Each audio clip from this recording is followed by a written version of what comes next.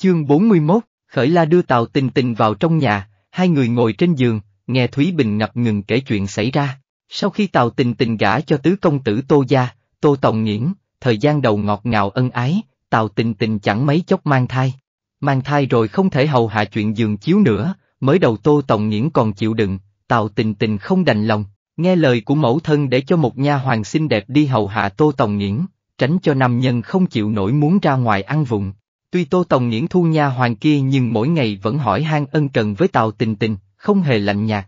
Tào Tình Tình mắt thấy số lần nha hoàng kia phục vụ càng ngày càng nhiều, tuy trong lòng mất mát nhưng nghĩ tới dù sao vẫn là ở nội viện, mình có thể thấy được, quản được, huống hồ Tô Tòng Nhiễn không lạnh nhạt với mình nên cũng thuyết phục bản thân không cần để ý. Nào ngờ sau này, Tô Tòng Nhiễn bắt đầu không ở nhà, thường say rượu trở về, hỏi gã sai vặt bên cạnh hắn ta mới biết, hình như hắn ta bị một vũ nương nhạc phường gì đó mê hoặc, thường xuyên đi vung tiền cổ vũ tiểu tiện nhân kia. Tào tình tình tưởng rằng tạm thời, chịu đựng không tức giận. Nhưng tình huống vậy, tiếp tục tới sau khi nàng sinh con xong cũng chẳng có thay đổi. Tào tình tình ở cử xong, nhiệt tình giống như quá khứ nhưng mà Tô Tòng Nhiễn không quan tâm, làm qua loa chưa nói, vẫn đi sớm về muộn. Phu thê hai người liên tục cãi vã, hiện tại Tô Tòng Nhiễn dứt khoát không về nhà nữa. Tô Tòng Nghiễn giữ chức chiêu tác lan vốn là một chức quan nhàn hạ, không cần lên triều, không cần điểm danh. Trên hắn ta còn có người ca ca có tiền đồ hơn hắn ta, hai tỷ tỷ lại gả vào gia đình tốt, Tô gia cũng thật sự chẳng có yêu cầu gì với tiểu tử này, thậm chí mỗi tháng Tô phu nhân còn cho hắn ta rất nhiều ngân lượng tiêu xài. Nam nhân chẳng có lòng cầu tiến nên chỉ nghĩ tới tầm hoang mua vui, Tô gia vốn cho rằng Tào Tình Tình có thể trói hắn ta lại, nào ngờ nam nhân ham mới mẻ nhất thời, mới mẻ trôi qua là lộ ra nguyên hình. Nếu biết hắn ta như vậy từ sớm, lúc trước ta không gả đâu. Tô gia lừa ta quá khổ sở hu hu.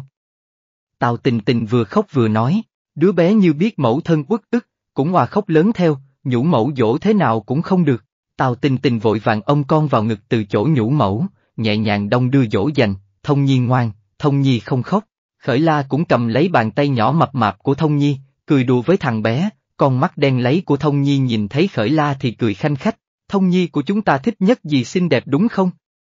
Tào tình tình hôn lên mặt thông nhi, ngẩng đầu nói với khởi la, ta vốn muốn ở lại nhà mẹ để vài ngày để tên khốn kia đi cầu xin hai mẹ con chúng ta trở về, nhưng mùi biết cha ta là một lão già ngoan cố, nói ta không được nhà chồng cho phép tự tiện về nhà ngoại là không hợp lễ phép, thật sự không cho ta ở lại, khởi la, ta thật sự nuốt không trôi cục tức này.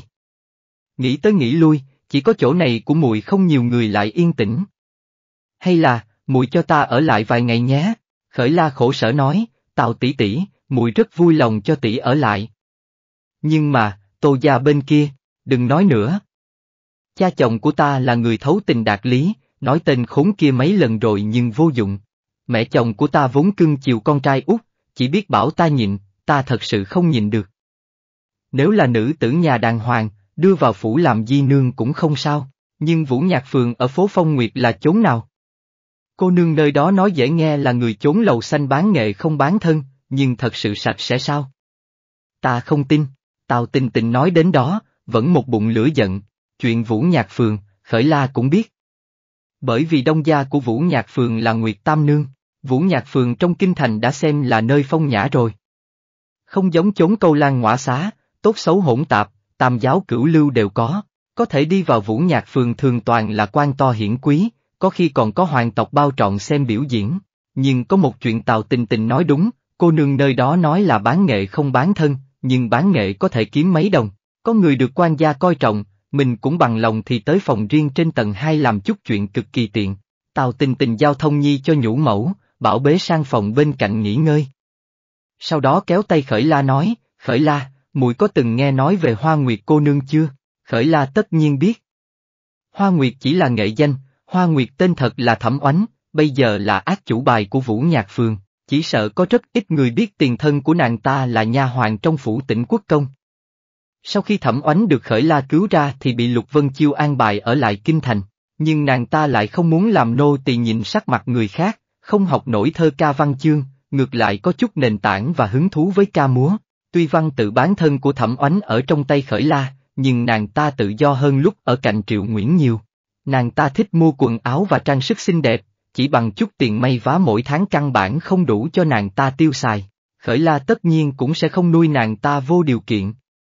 Về sau, nàng ta biết Khởi La có quen biết Nguyệt Tam Nương nên bảo Khởi La tiến cử vào Vũ Nhạc Phường.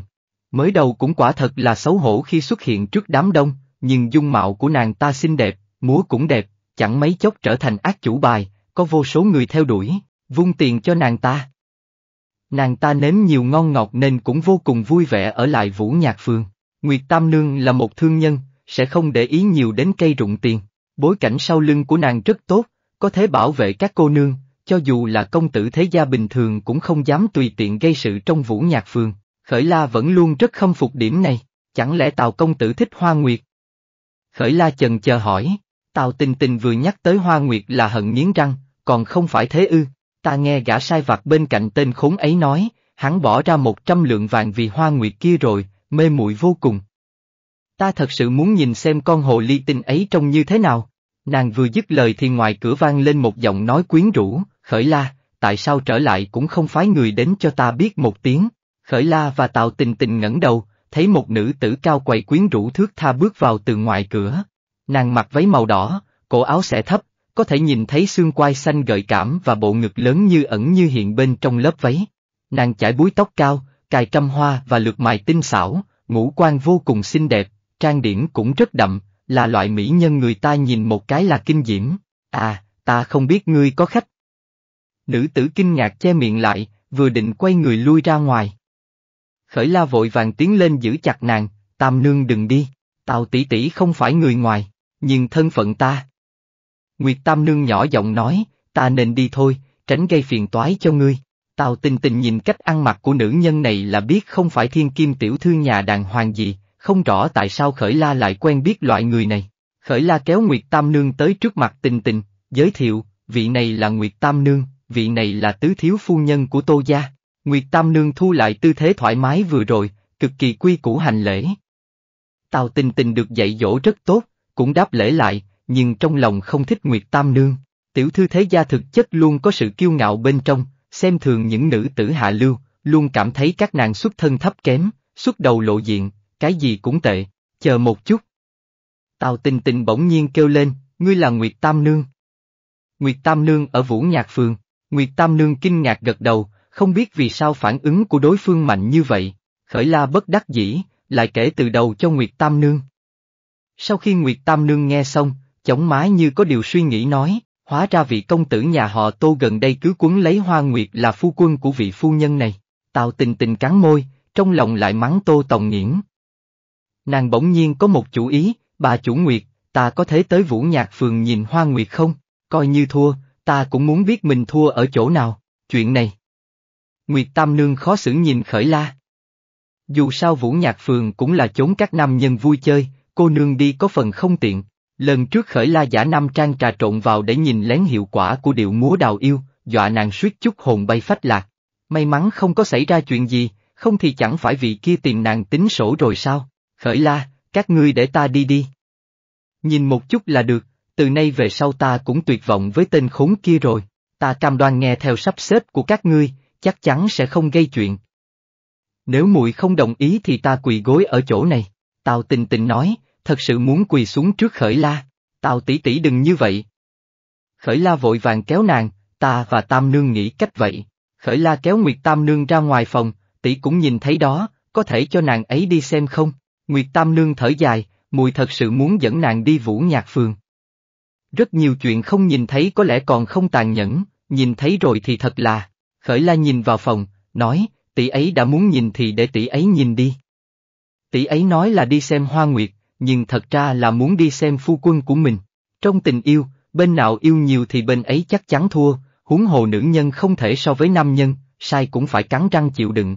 Cuối cùng chỉ sợ Tào tỷ tỷ vẫn phải thỏa hiệp, Xem mùi này, tuổi còn nhỏ, sao nói chuyện như một bà cụ vậy? Nguyệt Tam Nương dùng ngón tay nâng cầm của nàng lên, đừng lo lắng, dung mạo mùi rất đẹp, tương lai nam nhân mùi cưới chắc chắn sẽ nâng niu mùi ở trong lòng bàn tay. Khởi la cười nhạt một tiếng, người lấy sắc thờ người, sắc suy thì tình mỏng, tình mỏng thì ân tuyệt. Có đôi khi, dáng vẻ bình thường cũng chẳng phải chuyện xấu. Nguyệt Tam Nương chọc chọc trán khởi la, ôi, nói vậy mà mùi tưởng vậy à, tự xem mình là lý phu nhân của Hán Vũ Đế rồi sao?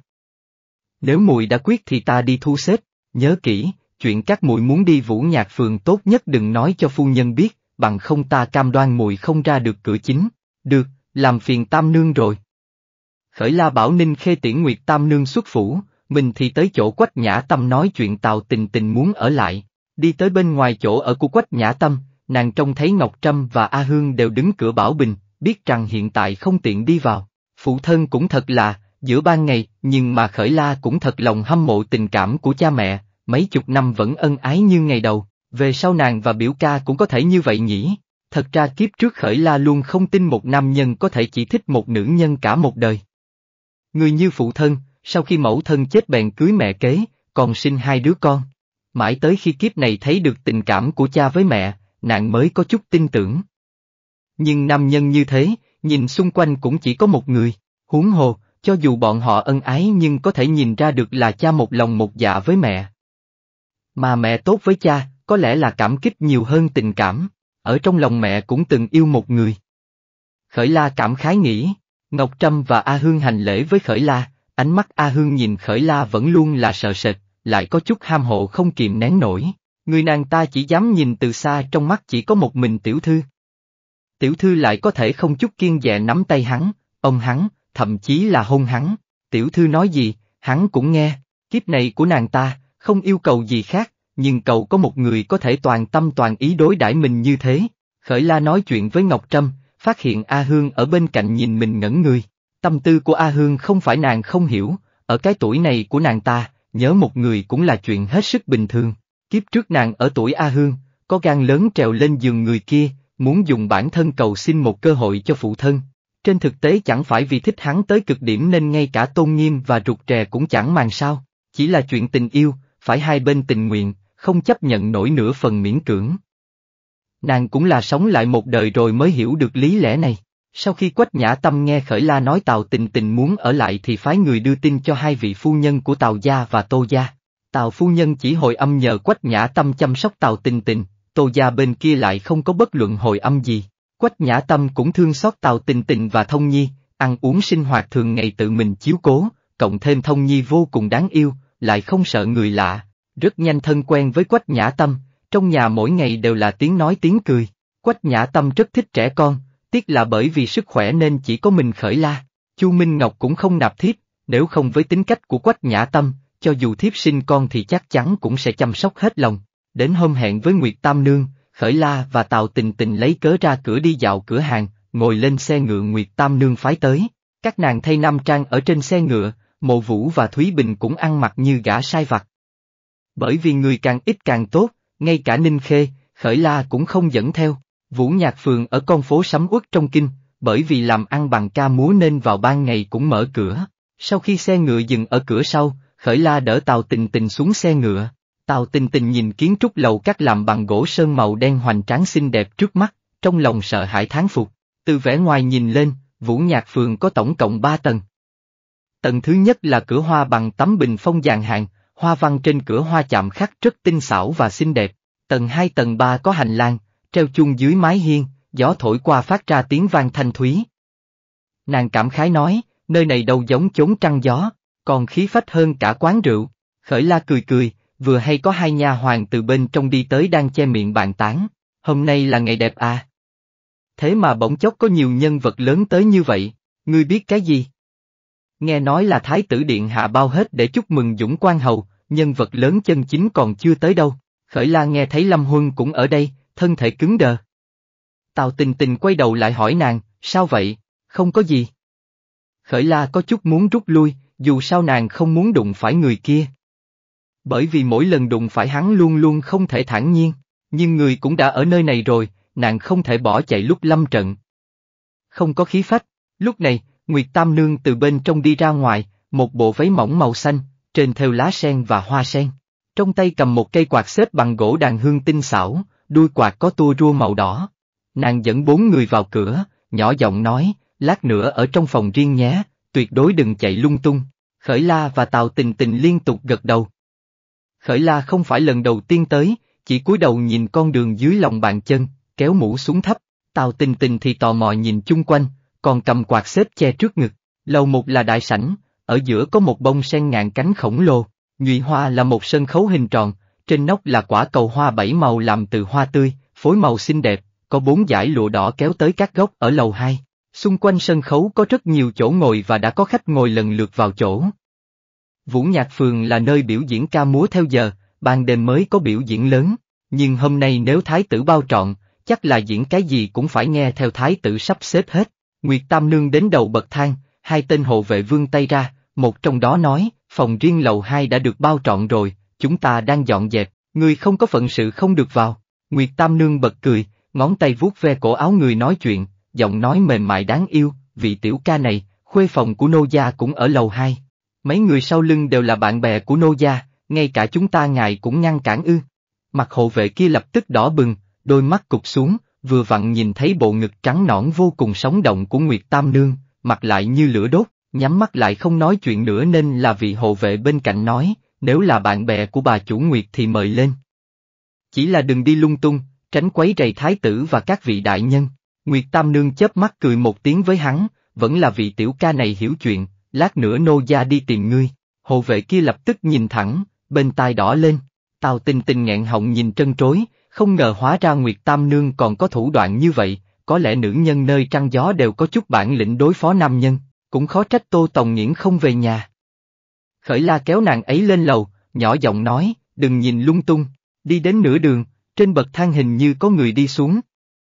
Nguyệt Tam Nương tạm thời dừng lại, nghiêng người nhường đường, khởi la ngẩng đầu, nhìn thấy một nữ tử áo đỏ, chải búi tóc trụy mã kế, bên tóc mai cài trăm hoa cây đại hoàng, trên trán dáng bông hoa cầu kỳ tôn lên một đôi mắt ướt át càng thêm mấy phần xinh đẹp, thân hình của nàng ta quyến rũ, bên ngoài khoác váy lụa mỏng, bên trong hình như là vũ phục, có thể nhìn thấy bộ ngực căng tròn và hình dáng trang sức trên thắt lưng màu vàng. Cái người này, người có thấy phiền không? Nữ tử khoanh tay trước ngực, chỉ gật đầu với Nguyệt Tam Nương, không hề chú ý tới mấy người khởi la rồi mất kiên nhẫn bước xuống bậc thang.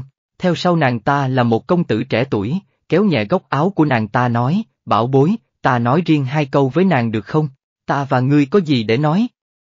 Ngươi thành thân rồi, chẳng lẽ còn muốn nạp ta làm bé, hầu hạ vị phu nhân kia của ngươi? Nữ tử kéo ống tay áo trở về, lạnh lùng nói, nàng ta là cái gì chứ? Nhan sắc bình thường thôi, chẳng qua xuất thân tốt, làm công việc quản gia và sinh con thôi, sao bằng bảo bối nàng được? Nam tử muốn nhào tới, nữ tử nhẹ nhàng tránh né, xuống tới tầng một.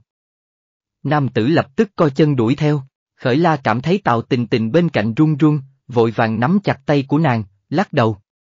Nữ tử kia chính là thẩm oánh, mà công tử cuốn lấy nàng ta là Tô Tòng Nghiễn.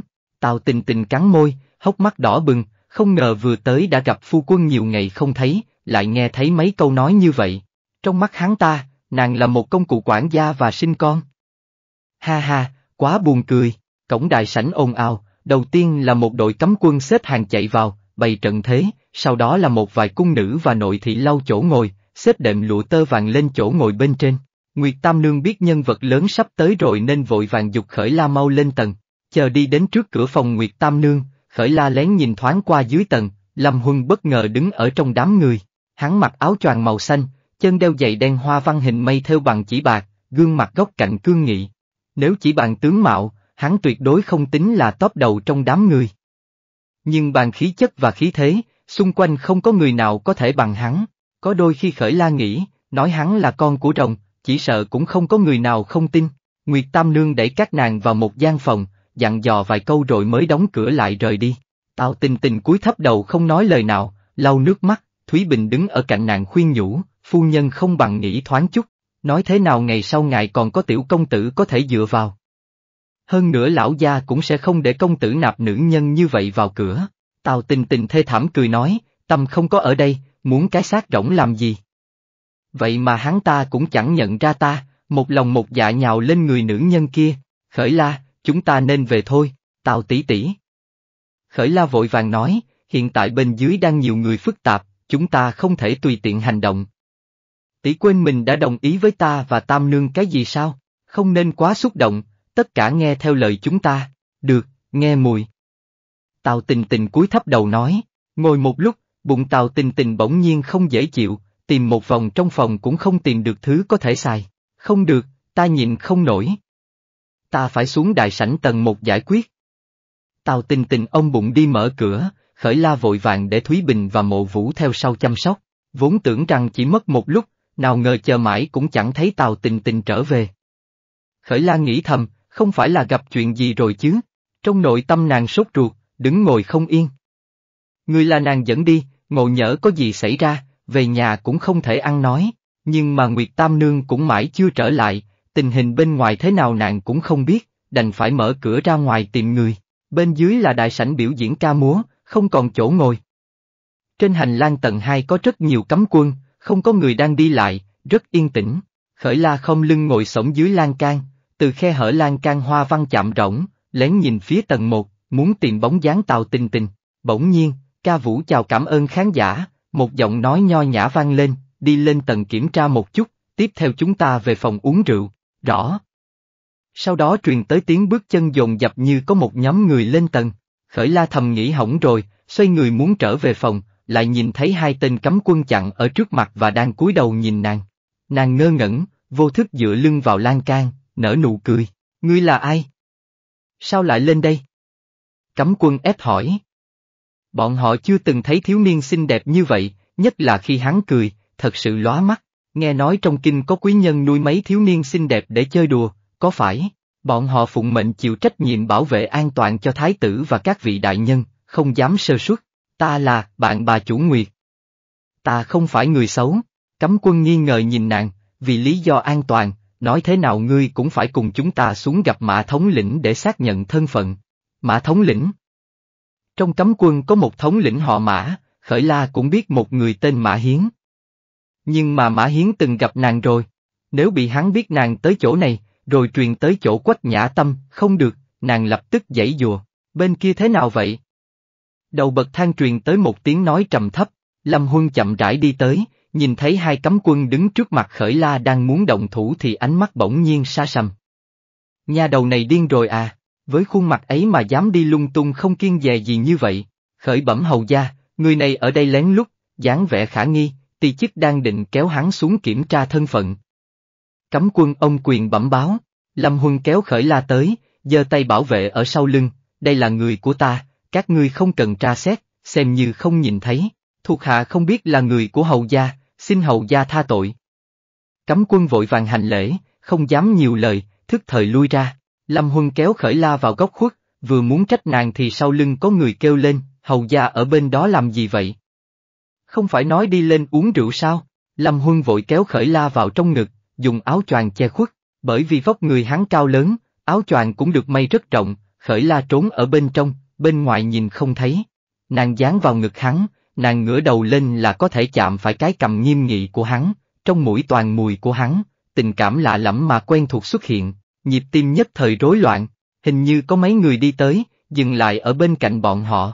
Mấy người này trông thấy Lâm Huân như vậy thì biết hắn giấu người trong ngực, chế nhạo nói, chẳng lẽ hầu gia giấu mỹ nhân nào à, muốn lén hưởng thụ một mình sao? Có người tò mò muốn qua xem, Lâm Huân dứt khoát quay lưng đi, vương công tử đi trước đi, lát nữa ta tới, là bảo bối của hầu gia à, chẳng cho người khác nhìn.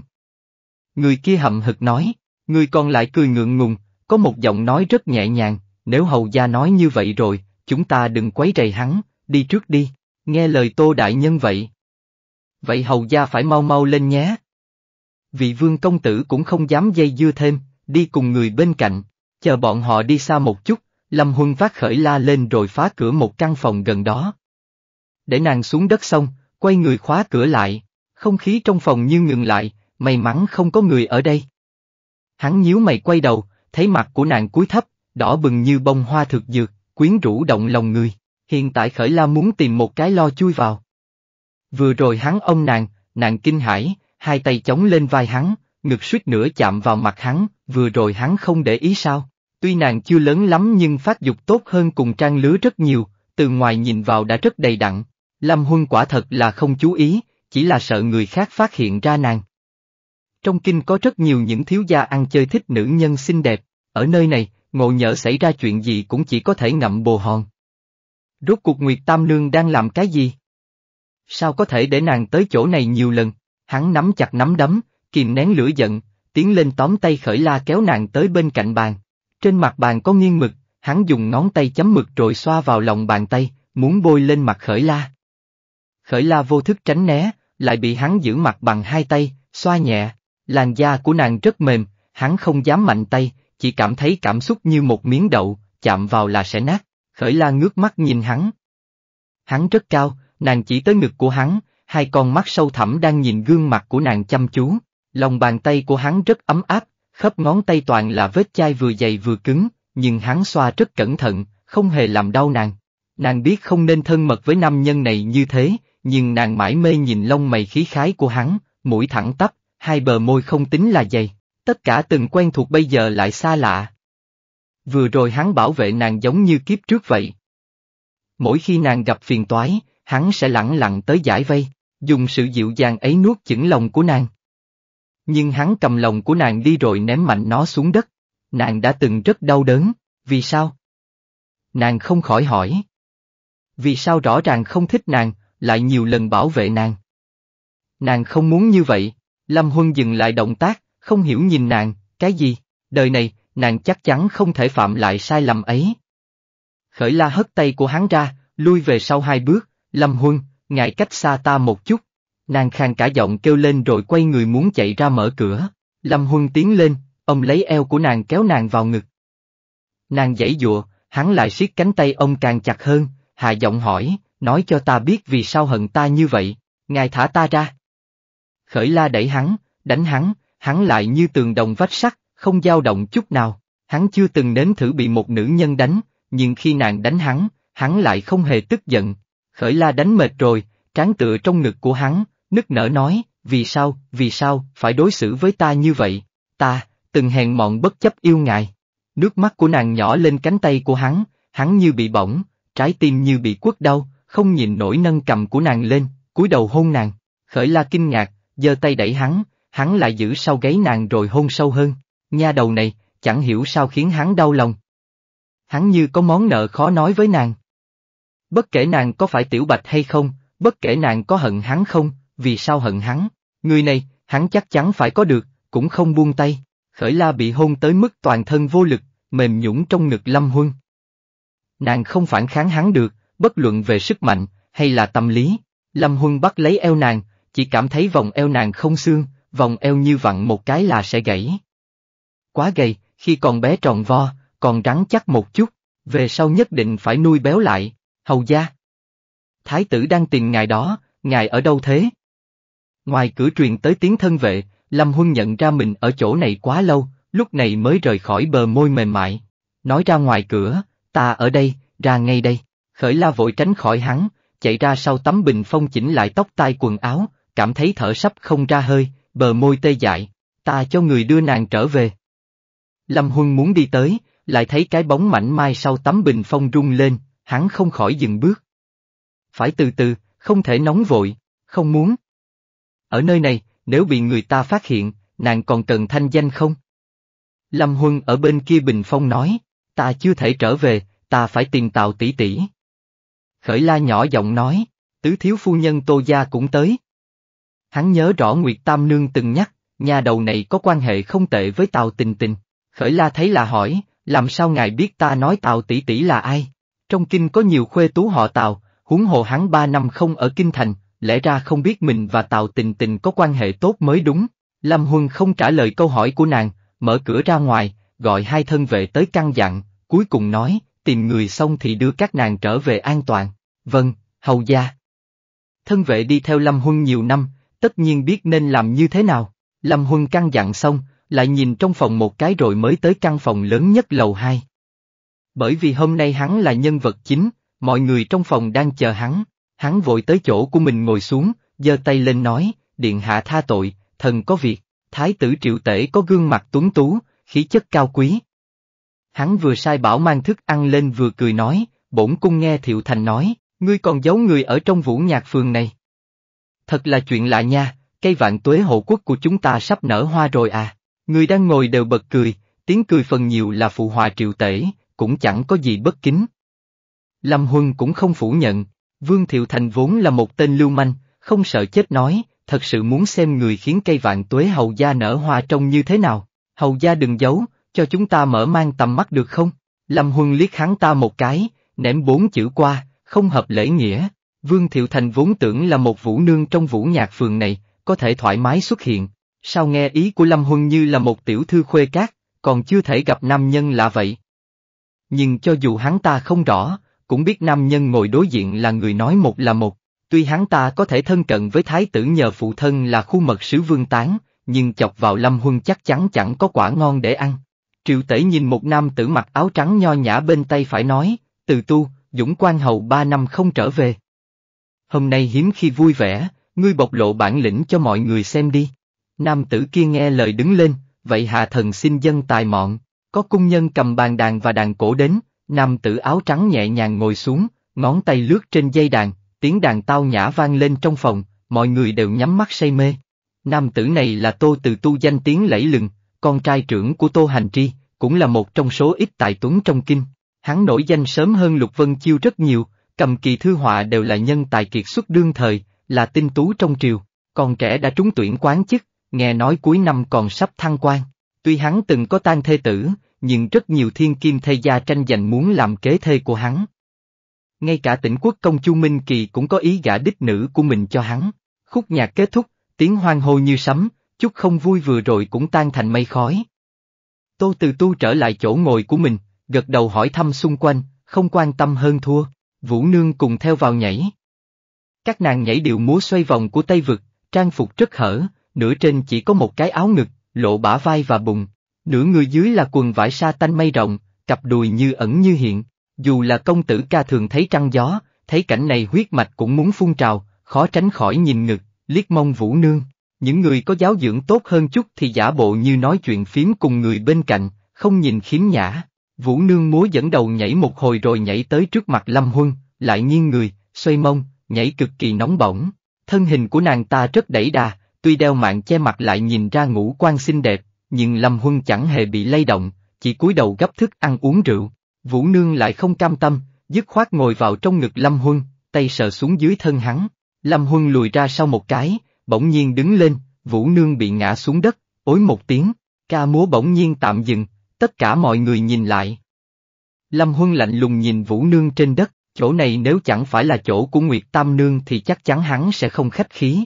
Vương Thiệu Thành vội vàng chạy tới đỡ Vũ Nương dậy, thương tiếc nói, ôi, Hoa Nguyệt cô nương tội gì phải như vậy, Dũng quan hầu của chúng ta nổi danh không gần nữ sắc, đâu biết thương Hoa Tiết Ngọc đâu. Mau để cho ta nhìn xem, ngã chỗ nào, thẩm oánh cố chịu bàn tay Vương Thiệu Thành cố ý sờ loạn trên mông nàng ta, trừng mắt nhìn Lâm Huân. Nàng ta vô cùng tự tin về vóc dáng và dung mạo của mình, gần như không có nam nhân nào không rung động. Nàng ta thích loại nam nhân như Lâm Huân, vẻ ngoài tốt, trong tay có thực quyền. Nàng ta thích kéo mặt nạ cao ngạo của các nam nhân xuống, nhìn bọn họ thần phục dưới gấu váy của nàng ta, khiến nàng ta cảm thấy thỏa mãn và có thành tựu. Thẩm oánh trước giờ bách chiến bách thắng ở Vũ Nhạc Phường, nào ngờ hôm nay dẫm phải một cái đinh. Vương Thiệu Thành ông thẩm oánh ngồi ở bên cạnh, ăn đậu hũ quên hết trời đất. Hắn ta là khách quý của Vũ Nhạc Phường, thẩm oánh không thể đắc tội, chỉ mềm mỏng khước từ. Bỗng nhiên có người ở ngoài cửa la lớn, để cho ta đi vào. Ta muốn gặp Hoa Nguyệt, vị công tử này, nơi đây đã bị quý nhân bao trọn. Nếu như ngươi thất lễ nữa thì đừng trách chúng ta không khách khí. Cấm quân mở miệng cảnh cáo, các ngươi dám cản ta. Ta tới tìm ca ca của ta, ca ca của ta ở bên trong. Ca. Đệ là A Nghiễn. Người kia lớn tiếng kêu lên, Tô Từ Tu nghe vậy đứng lên, hành lễ với triệu tể nói, Thái tử Điện Hạ, ngoài cửa là tứ đệ của Hạ Thần, có thể cho vào không? Triệu tể sản khoái nói, nếu là đệ đệ từ tu thì mời vào đi. Sau khi Tô Tòng Nhiễn đi vào, trước tiên hành lễ với mấy người triệu tể.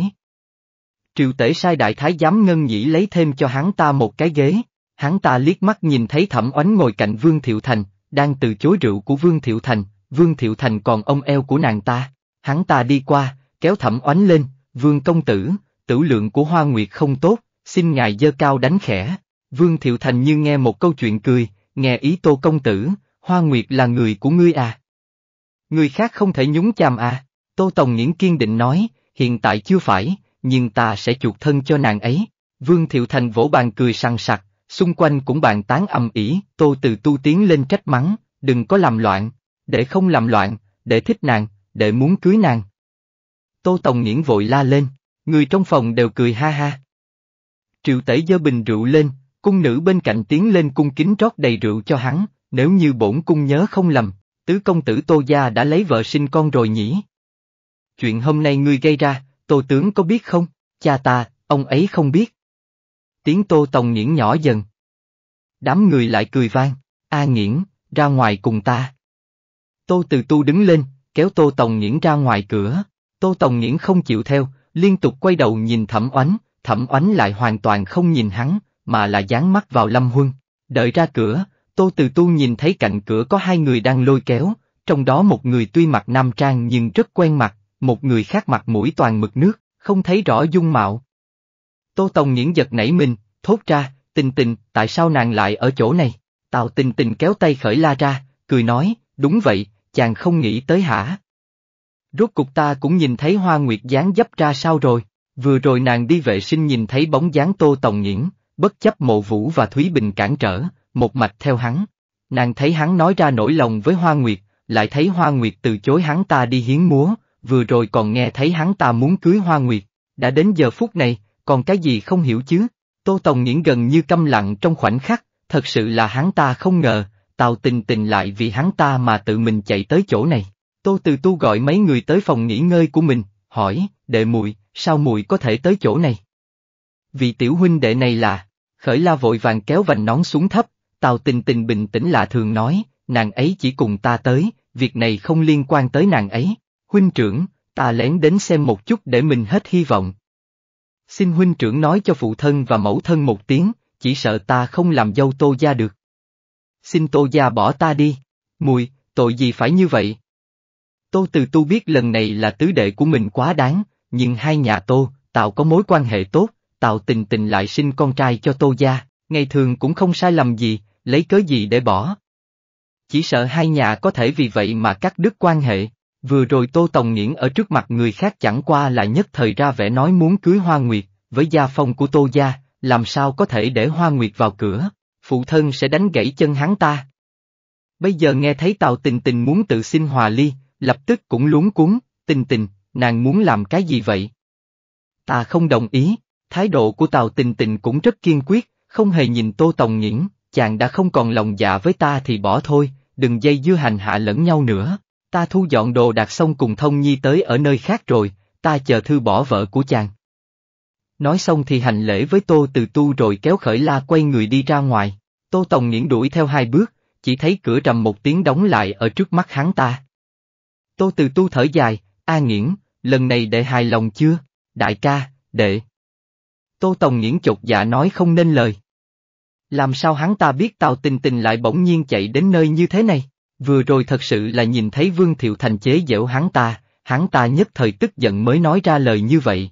Ta xem đệ trở về ăn nói thế nào với phụ thân và mẫu thân. Tô Từ Tu đứng dậy muốn rời đi, Tô Tòng Nghiễn ông chặt cánh tay của hắn, cầu xin, đại ca, huynh phải cứu đệ, huynh không thể mặc kệ đệ được. Phụ thân chắc chắn không chịu cho đệ viết thư bỏ vợ cho Tào gia, ông ấy sẽ đánh chết đệ, vậy thì để tiền đệ mùi và thông nhi trở về. Tô Từ Tu nói cho cùng không nở mặc kệ Tô Tòng Nghiễn. Đệ đệ này từ nhỏ đã thân nhất với hắn, thích dính lấy hắn. Khoảng thời gian mất thê tử, hắn đau lòng tới mức không muốn sống, cũng là đệ đệ tìm cách làm hắn vui vẻ. Chỉ là lần này đệ đệ thật sự quá đáng, được, đệ đi tìm nàng. Tô Tòng Nghiễn muốn đi ra ngoài, lại dừng bước lại, vẻ mặt đau khổ nói, nhưng đệ không biết nàng ở nơi nào. Tô Từ Tu nhìn hắn, lắc đầu bất đắc dĩ. Đừng nói không biết Tào Tình Tình ở nơi nào, cho dù biết, nàng đâu thể tha thứ cho Tô Tòng Nghiễn dễ dàng như vậy. Trên xe ngựa trở về, Tào Tình Tình thay quần áo, vẫn còn đang khóc. Khởi La cũng không biết phải an ủi nàng ấy thế nào, chỉ khuyên nhủ, chuyện hòa ly, không bằng tỷ suy nghĩ lại đi nhé. Dù sao Thông Nhi còn nhỏ, không có cha thì làm sao bây giờ, chẳng phải tên khốn kia nói muốn cưới Hoa Nguyệt sao? Ta tác thành cho hắn. Tào Tình Tình tức giận nói. Khởi la biết nàng ấy nhất thời nói linh tinh, hiện tại tốt nhất không nên kích thích nàng ấy nữa. Đợi các nàng về đến nhà rồi thì bảo Thúy Bình đỡ nàng ấy đi nghỉ ngơi trước. Hôm nay Lâm Huân cũng khiến Khởi La phiền muộn, nàng dây dây Thái Dương trở lại trong phòng hỏi Ninh Khê, có thư của biểu công tử không? Ninh Khê vắt khăn lau mặt cho Khởi La, sao mặt tiểu thư thành như thế này ạ? À? Đã lâu rồi không có thư bên Dương Châu, hay là bảo mộ vũ tìm cách liên lạc với triêu tịch xem sao ạ? À? Khởi La thầm suy nghĩ, kỳ lạ, biểu ca chưa từng hoàn toàn không có tin tức gì lâu như vậy, chẳng lẽ là bị chuyện của vương gia cuốn lấy rồi ư? Đầu mùa thu, ban đêm thành Dương Châu có một cơn mưa nhỏ, gió cuốn từng hơi lạnh, lá khô nặng nề rơi xuống mặt đất. Trạch viện nơi này rất yên tĩnh, là góc yên tĩnh trong thành Dương Châu, không người hỏi thăm. Trong viện không trồng hoa, chỉ là các loại cỏ cây cắm xen kẽ nhau, tất cả tỏa mùi cây cỏ thơm ngát. Triêu tịch vừa dẫn đại phu đi nhanh, vừa thỉnh thoảng quay đầu thúc giục nói, xin mau một chút, vâng, vâng. Đại phu liên mồm đáp, đi đến trước một căn phòng, triêu tịch đẩy ô cửa vuông ra, ánh trăng ngưng tụ trên một bóng dáng ngồi bên giường làm trong phòng sáng hơn rất nhiều. Triêu tịch bảo đại phu đi vào, đại phu tiến lên hành lễ, sau đó xem bệnh cho người nằm trên giường. Ông suy nghĩ hồi lâu rồi tự nhủ, quái lạ, phong hàng làm sao có thể bị lâu vậy, thuốc có vấn đề chăng? Lục Vân Chiêu ngồi ở bên cạnh không nói lời nào. Vị đại phu này là Lăng Vương Tiềm, hẳn là y thuật tốt nhất trong thành Dương Châu, lão phu lại bốc thêm hai thang thuốc. Lão đại phu hành nghề y mấy chục năm, bỗng nhiên sinh hoài nghi với y thuật của mình. Chung Nghị dẫn đại phu ra ngoài, Lục Vân Chiêu nhìn người nằm trên giường, hỏi triêu tịch, trong kinh còn không có tin gì à? Triêu tịch ngoan ngoãn lắc đầu, hẳn là đã xảy ra chuyện gì đó rồi. Lục Vân Chiêu lo lắng trong lòng, giơ tay lên miệng ngáp nhỏ một cái. Vương lão gia bỗng dưng mất nàng dâu, không thể bỏ ý đồ, mấy lần tới cửa đòi lý lẽ. Nhà họ Vương có người làm quan to trong triều, nếu không phải Lăng Vương ra mặt hòa giải, chỉ sợ việc này không dễ dàng giải quyết được. Nhưng nhìn dáng vẻ Vương lão gia cũng chẳng có ý từ bỏ. Triêu tịch không nhịn được nói, công tử về nghỉ ngơi đi, mấy ngày nay ngài mệt muốn chết rồi, cô nương có nô tỳ trông coi là được rồi. Lục Vân Chiêu nghe vậy, gật đầu muốn đứng dậy, người trên giường bỗng nhiên kêu lên, ca ca. Ca ca đừng bỏ lại mùi một mình.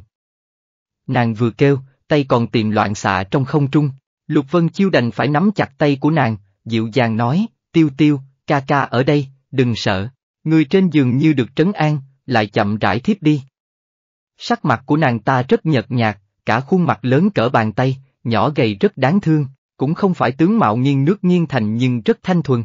Lục Vân Chiêu kéo chăn mềm lên vai nàng ta, nhớ tới lúc nàng ta rời kinh, ở trên xe ngựa khóc lớn liều mạng vươn tay ra với hắn, bỗng cảm thấy như mấy đời rồi. Lục Tiêu là đứa con gái Hoài Nhi và Lục Tốn sinh ra, nhỏ hơn Lục Vân Chiêu 3 tuổi. Lục Tốn là phụ thân trên danh nghĩa của Lục Vân Chiêu, quan nhỏ trung thực yên phận. Quách Nhã Doanh chết rất sớm, Hoài Nhi làm thiếp cho Lục Tốn, vẫn luôn tận tâm chăm sóc Lục Vân Chiêu, mãi tới lúc bà sắp chết vì bệnh, vì không muốn liên lụy Lục Vân Chiêu nên đưa Lục Tiêu về phía Nam, từ đây Lục Vân Chiêu không có tin tức của Lục Tiêu. Những năm qua hắn không phải không phái người đi tìm Lục Tiêu, nhưng đều không tìm được, lại bỗng dưng gặp được ở trên đường. Hắn cũng không biết vì sao mình liếc mắt là nhận ra đó là Lục Tiêu, có lẽ sống cùng nhau 8 năm, thân thiết gắn bó. Hắn còn nhớ rõ lúc nàng mới ra đời, bởi vì Hoài Di không đủ sữa, nàng luôn đói tới mức khóc lớn, nhưng hắn ôm nàng một cái là nàng không khóc nữa. Khi còn bé hắn bị người ta ném đá vào người bị thương toàn thân, nàng vừa khóc vừa bôi thuốc cho hắn. Lớn hơn chút, trong nhà không đủ lương thực cho hai đứa bé, hắn lớn hơn, nàng bèn chịu đói, lén để một phần của mình cho hắn. Đứa nhỏ này theo hắn chịu rất nhiều khổ, chưa từng hưởng phúc ngày nào, cũng may hiện tại cuối cùng có thể bù đắp một chút. Lục Vân Chiêu luôn nhớ kỹ từng người đối tốt với hắn trong lòng. Cho nên bất luận như thế nào, hắn phải che chở mùi mùi này, không để nàng chịu chút khổ nào nữa. Triêu tịch đóng cửa lại lui ra ngoài, muốn vào trong phòng bếp làm chút đồ ăn. Nàng ngước mắt thì trông thấy một bóng người màu đen đứng ở trong sân, lạnh lùng máu lạnh, cực kỳ giống gió lạnh cuối thu. Đại thống lĩnh. Triêu tịch đi qua, ông quyền hành lễ. Nàng và mộ vũ là cô nhi lăng vương nhặt về, huyền ẩn một tay huấn luyện, thân thủ của huyền ẩn thâm sâu khó lường, thủ đoạn giết người còn hung tàn độc ác hơn. Chưa từng có người nào thấy gương mặt thật của hắn, lại kính sợ hắn như thần linh, nghe nói ngay cả võ công của Dũng Quan Hầu Lâm Huân cũng là hắn phái người tự tay dạy dỗ. Tiếng nói của huyền ẩn rất nặng nề ngột ngạt, vị cô nương kia tỉnh chưa? Vẫn chưa. Huyền ẩn như nở nụ cười lạnh lùng, quay người muốn đi vội, triêu tịch đánh liều gọi hắn lại, đại thống lĩnh, thư công tử gửi đi và thư trong kinh gửi tới có phải đều bị vương gia chặn không? Công tử ngài ấy, rất lo lắng cho an nguy của tiểu thư, huyền ẩn không hề dừng bước lại, chỉ lạnh lùng nói, làm tốt chuyện thuộc bổn phận của ngươi, cái khác không cần hỏi nhiều, vâng. Triêu tịch cúi đầu, không còn dám nhiều lời, huyền ẩn đi một mạch ra cửa sau, cuối người nói với người ngồi trong kiệu ở đối diện, vương gia, người còn chưa tỉnh, không biết là bệnh thật hay là giả bệnh, công tử rất lo lắng, vẫn canh giữ ở bên giường. Triệu Sâm tự dễu nói, không ngờ con cờ này tác dụng lớn thế. Nó còn để bụng một một mùi chẳng có quan hệ máu mũ hơn cha ruột là ta, nhưng mà vậy cũng tốt, tạm thời hắn không rảnh để ý chu khởi la, công tử trọng tình. Huyền ẩn nói, trọng tình làm sao có thể thành đại sự. Một chu khởi la đã hỏng phần nào mưu tính của ta rồi, một khi nam nhân có nhược điểm, mạnh hơn cũng không chịu nổi một đòn. Bên nhà họ vương thế nào? Triệu Sâm vuốt vuốt ngọc tỳ hưu trong tay, nhắm mắt lại hỏi. Vương gia lão gia ngoài mặt đồng ý với vương gia không truy cứu nữa, nhưng tự mình viết một lá thư gửi cho đệ đệ ruột trong kinh, khu mật sứ vương tán. Theo cách xử sự của vị đại nhân kia, chỉ sợ cuối năm công tử không về kinh được. Triệu Sâm cười nhạt một tiếng, về trễ một chút cũng không sao. Ngọc không mài, không sáng được. Chúng ta về phủ đi. Sau khi từ Vũ Nhạc Phường trở về, Tào Tình Tình viết thư cho Tào Phu Nhân, nói rõ dự tính muốn hòa ly. Tào Phu Nhân vừa nhận được thư thì tới luôn, bà đã muốn tới thăm con gái và cháu ngoại từ lâu, nhưng Tào Bác Ngăn không cho. Bây giờ nhìn thấy chuyện lớn rồi, ông mới không cố chấp nữa, bảo bà đi khuyên con gái. Tào Tình Tình vừa nhìn thấy mẫu thân thì ông bà hòa khóc, sao Tào Phu Nhân không biết con gái chịu uất ức lớn, nhưng chuyện hòa ly đâu có dễ dàng như vậy. Bà vừa lau nước mắt cho Tào Tình Tình vừa nói, con à, con phải nghĩ thoáng một chút, ai cũng nói hòa ly tổn thương tình cảm hai nhà, con bị tô gia bỏ, nửa đời sau phải sống sao đây, thanh danh rất quan trọng với một nữ nhân, nữ nhân bị trượng phu hòa ly, chưa nói rất khó tái giá, còn phải chịu đựng người khác phỉ nhổ. Huống hồ nàng còn từng sinh một đứa con, sao Tào Tình Tình không biết những lý lẽ này, nhưng mà Tô Tòng Nghiễn làm nàng quá đau đớn. Những lời hắn ta nói ở Vũ Nhạc Phường, từng chữ khoan vào tim nàng. Quách nhã tâm cũng khuyên nhủ, tình tình, không phải ta và mẫu thân con độc ác, muốn khuyên con trở về. Thật sự là thông nhi còn nhỏ, không thể không có cha, tứ công tử chỉ là nhất thời hồ đồ, không bằng con cho hắn một cơ hội nữa. Buổi sáng ta đã viết thư cho tô phu nhân, chúng ta xem thái độ tô gia rồi tính sau nhé. Tào tình tình nghẹn ngào nói, con tới đây ở, chẳng phải phu nhân cũng viết thư cho mẹ chồng con sao? Tô gia hoàn toàn chẳng có phản ứng gì. Mẹ chồng chiều tên khốn kia, bảo vệ mọi nơi. Khởi La và Quách Nhã Tâm nhìn nhau, không nói gì. Lần này lúc Quách Nhã Tâm viết thư, Khởi La cố ý bảo bà thêm thông nhi sinh bệnh, lâu ngày không khá hơn. Chu gia và Tào gia đều bó tay toàn tập, mời Tô gia đến quyết định. Tô phu nhân có thiên vị Tô Tòng Nghiễn thế nào thì cũng không thể mặc kệ sống chết của cháu trai ruột nhỉ. Quả nhiên, Ngọc Trâm đến bẩm báo, phu nhân, Tô phu nhân dẫn hai vị công tử Tô gia tự mình đến nhà. Tào tình tình bỗng nhiên ngồi thẳng dậy, cho rằng mình nghe lầm.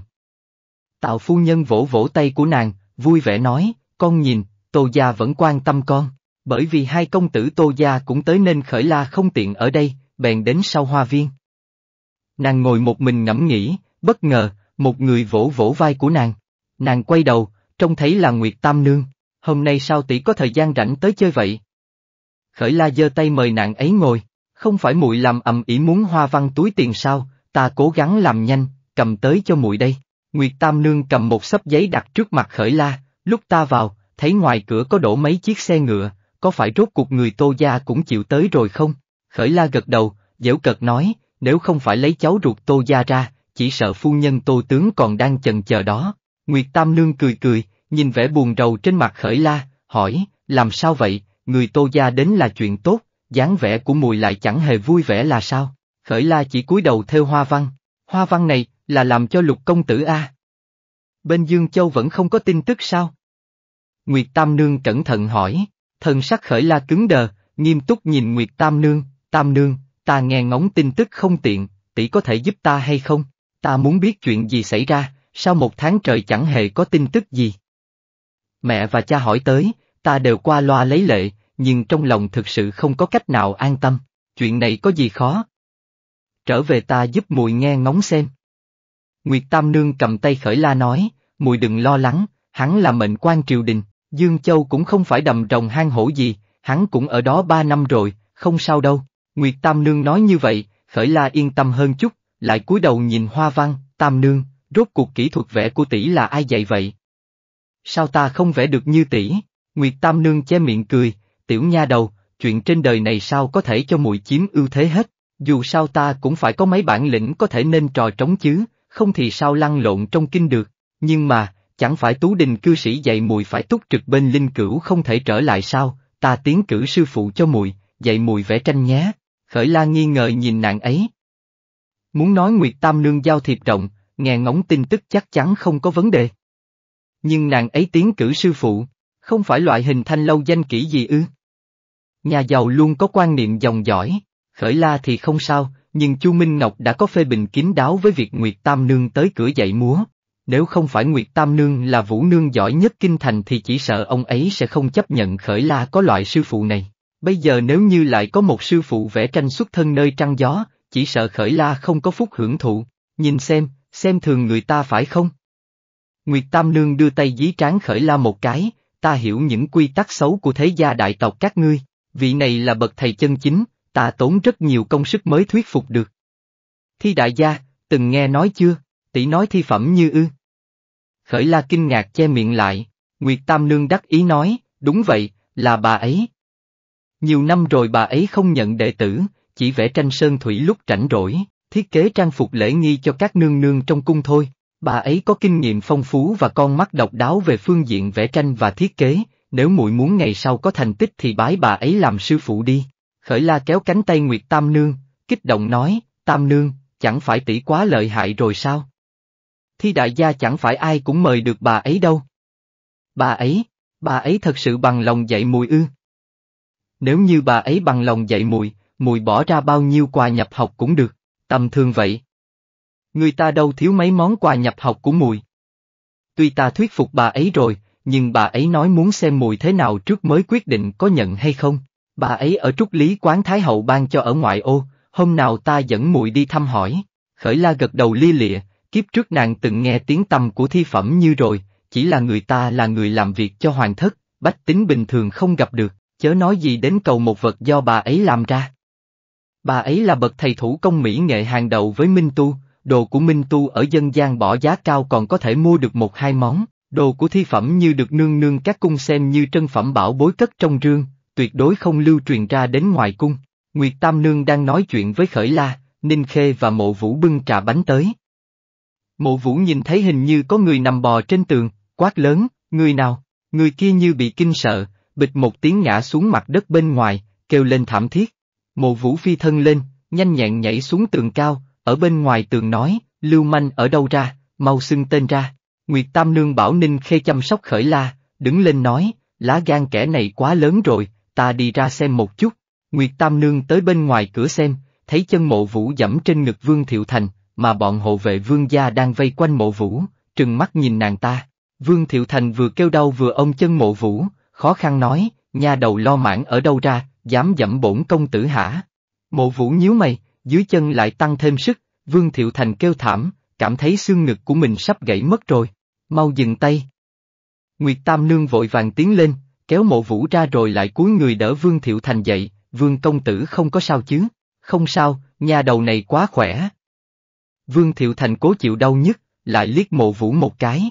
Nếu là người khác dám làm vậy với hắn ta thì đã bị hắn ta hạ lệnh đánh chết từ lâu rồi, nhưng trời sinh hắn ta yêu mỹ nhân, mộ vũ trông xinh xắn, tuy hơi hung hãn nhưng hắn ta vẫn thương hoa tiết ngọc.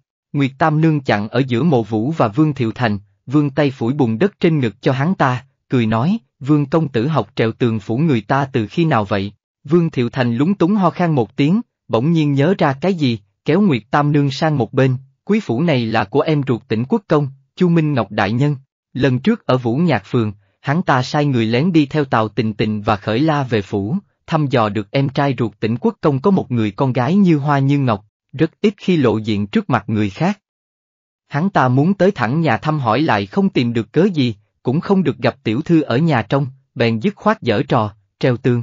Nguyệt Tam Nương biết trước khi tên lưu manh này tới chắc chắn đã nghe ngóng rồi, bèn gật nhẹ đầu theo tình thế. Không ngờ quý phủ của Chu đại nhân cất giấu một cô nương quốc sắc thiên hương như thế. Vương Thiệu Thành xoa xoa hai bàn tay, nước bọt cũng sắp chảy xuống, vừa rồi ở trên tường chỉ nhìn thoáng qua, thấy nửa mặt giai nhân, làn da như ngọc thượng hạng, như nắng cũng có thể xuyên thấu, tuy không thấy toàn mặt, quanh người lại tỏa ra tiên khí không dính bụi trần, thật sự quá quyến rũ, còn có dáng người lã lướt, nơi nên đầy đặn thì đầy đặn, nên mảnh mai thì mảnh mai, một chút dư thừa cũng không có. Nguyệt Tam Nương cười nói với Vương Thiệu Thành, Vương công tử từ bỏ đi, con gái nhà người ta đã đính hôn từ lâu rồi, đính hôn. Với nhà ai?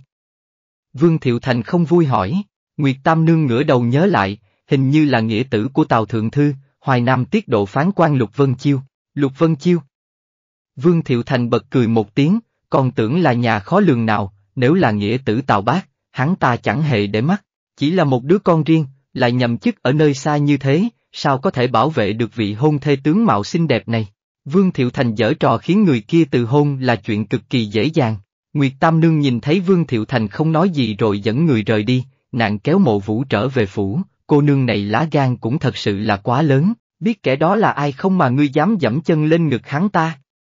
Ngộ nhỡ hắn ta truy cứu, muốn bắt ngươi lại thì ngươi bảo tiểu thư nhà ngươi làm sao bây giờ? Mộ vũ chỉ muốn bảo vệ khởi la an toàn, nhìn thấy đối phương không cần mặt mũi không biết lễ tiết, trong cơn tức giận cũng không nghĩ quá nhiều, bây giờ nhớ lại, cũng có mấy phần hoảng sợ, suýt chút nữa gây phiền toái cho tiểu thư rồi. Nguyệt Tam Nương trở lại trong hoa viên, nói với Khởi La chuyện bên ngoài, hắn ta to gan tới đâu lát nữa cũng không dám quay lại đâu. Khởi La, ta về trước xử lý một ít chuyện, không ở lại với mùi được. Khởi La gật đầu, bảo Ninh Khê tiễn Nguyệt Tam Nương ra ngoài. Nguyệt Tam Nương ra cửa phủ, lên xe ngựa nhà mình. Phu xe hỏi nàng, đông gia, về Vũ Nhạc Phường hay sao? Không về, tới trúc lý quán ngoài thành. Nguyệt Tam Nương ngã ra sau, ra lệnh. Khởi la trở lại trong phòng, gọi nha hoàng ở trong bếp nấu ít trà hương an thần, rồi vắt khăn lau mặt. Ngày thường nàng ở trong nhà ít ra ngoài xã giao, tính tình quách nhã tâm cũng thích yên tĩnh, đâu ngờ trong kinh sẽ có người làm ra chuyện quá giới hạn như thế. Chuyện trong hoa viên rất nhanh kinh động nội đường. Quách nhã tâm vô cùng sốt ruột, nhớ khởi la, nhưng khách còn đang nói chuyện, bà cũng không thể bộc lộ ra. Vừa hay chuyện hai nhà Tô, Tào cũng đã ổn thỏa, Tô Phu Nhân quyết định đón Tào Tình Tình và Thông Nhi về. Quách nhã tâm tiễn khách xong là vội chạy tới thăm Khởi La, vừa thấy mặt là đã kéo Khởi La lại xem xét một lượt, dảo dảo, không sao chứ, con không sao. Khởi La kéo tay Quách nhã tâm nói, chỉ không ngờ trên tường bỗng nhiên có người, may mà mộ vũ nhanh nhẹn. Quách nhã tâm cảm kích nhìn mộ vũ, tay áp tim nói với Khởi La, con lớn rồi, bố trí xung quanh chỗ ở của chúng ta thêm vài hộ viện, tránh cho người nào cũng có thể làm bậy, nhưng con biết lai lịch đối phương không? Mộ vũ trả lời, là công tử nhà khu mật sứ vương tán đại nhân, công tử vương gia. Quách nhã tâm nhíu mày. Nếu là du côn lưu manh bình thường, chu gia chưa hẳn không đối phó được, nhưng vương tán là khu mật sứ, đứng đầu Tây Phủ, quyền cao chức trọng, chỉ sợ ngay cả tô gia cũng phải kiên dè bọn họ mấy phần. Đồng Bình Chương làm tể tướng đứng đầu trung thư, thống lĩnh chính sự đường, gọi là Đông Phủ, khu mật viện gọi là Tây Phủ, Đông, Tây Phủ trước giờ đối đầu nhau. Hơn nữa Vương Thiệu Thành là thiếu gia nổi danh ăn chơi trong kinh, suốt ngày ở nơi ông bướng, có quan hệ với nhiều nữ tử phong trần, người trong sạch đều không muốn gả con gái cho hắn ta nên tới giờ vẫn chưa thành thân. Khởi la sợ Quách Nhã Tâm lo lắng nên đổi chủ đề, hỏi bà tình hình của Tào Tình Tình. Quách Nhã Tâm nói, lúc đầu bế thông nhi tới cho Tô Phu Nhân nhìn, Tô Phu Nhân có lẽ tâm lý nắm chắc, cũng không nói gì, chủ yếu là để tứ công tử Tô Gia đến nhận sai. Ta xem dáng vẻ tình tình và Tào Phu Nhân, việc này chắc là xem như xong. Ngược lại là vị đại công tử Tô Gia trong tướng mạo đàng hoàng, tính cách cũng chín chắn hơn rất nhiều. Nếu A Bích có thể gả cho hắn, cũng là may mắn. Ngọc Trâm nói, nô tỳ cảm thấy sẽ không thuận lợi thế đâu. Không phải trước kia đại phu nhân tỏ vẻ không muốn gả ngũ tiểu thư cho người quá vợ sao? Vừa rồi trong lời của Tô phu nhân, hôn sự của Tô đại công tử còn phải xem xét, ngũ tiểu thư chưa chắc có cơ hội ấy đâu. Quách nhã tâm thở dài, mấy năm này Triệu Nguyễn tự làm khổ mình, cao không được thấp cũng không xong, trong kinh quả thật là không có người muốn kết thông gia với bà ta. Nếu là hai năm trước, Tô Phu Nhân không có lý nào không đồng ý, nhưng hôm nay Tô gia quyền thế ngút trời, ngược lại hoàn cảnh chu gia thế nào? Một trưởng tử thi mãi không đổ, một tam tử không nên trò trống, người duy nhất có triển vọng là một đứa con thứ. Người người đều bàn tán sau lưng, cưới ngủ cô nương chu gia là sẽ rước phiền phức. Khởi la cân nhắc một chút, vẫn nói, mẹ, mấy ngày nữa con muốn ra ngoài một chuyến. Quách nhã tâm tất nhiên không đồng ý, dảo dảo, vừa mới xảy ra chuyện, mấy ngày này con tốt nhất ở trong nhà, sóng gió qua rồi nói tiếp. Mẹ, có mộ vũ bảo vệ con mà, không có chuyện gì đâu. Khởi la nói một hồi bên tai quách nhã tâm, quách nhã tâm nghe xong con mắt sáng rực lên, thi đại gia, bà ấy thật sự đồng ý dạy con ư, hiện tại còn khó nói, nói là trước tiên cần phải xem con thế nào. Cho nên mẹ để con đi thử xem nhé. Trong lòng quách nhã tâm như đấu tranh, vừa lo lắng cho an toàn của con gái, vừa không muốn con gái bỏ lỡ cơ hội tốt này. Thân phận thi phẩm như chắc chắn người thường không thể mời được. Mẹ, tới hôm ấy, Tam Nương đi chung với con, mẹ cứ yên tâm đi. Khởi la lắc lắc cánh tay quách nhã tâm, quách nhã tâm rốt cục cũng thỏa hiệp, thôi được rồi, tới lúc đó, ta phái thêm một vài người hộ tống con đi. Trúc Lý Quán là một nơi tao nhã yên tĩnh, lúc trước là tư viện của Thái hậu nương nương, về sau ban cho thi phẩm như. Trong quán trồng trúc đuôi phượng là chính, xen kẽ là trúc tơ vàng, mùi thơm trúc non và trúc xanh, lướt qua cũng không nhìn thấy ngọn xanh tươi. Có vài phần thú vui tao nhã ngồi một mình sâu trong rừng trúc không người biết, kiến trúc trong quán cũng làm bằng trúc là chính, rảo bước vào minh đường là có hương trúc xanh, bàn trong đường cũng làm bằng cây trúc, bề ngoài mài bóng loáng, để đệm êm theo hoa văn trúc bằng tơ vàng lên.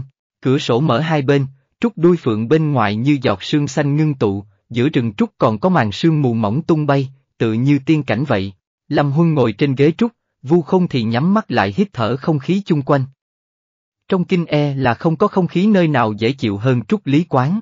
tỷ nữ bưng chậu đồng và khăn tay tới, Lâm Huân rửa tay và lau mặt hỏi, phu nhân các ngươi đâu? Phu nhân đang thay quần áo, ra ngay đây. Tỷ nữ cúi thấp đầu, nhỏ nhẹ nói, tiếng tỷ nữ vừa dứt, một nữ tử chải búi tóc cao, mặc quần áo màu xanh mỏng mà không lộ đi ra từ sau bức rèm che. Dung mạo của bà vô cùng đoan trang, nhìn không ra tuổi, dáng vẻ thanh thuần như hoa cúc mùa thu. Bà nhấc váy ngồi xuống, tỳ nữ vội đốt hương trong lư hương nhỏ màu xanh bên cạnh cho bà. Lâm Huân đứng lên hành lễ, như di. Nữ tử kia liếc hắn một cái, giọng nói linh động như trăng dưới mặt suối, tiểu tử không biết điều này, nếu không phải muốn cầu cạnh ta thì mấy năm cũng khó mà nhìn thấy một lần. Vu không tươi cười nói, trong lòng hầu gia vẫn nhớ phu nhân. Không phải nhớ phu nhân sống một mình ở trúc lý quán, khó tránh khỏi tịch mịch nên mới giới thiệu đệ tử cho ngài sao. Thi phẩm như nâng chung trà lên nhấp môi, nếu muốn ta nhận đồ đệ thì để ta làm chủ là được. Ở chỗ ta, ngươi còn chưa thấy đâu, các ngươi đã chạy tới làm cái gì? Lâm Huân không nói lời nào, vẫn là vu không nói, sợ là phu nhân nhiều quy tắc, vị tiểu thư kia trẻ tuổi, nếu có chỗ nào mạo phạm ngài thì tạ loi với ngài trước ở đây. Ngài xem nếu là người hầu gia chúng ta tiến cử cho ngài, không bằng gắn gượng nhận được không? Vị tiểu thư kia tư chất thông minh, chắc chắn sẽ không khiến ngài thất vọng. Thi phẩm như nhìn Lâm Huân, thản nhiên hỏi, con và vị tiểu thư kia có quan hệ gì? Vu không thấy thi phẩm như hỏi một câu đã vào trọng điểm thì không còn thay Lâm Huân trả lời, đứng lùi sang bên cạnh. Hầu gia sẽ nói như thế nào đây? Người trong lòng, Vu không suy nghĩ một chút đã cảm thấy rất chờ mong. Ta tặng kim ngọc mãn đường trên phố Mã Hành cho gì, xem như quà bái sư. Lâm Huân nói thẳng, người trong phòng đều hít ngược một hơi khí lạnh, thi phẩm như nói, ôi. Dũng Quan Hầu ra giá thật lớn, cửa hàng trang sức nổi danh kinh thành hốt bạc mỗi ngày tặng luôn cho người ta như vậy sao? Vâng. Ở phương diện này nàng có chút thiên phú, cho nên mong gì bất luận thế nào cũng nhận nàng.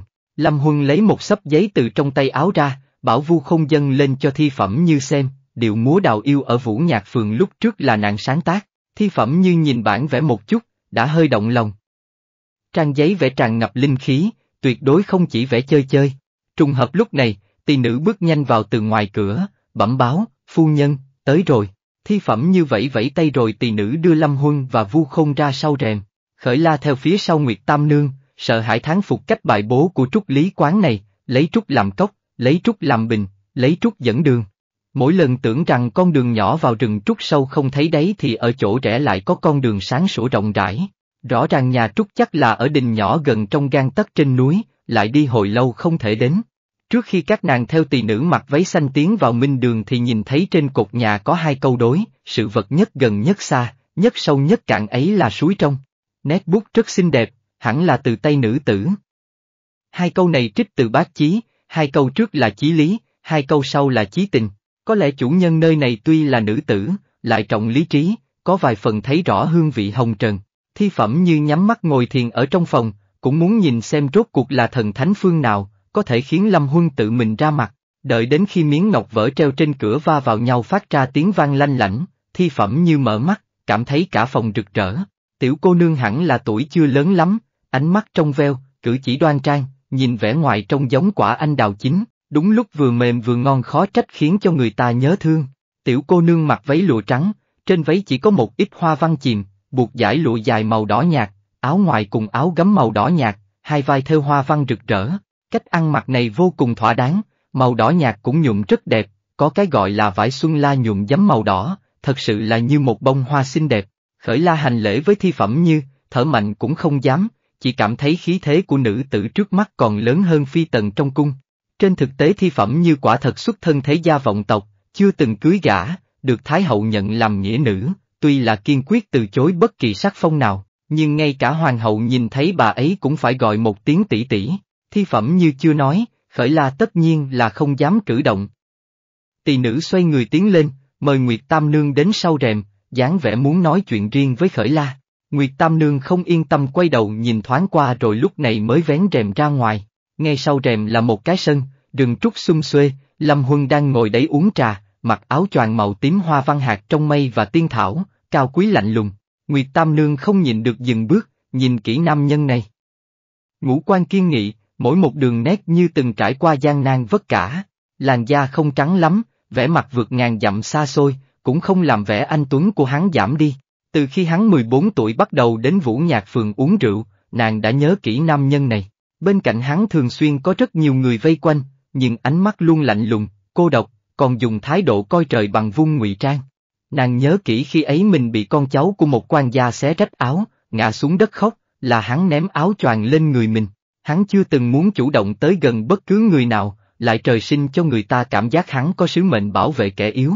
Hắn xuất thân cao quý, nhưng bất luận là tên ăn xin trên đường, hay là mấy kỹ nữ bán rẻ tiếng cười chốn thanh lâu, đều có thể có sự tôn trọng từ hắn. Hắn không thích giết người, lại thường xuyên khó ngủ cả đêm vì tạo sát nghiệp quá nặng. Đi cùng với hắn, có khi ngồi yên lặng cả buổi chiều cũng không thể nói mấy câu, nhưng hắn chưa từng kiếm chuyện, cũng không có yêu cầu, ở chung cũng nhẹ nhõm tự tại. Ngươi định nhìn bao lâu nữa? Lâm Huân cũng không quay đầu lại hỏi, Nguyệt Tam Nương che miệng cười, chậm rãi đi qua nói, hầu gia tuấn tú như vậy mà không cho nô gia nhìn à. Lâm Huân nhìn nàng chầm chầm, đây là lần thứ hai ngươi tự tung tự tác. Nguyệt Tam Nương ngồi xuống bên cạnh Lâm Huân, một tay chống cầm, chuyện đó đừng trách nô gia. Chuyện hành cung Dương Châu là người của công chúa hỏi điệu múa đào yêu, nô gia không dám giành công, bèn báo chuyện của tiểu thư cho nàng ta. Lần này tiểu thư không vui, nô gia nghĩ dẫu sao nàng cũng phải làm vài việc để phân tâm, bèn giới thiệu thi đại gia. Thân phận thi đại gia còn đó, nếu như có thể coi trọng tiểu thư thì rất tốt cho nàng. Chắc hẳn hầu gia cũng cảm thấy chủ ý của nô gia rất tốt, bằng không thì cũng sẽ không nhiều lần thuận nước đẩy thuyền. Nguyệt Tam Nương nói xong thì nháy nháy mắt, Lâm Huân nhìn rừng trúc không nói chuyện, xem như ngầm thừa nhận. Nguyệt Tam Nương xích lại gần chút, nhỏ giọng nói, từ trong nhà Lưu Anh tìm thấy thư từ năm đó hắn qua lại với Hoàng đế Tây Hạ, lại thêm con trai út của Tiêu Thiên làm chứng, đủ để tịch thu nhà của ông ta. Nhưng không tìm thấy bằng chứng Lưu Anh cấu kết với Vương Tán, ngược lại là tìm thấy không ít thư từ với Thái tử, chỉ là trên đường đến Phủ Nha bỗng nhiên rơi xuống nước, xem như không còn. Chuyện bên Dương Châu, nô gia phải giấu tiểu thư sao? Không cần giấu giếm, vậy công tử vương gia, phải xử trí thế nào? Ngón tay vuốt chén trà của Lâm Huân hơi siết lại, hắn ta không dám làm gì đâu. Nguyệt Tam Nương thở phào nhẹ nhõm. Nếu là người bình thường, nàng sẽ không căng thẳng như thế, nhưng tên Lưu Manh Vương Thiệu Thành, chuyện khốn kiếp từng làm ra quá nhiều, so sánh với thế tử Lăng Vương chỉ có hơn chứ không có kém. Ngẫm lại cũng đúng, nói thế nào khởi la cũng là ngũ tiểu thư của phủ tỉnh quốc công, đại trưởng công chúa vẫn còn, Chu Minh Kỳ và Chu Minh Ngọc đều làm quan trong triều, Vương Thiệu Thành thật sự dám làm cái gì? Nên lo lắng là Lục Vân Chiêu bị ám hại mới đúng. Trong minh đường, khởi la quỳ tới nổi hai chân rung lên, lén ngước mắt nhìn thi phẩm như, đối phương hình như đang nhắm mắt nghỉ ngơi, khuôn mặt bình tĩnh không biểu cảm. Tối qua nàng không ngủ được, tưởng tượng vô số câu hỏi thi phẩm như sẽ hỏi, không ngờ đối phương chẳng hỏi câu nào, chỉ để mình quỳ, phải một nén hương rồi nhỉ. Cũng may lúc nàng theo đồ cùng quách nhã tâm, thường ngồi xuống cả một buổi chiều, sức chịu đựng cũng xem như tốt. Thi phẩm như thấy sắc mặt nàng không thay đổi, quỳ thẳng tắp, lại sai người cầm một quyển sách đến để đọc, vẫn không nói một lời. Vu không nấp ở sau một bên rèm che, vẫn tai muốn nghe xem trong phòng nói gì, nhưng yên tĩnh như thể tiếng kim rơi cũng có thể nghe thấy, khiến cho người ta hoài nghi có người hay không. Thi phẩm như lật một trang sách ra, rốt cục cũng mở miệng, vừa rồi lúc ngươi tiến vào, đi qua mấy mảnh rừng trúc, khởi la sững sờ, hỏi gì vậy? Nàng cẩn thận nhớ lại rồi nghiêm túc trả lời, chắc là sáu mảnh. Hai mảnh trúc xanh, một mảnh trúc đuôi phượng, còn ba mảnh là mấy loại hỗn hợp. Thi phẩm như lại hỏi, nhà trúc và đình trúc có mấy tòa? Nhà trúc bốn tòa, đình trúc một tòa. Trên đỉnh núi còn có một tòa đình trúc đang xây, không tệ, Thi phẩm như công khóe miệng, đang muốn nói với khởi la thì phía trước truyền tới một tiếng nói lanh lảnh, cô cô, vu không trốn ở sau rèm giật nảy mình, suýt nữa chạy bán sống bán chết. Vị tổ tông này sao lại tới đây? Ông vội vã chạy về vườn hoa, lớn tiếng nói, hầu gia, hình như là nghi hiên công chúa đến rồi. Chúng ta có cần tránh hay không? Lâm Huân lắc đầu, bình tĩnh nói, không cần hoảng sợ, như gì sẽ xử lý. Nguyệt Tam Nương ở bên cạnh có chút hả hê nói, công chúa theo đuổi hầu gia sát quá, đuổi tới cả trúc lý quán. Nô gia nên tránh thôi, tránh cho công chúa cho rằng nô gia muốn quyến rũ hầu gia, nô gia chịu không nổi vị công chúa kia. Nàng cười nói rồi thản nhiên đứng dậy hành lễ rồi rời đi. Phía trước, Triệu Nghi Hiên đi vào minh đường, lòng bàn chân như dẫm lên hai cái phong hỏa luân. Nàng ta nhìn thấy khởi la quỳ gối trong phòng cũng không để ý, tiến lên ngồi bên cạnh thi phẩm như, thân mật kéo cánh tay của bà hỏi, cô cô, Lâm Huân có tới đây không? Khởi la chấn động trong lòng, Lâm Huân cũng ở đây. Trên mặt nàng lại không lộ vẻ gì, tiếp tục mắt nhìn mũi, mũi nhìn tim quỳ ở đó. Thi phẩm như nghiêng đầu nhìn Triệu Nghi Hiên, công chúa, thận trọng của nữ nhi gia đâu? Đâu có người nào vừa vào cửa đã hỏi một nam nhân ở đâu? Khi còn bé Triệu Nghi Hiên từng theo thi phẩm như học lớp lễ nghi, thi phẩm như cũng coi là nửa lão sư của nàng ta. Triệu Nghi Hiên chu môi nói, thận trọng không thể cho con có được người con thích. Con theo đuổi hắn bao nhiêu năm rồi? Cô cô mau nói đi, vừa rồi có tới, nhưng đã đi rồi. Thi phẩm như bỏ sách trong tay xuống, lạnh nhạt trả lời, lại đi rồi. Triệu Nghi Hiên dậm chân, dường như lúc này mới trông thấy khởi la, sao tiểu thư chu gia quỳ gối ở đây? Cô cô quen nàng à? thi phẩm như sửa sang ống tay áo, nhìn khởi la, một bạn cũ tiến cử, muốn cho nàng theo ta học một ít tay nghề. Triệu Nghi Hiên lập tức có chút không vui, con cũng muốn học tay nghề, sao cô cô không chịu dạy con, sao lại dạy một người ngoài? Học môn này quan trọng nhất là tâm phải tịnh, có thể giữ được bình tĩnh. Công chúa không ngồi yên nổi, cũng không thích quan sát, sao có thể học được? Thi phẩm như nói chắc như đinh đóng cột, lần trước ta cho cô cô xem bản vẽ, cô cô rõ ràng khen ta có thiên phú mà. Triệu Nghi Hiên không phục, tuy những bản vẽ kia không phải nàng ta vẽ, là nàng ta cướp từ chỗ khởi la, nhưng nàng ta chẳng thấy sao cả. Nàng ta là một công chúa, ai có thể làm gì nàng ta? Lần trước những bản vẽ con cho ta xem là nàng vẽ phải không? Thi phẩm như chỉ vào khởi la nói, bà nhìn một cái đã biết bản vẽ Lâm Huân mang tới và của Triệu Nghi Hiên là cùng một người vẽ. Bất luận là ý tưởng hay màu sắc, thậm chí cả kỹ thuật cũng giống hệt. Triệu Nghi Hiên lập tức trách tội khởi la, khẩu khí không tốt, là ngươi nói à, khởi la vội vàng lắc đầu. Từ lúc nàng tiến tới bây giờ, chưa nói được mấy câu với thi đại gia, càng không biết chuyện bản vẽ gì. Hơn nữa, nếu Triệu Nghi Hiên lấy bản vẽ ở hành cung lần trước cho thi đại gia nhìn nói dối là bản thân nàng ta vẽ, hành động này rất đáng xấu hổ. Sao nghe khẩu khí của nàng ta lại như là loi của nàng vậy, công chúa? Sắc mặt thi phẩm như nghiêm túc, chuyện này là con làm sai, sao còn trách ngược nàng? Tất cả tác phẩm cho dù xấu đẹp đều là tâm huyết của người tạo ra, sao con có thể chiếm làm của riêng chứ? Triệu Nghi Hiên kéo thắt lưng váy, đứng lên mất hứng nói, nếu Lâm Huân không ở đây, con đi đây. Thi phẩm như khẽ thở dài, bảo tỳ nữ bên cạnh tiễn nàng ta ra ngoài, sau đó lại bảo tiễn khởi la, nói với nàng, ba ngày sau giờ thìn ngươi lại tới đây. Khởi la chờ thi phẩm như đi rồi mới rời khỏi minh đường. Quỳ rất lâu, đầu gối vừa nhức vừa đau. Tỳ nữ tiễn nàng dịu dàng nói, cô nương không sao chứ, không sao, chỉ là lâu rồi không quỳ, có chút không quen. Khởi la không để ý cười cười, lời vừa rồi thi phu nhân nói với Triệu Nghi Hiên, cũng đã nói rõ, học nghệ với bà ấy, quan trọng nhất là có tính kiên nhẫn, tâm phải tịnh. Mấy cái quỳ này thật ra chẳng tính là gì, tính khí phu nhân nhà chúng ta quả thật có chút kỳ quái. Tỳ nữ nhỏ giọng nói, ngài tuyệt đối đừng để ở trong lòng, khởi la lập tức thu hồi nụ cười, chủ tử không ở trước mặt lại nghị luận với người ngoại thế là không phải, lời này của tỷ tỷ có chút quá đáng, về sau phải cẩn trọng từ lời nói tới hành động một chút, tỳ nữ vội vàng sợ hãi nói, nô tỳ biết sai rồi, Nguyệt Tam Nương đang tựa vào cây trúc, nhìn thấy khởi la tới thì vội nhận lấy nàng từ trong tay tỳ nữ, ôi, lâu vậy, mùi chịu phạt à, không sao, chúng ta trở về rồi hãy nói. Khởi la gật đầu với tỳ nữ rồi bám vào Nguyệt Tam Nương đi ra ngoài cửa, bởi vì thi phẩm như không thích quá nhiều người, Ninh Khê và Mộ Vũ, còn có hộ viện quách nhã tâm phái tới đều chờ ở ngoài cửa. Khởi la lên xe ngựa, Ninh Khê xoa đầu gối cho nàng hỏi, sao tiểu thư lại thành như vậy?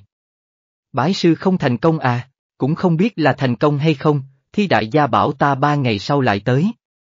Khởi la nói thật, Nguyệt Tam Nương vui vẻ nói, đồ ngốc, vậy là muốn nhận mùi đó. Nếu không muốn nhận mùi thì đuổi thẳng mùi về rồi, sẽ không để mùi đến nữa đâu. Khởi la ngẫm lại cũng cảm thấy có lý. Nhưng chuyện bái sư dễ dàng vậy ư? Chỉ hỏi hai câu kỳ quái, quỳ một lúc. Nếu thi phẩm như dễ bái như vậy, nhiều năm qua cũng sẽ không có rất nhiều người tới trúc lý quán rồi tay trắng trở về. Đoàn người trở lại trong phủ, Khởi La vừa xuống xe ngựa thì thấy A Hương ở ngoài cửa lo lắng đi đi lại lại, giống như đang chờ nàng. A Hương, xảy ra chuyện gì vậy? Khởi La đi qua hỏi, chân tay A Hương lúng cuốn, gấp đến mức sắp khóc, tiểu thư, ngài trở về rồi. Biểu công tử, biểu công tử hình như xảy ra chuyện rồi. Trong đầu Khởi La nổ ầm một tiếng, nắm bờ vai của nàng ấy sốt ruột hỏi, mau nói, chuyện gì xảy ra, cụ thể nô tỳ cũng không biết, chỉ nghe lão gia nói như vậy. Lão gia bây giờ ở chỗ phu nhân.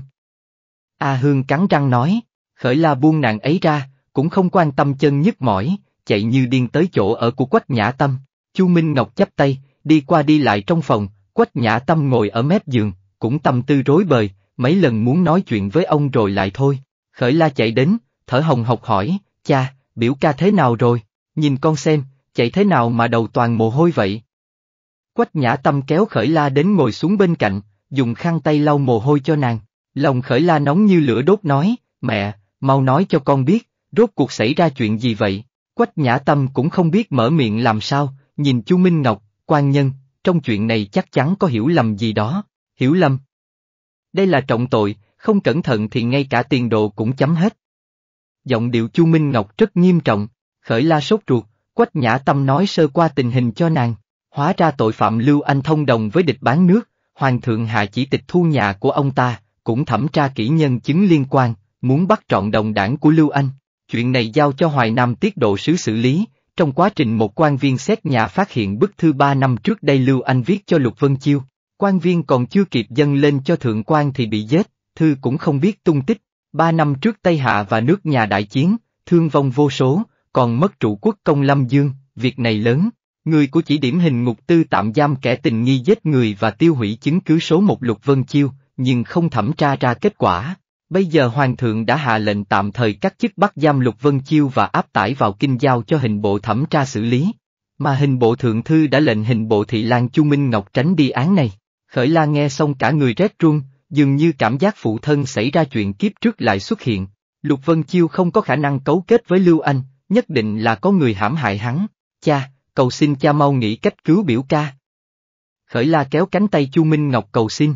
Trong lòng Chu Minh Ngọc cũng sốt ruột, vỗ vỗ mu bàn tay của Khởi la nói, như vậy đi, ta tới Tàu Phủ một chuyến, thăm dò tình hình. Hai người ở nhà chờ tin tức nhé. Quách nhã tâm gật đầu nói, quan nhân cẩn thận. Chu Minh Ngọc trời nhà vội vàng chạy tới Tàu Phủ, cổ kiệu còn chưa dừng hẳn, người đã xuống rồi. Hạ nhân Tào Phủ như sớm biết ông sắp tới nên đã đứng ở cổng đón ông, chờ đến đại đường, Tô Hành Tri và Chu Minh Kỳ đều ở đây. Tào Bác đứng dậy, nắm bả vai Chu Minh Ngọc, ta biết đệ sẽ tới mà. Chu Minh Ngọc chào Tô Hành Tri, lại gọi Chu Minh Kỳ một tiếng đại ca.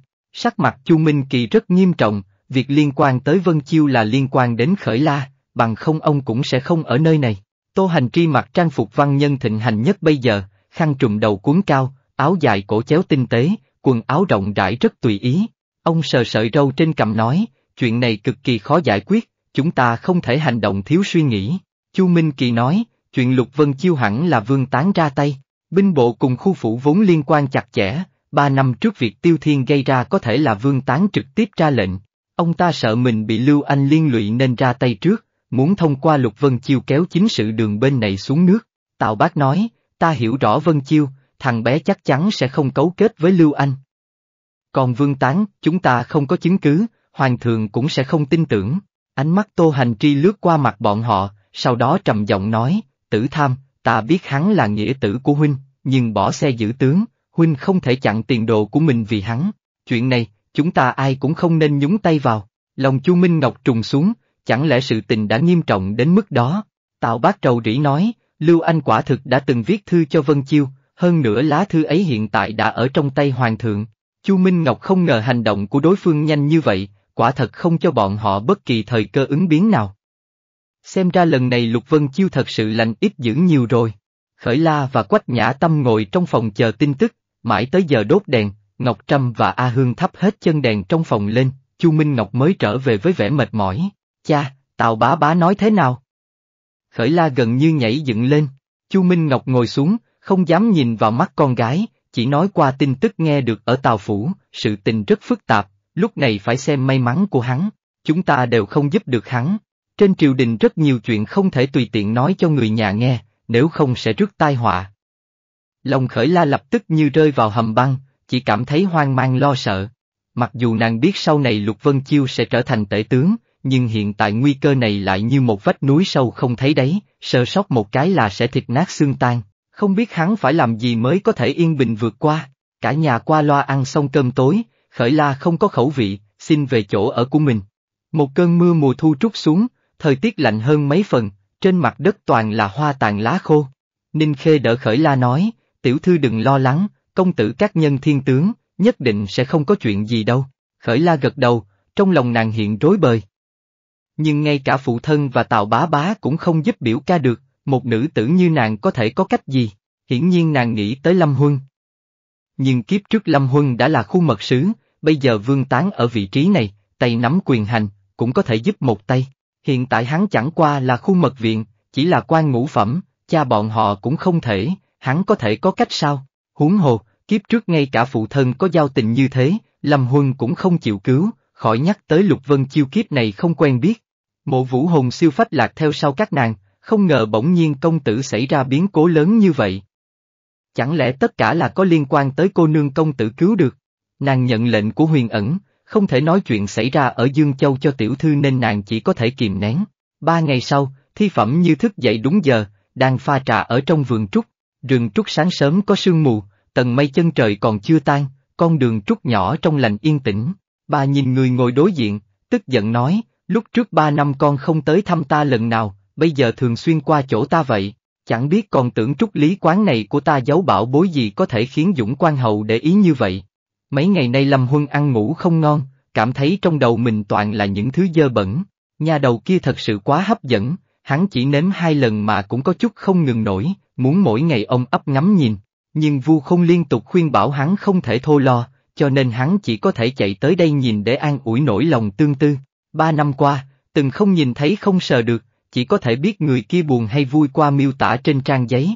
Thật sự gặp được rồi, tình cảm từng kìm nén trong lòng như bỗng nhiên tìm thấy cửa thoát ra, tuôn trào không thể ngăn lại. Cuối cùng cũng có một người làm hắn muốn tới gần, muốn thương yêu, muốn sống vai tới già.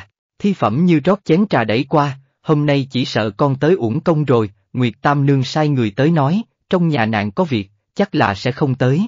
Lâm Huân Vân một tiếng, nghĩ có lẽ là việc của Lục Vân Chiêu, tay bưng chén trà bằng sứ màu xanh lên miệng uống, mùi thơm lá trúc lan tràn trong miệng. Hắn ngắm nghía chén trà rồi nói, thứ này không giống ngài dùng, không đủ tinh tế. Thi phẩm như cười nhạt nói, chính ta nung đấy, sứ tinh luyện quá mỏng, dễ bỏng tay. Màu này hợp với trúc lý quán hơn. Lâm Huân nói, tay như gì trước giờ vẫn khéo, còn không cần phải lấy lòng ta. Thi phẩm như nhìn Lâm Huân, lời nói thấm thía. Nếu như con thật sự thích cô nương kia thì bảo mẫu thân con phái người đường hoàng tới phủ nhà người ta cầu hôn, ta nghĩ mẫu thân con không có lý nào không đồng ý. Hai ngày trước bà ấy còn nhắc tới hôn sự của con với ta, nói suýt chút nữa mời hàng Nga trên cung trăng xuống cho con. Nhưng mà, vẻ ngoài và khí chất của lục cô nương chu gia kia quả thực không khác hàng Nga mấy. Hôm đó, bà còn cố ý bảo tỳ nữ nói xấu mình để thăm dò khởi la. Sau khi tỳ nữ trở về bẩm báo khiến bà lại có thêm mấy phần cảm tình với khởi la. Tuy tuổi còn hơi nhỏ, cũng may chính chắn hiểu chuyện, có người tuổi lớn hơn nàng một chút còn kém xa nàng. Nàng có hôn ước rồi, hiện tại còn chưa phải lúc. Lâm Huân nói, đôi mày của thi phẩm như hơi nhíu lại, cái gì? Nàng có hôn ước rồi, con còn dám ham muốn người ta, bà là người dạy hoàng tử công chúa hoàng thất lễ nghi, coi trọng nhất những cái này, tất nhiên không đồng ý Lâm Huân cướp thê tử của người ta. Lâm Huân lại xem thường, hôn sự kia của nàng ấy không thành được đâu. Người có hôn ước với nàng ấy bây giờ dính vào bản án của Lưu Anh, chỉ sợ không dễ thoát thân đâu. Tuy hiện tại thi phẩm như chẳng muốn để ý những chuyện trần tục, nhưng cũng biết bản án của Lưu Anh lớn tới nhường nào. Dựa vào tính cách của Hoàng thượng, chắc chắn là muốn tra rõ, tuyệt đối sẽ không buông tha kẻ nào. Đang lúc bọn họ nói chuyện thì tỳ nữ chạy tới nói, phu nhân, tiểu thư chu gia tới. Thi phẩm như có chút bất ngờ, thấy thân thể Lâm Huân giật giật thì bình tĩnh sai bảo tỳ nữ, mời nàng tới minh đường. Trong lòng khởi la vô cùng lo lắng cho Lục Vân Chiêu, nhưng nàng không làm được gì cả, ngay cả gặp mặt hắn cũng không. Càng ngồi trong nhà càng suy nghĩ lung tung, chẳng bằng đến trúc lý quán tĩnh tâm một chút, thi phẩm như là danh gia chân chính, từng dạy hoàng tử và công chúa, từng dạy đệ tử rất tài giỏi, hơn nữa bà ấy không dễ dàng nhận đồ đệ. Khởi la tự nhận còn chưa chân chính bái người sư phụ này, ít nhất phải có thành ý như lưu bị mời khổng minh ba lần. Nàng ngồi ở trong minh đường, nhìn thấy nha hoàng ông một đống cuộn tranh tới để lên bàn, phu nhân muốn tiểu thư xem qua những bức tranh này trước rồi chọn ra một bức mình thích nhất, thi phẩm như luôn luôn hành động không theo lẽ thường. Khởi la gật đầu, Ninh Khê giúp nàng mở mấy bức tranh ra, treo lên bức tường bên cạnh. Mấy bức này toàn là tác phẩm nổi tiếng, có sơn thủy, có hoa và chim, phong cách khác biệt. Khởi la đứng ở trước bức tường, chống cầm suy nghĩ ý tứ của thi phẩm như, chỉ đơn giản là chọn ra một bức tranh mình thích sao, úi. Tỳ nữ sau lưng kêu một tiếng nhỏ, khởi la quay đầu lại nhìn, hóa ra là bức tranh trên bàn lăn hết xuống đất. Ninh Khê và Khởi La đều đi nhặt giúp, có một bức tranh lăn ra xa tới tận cạnh cửa. Khởi La bước nhanh tới, vừa mới chuẩn bị cúi người thì một bàn tay thon dài từ ngoài cửa thò vào, nhặt bức tranh lên, tạ ơn. Khởi La ngước mắt, nhìn thấy tô từ tu áo trắng nhẹ nhàng, tuấn tú hơn người thì sửng sốt rồi vội vàng cúi đầu xuống. Nàng không khỏi chột dạ, ngày đó bọn họ từng gặp ở Vũ Nhạc Phường, hắn sẽ không nhận ra nàng chứ. Tô Từ Tu trông thấy khởi la, cũng kinh ngạc như gặp thần tiên. Hắn bỗng nhớ tới vòng thê kết tóc, lúc mới gặp, quần áo mới may, mỗi cái nhăn mày, thẹn thùng khó nói, tình cảm rừng rực thời niên thiếu theo mỗi cái nhăn mày mỗi nụ cười, từng cử chỉ của nàng. Đáng tiếc thành hôn võn vẹn một năm thì nàng đã buông tay nhân thế, sau đó hoa rơi người đứng lẻ, mưa nhỏ én bay đôi, khởi la nhìn bức tranh tô từ tu cầm, muốn nói lại thôi. Tô Từ Tu nhận ra mình thất thố bèn vội đưa bức tranh cho nàng, xin loi. hai tay khởi la nhận bức tranh, uống gối hành lễ rồi lui sang một bên. Tô công tử. Tỳ nữ đi tới chào hỏi. Cho thấy hắn là khách quen của nơi này. Tô Từ Tu ôn hòa hỏi, sư phụ ở đây không? Trong vườn trúc, nô tỳ dẫn ngài đi. Tỳ nữ giơ tay làm động tác mời rồi Tô Từ Tu đi theo tỳ nữ. Ninh Khê đi tới nói, không ngờ Tô công tử cũng là đệ tử của thi đại gia. Ngài ấy là đại tài tử duy nhất được công nhận có thể so sánh với biểu công tử đó. Lần ngài ấy tham gia khoa cử, ngài ấy là trạng nguyên đấy. Khởi la chỉ yên lặng mở tranh ra nhìn, Lục Vân Chiêu, chẳng biết sao rồi. Ninh Khê âm thầm ân hận, vỗ miệng mình một cái, sao lại tự dưng nhắc tới biểu công tử chứ? Hải tiểu thư lo lắng rồi, khởi la chọn một lúc, cuối cùng lấy bức tranh phù dung ký tên là Thanh Liên Cư Sĩ. Thanh Liên Cư Sĩ là danh sĩ nổi tiếng khắp nơi, học rộng tài cao, giỏi mưu lược, được gọi là Thái Sơn bắt đầu giới văn học. Trong đó tài vẽ tranh là giỏi nhất, bức tranh phù dung này tuy không biết phải bản gốc không, nhưng hẳn là tác phẩm thời kỳ đầu của bà ấy, có chút khuyết điểm nhưng màu sắc đẹp đẽ, bố cục đầy đủ, bản lĩnh không tầm thường, chọn tấm này đi. Khởi La quay người nói với tỳ nữ, vừa đúng lúc thi phẩm như đi tới, nhìn thấy bức tranh Khởi La chọn thì không cho là đúng, nhiều bức tranh đẹp như vậy, vì sao lại chọn bức này? Khởi la hành lễ với thi phẩm như, thoải mái phóng khoáng nói, con biết vẽ tranh và thư pháp xem trọng tính kế thừa. Phu nhân muốn con chọn ra bức mình thích trong những bức tranh này, chắc là để cho con ngày sau siêng năng mô phỏng, trên cơ sở phát triển phong cách của mình. Thanh liên cư sĩ là cao nhân đương thời khó mà với tới, nếu là các tác phẩm phong cảnh nổi tiếng của ngài ấy về sau, bất kể thế nào con cũng không dám chọn. Nhưng bức tranh này là tác phẩm thời kỳ đầu của ngài ấy, không có khí thế hào hùng ấy, ngược lại có, phong cách viết thú vị tao nhã. Nàng không nói rõ ý tứ, bức tranh phù dung này, từ phong cách vẽ cho tới dùng màu sắc rất giống bút tích của nữ tử. Thi phẩm như không nhịn cười nổi, bà vốn là người lạnh nhạt như hoa cúc, nụ cười này lại giống như hoa cỏ đào mận, người đời ca tụng bà ta quá rồi, những bức vẽ sau này, chẳng qua là ra vẽ uyên thâm thôi. Nếu ngươi biết dụng ý của ta thì ta cho ngươi tìm thêm vài tác phẩm ban đầu của bà ta, ngươi cầm lấy vẽ đi, vâng. Khởi la đáp. Đây là lần đầu nàng thấy có người không để thanh liên cư sĩ ở trong mắt, người đó là danh sĩ người người trọng vọng đấy. Cho dù là thi đại gia, nói vậy cũng có chút không ổn lắm nhỉ. Hơn nữa, thi đại gia lại có rất nhiều tranh của thanh liên cư sĩ, còn có thể ném bừa cho nàng vẽ, nàng không nghe lầm chứ, được rồi, làm chính sự đi. Thi phẩm như ngồi ngay ngắn, lệnh tỳ nữ bưng trà cho khởi la, khởi la không rõ nội tình, tỳ nữ nhỏ giọng nhắc nhở, tiểu thư, trà bái sư đấy. Lúc này khởi la mới kịp phản ứng, vội vàng quỳ xuống mặt đất, nâng trà cao hơn đỉnh đầu, dâng cho thi phẩm như, sư phụ mời uống trà. Thi phẩm như nhận lấy rồi uống một ngụm, thản nhiên nói, nếu vào trong môn của chúng ta thì cũng có vài quy tắc cần tuân theo. Ta mời sư huynh của con tới nói chuyện với con. Nguyệt Đường, con ra đây. Tô Từ Tu từ sau cửa đi ra, đầu tiên là hành lễ với thi phẩm như, sau đó cười nói, chào tiểu sư muội, sư huynh. Khởi la kinh sợ, bỗng nhiên trở thành đồng môn với Tô Từ Tu.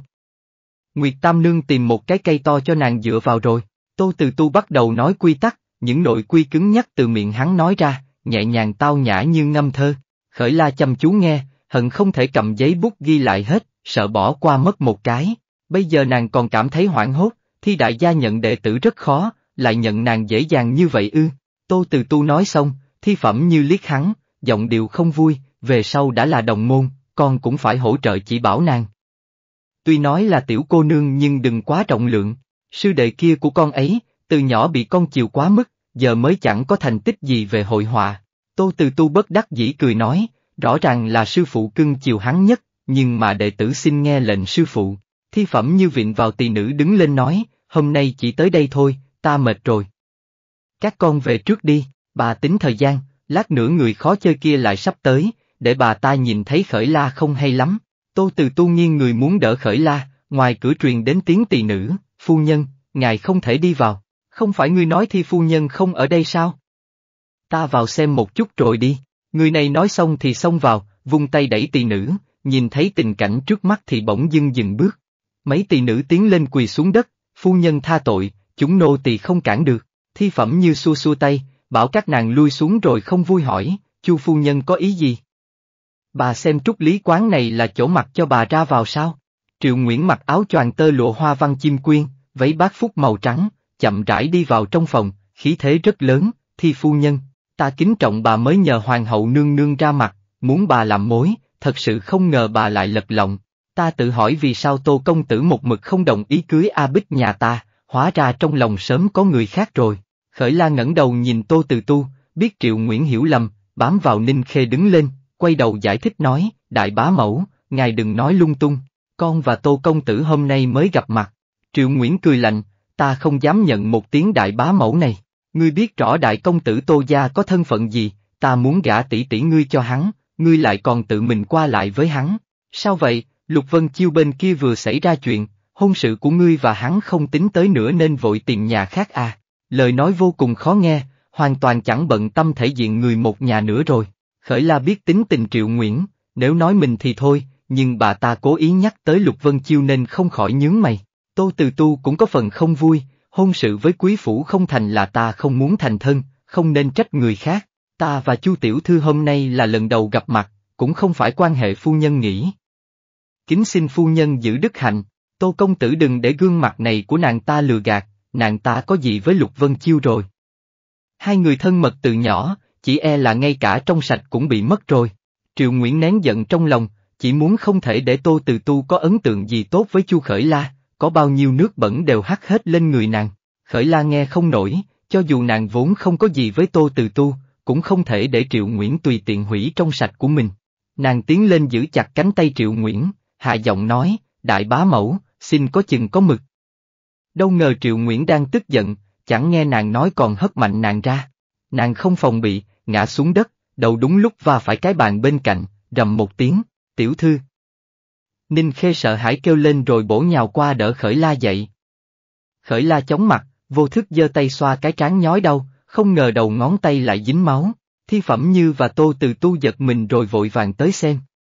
Lúc này, một bóng người từ sau cửa ra, bế khởi la lên trước một bước. Triệu Nguyễn còn đang khiếp sợ chưa bình tĩnh lại, đâu ngờ mình chỉ hất một cái mà khởi la đã đập đầu bị thương. Bà ta càng không ngờ Lâm Huân cũng ở chỗ này, lúc này lùi về sau một bước, ánh mắt lạnh lùng của Lâm Huân lướt qua gương mặt bà ta tự như lưỡi dao, làm sống lưng Triệu Nguyễn lạnh buốt. Người này bây giờ là Dũng Quan Hầu, năm xưa ngay cả Tiêu Thiên cũng dám chém thì không có gì hắn không làm được, chỉ là hắn và Chu Khởi La là như thế nào? Lâm Huân nói với tỳ nữ của thi phẩm như, đi tìm một hòm thuốc. Sau đó bế Khởi La ra sau, Khởi La choáng váng, cảm thấy bị người ta ôm lên rồi đặt lên băng ghế. Nàng ngẩng đầu lên, nhìn thấy Lâm Huân cúi người xuống, im lặng nhìn trán nàng, trong mắt chứa lửa giận, hắn cách rất gần, hơi thở phun lên trán nàng. Nàng vô thức muốn né tránh, Lâm Huân lại nói, đừng cử động lung tung, ta xem vết thương một chút, khởi la có sự phục tùng từ trong xương cốt với hắn, con người lại, rốt cuộc vẫn không nhúc nhích, tỷ nữ quỳ gối bên cạnh, mở hòm thuốc ra rồi cúi đầu không dám nhìn hai người. Lâm Huân chìa tay nói, cho ta rượu thuốc và bông, tỳ nữ cung kính đưa tới, Ninh Khê ở bên cạnh nhìn lo lắng, sợ Dũng Quan Hầu không biết làm những cái này, làm đau tiểu thư nên muốn qua hỗ trợ, lại bị Lâm Huân liếc cho rút lui. Lâm Huân đổ rượu thuốc vào bông, vừa chạm vào đầu khởi la, khởi la đã nắm cổ tay của hắn kêu, đau. Lâm Huân nói, đau cũng phải chịu, hay là nàng muốn bị phá tướng? Nói là nói vậy, hắn lại cảm thấy chỗ cổ tay bị nàng nắm rất nóng, sức lực nhẹ hơn chút, còn thổi nhẹ vết thương của nàng.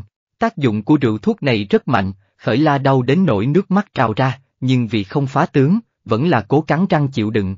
Bôi thuốc xong, Lâm Huân lại thành thạo băng bó vết thương, dặn dò Ninh Khê, trở về tìm một đại phu đến xem, cẩn thận đừng để dính nước, vâng. Nô tỳ biết rồi.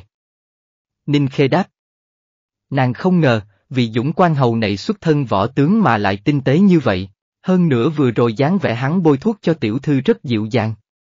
Khác dáng vẻ ngày thường một trời một vực, Lâm Huân ngồi xuống bên cạnh, tỳ nữ vội vàng bưng chậu đồng lên cho hắn rửa tay. Khởi la nhìn bóng dáng lạnh lùng và mồ hôi trên trán hắn thì nói nhỏ, tạ ơn, Lâm Huân lau tay, chẳng nói gì cả.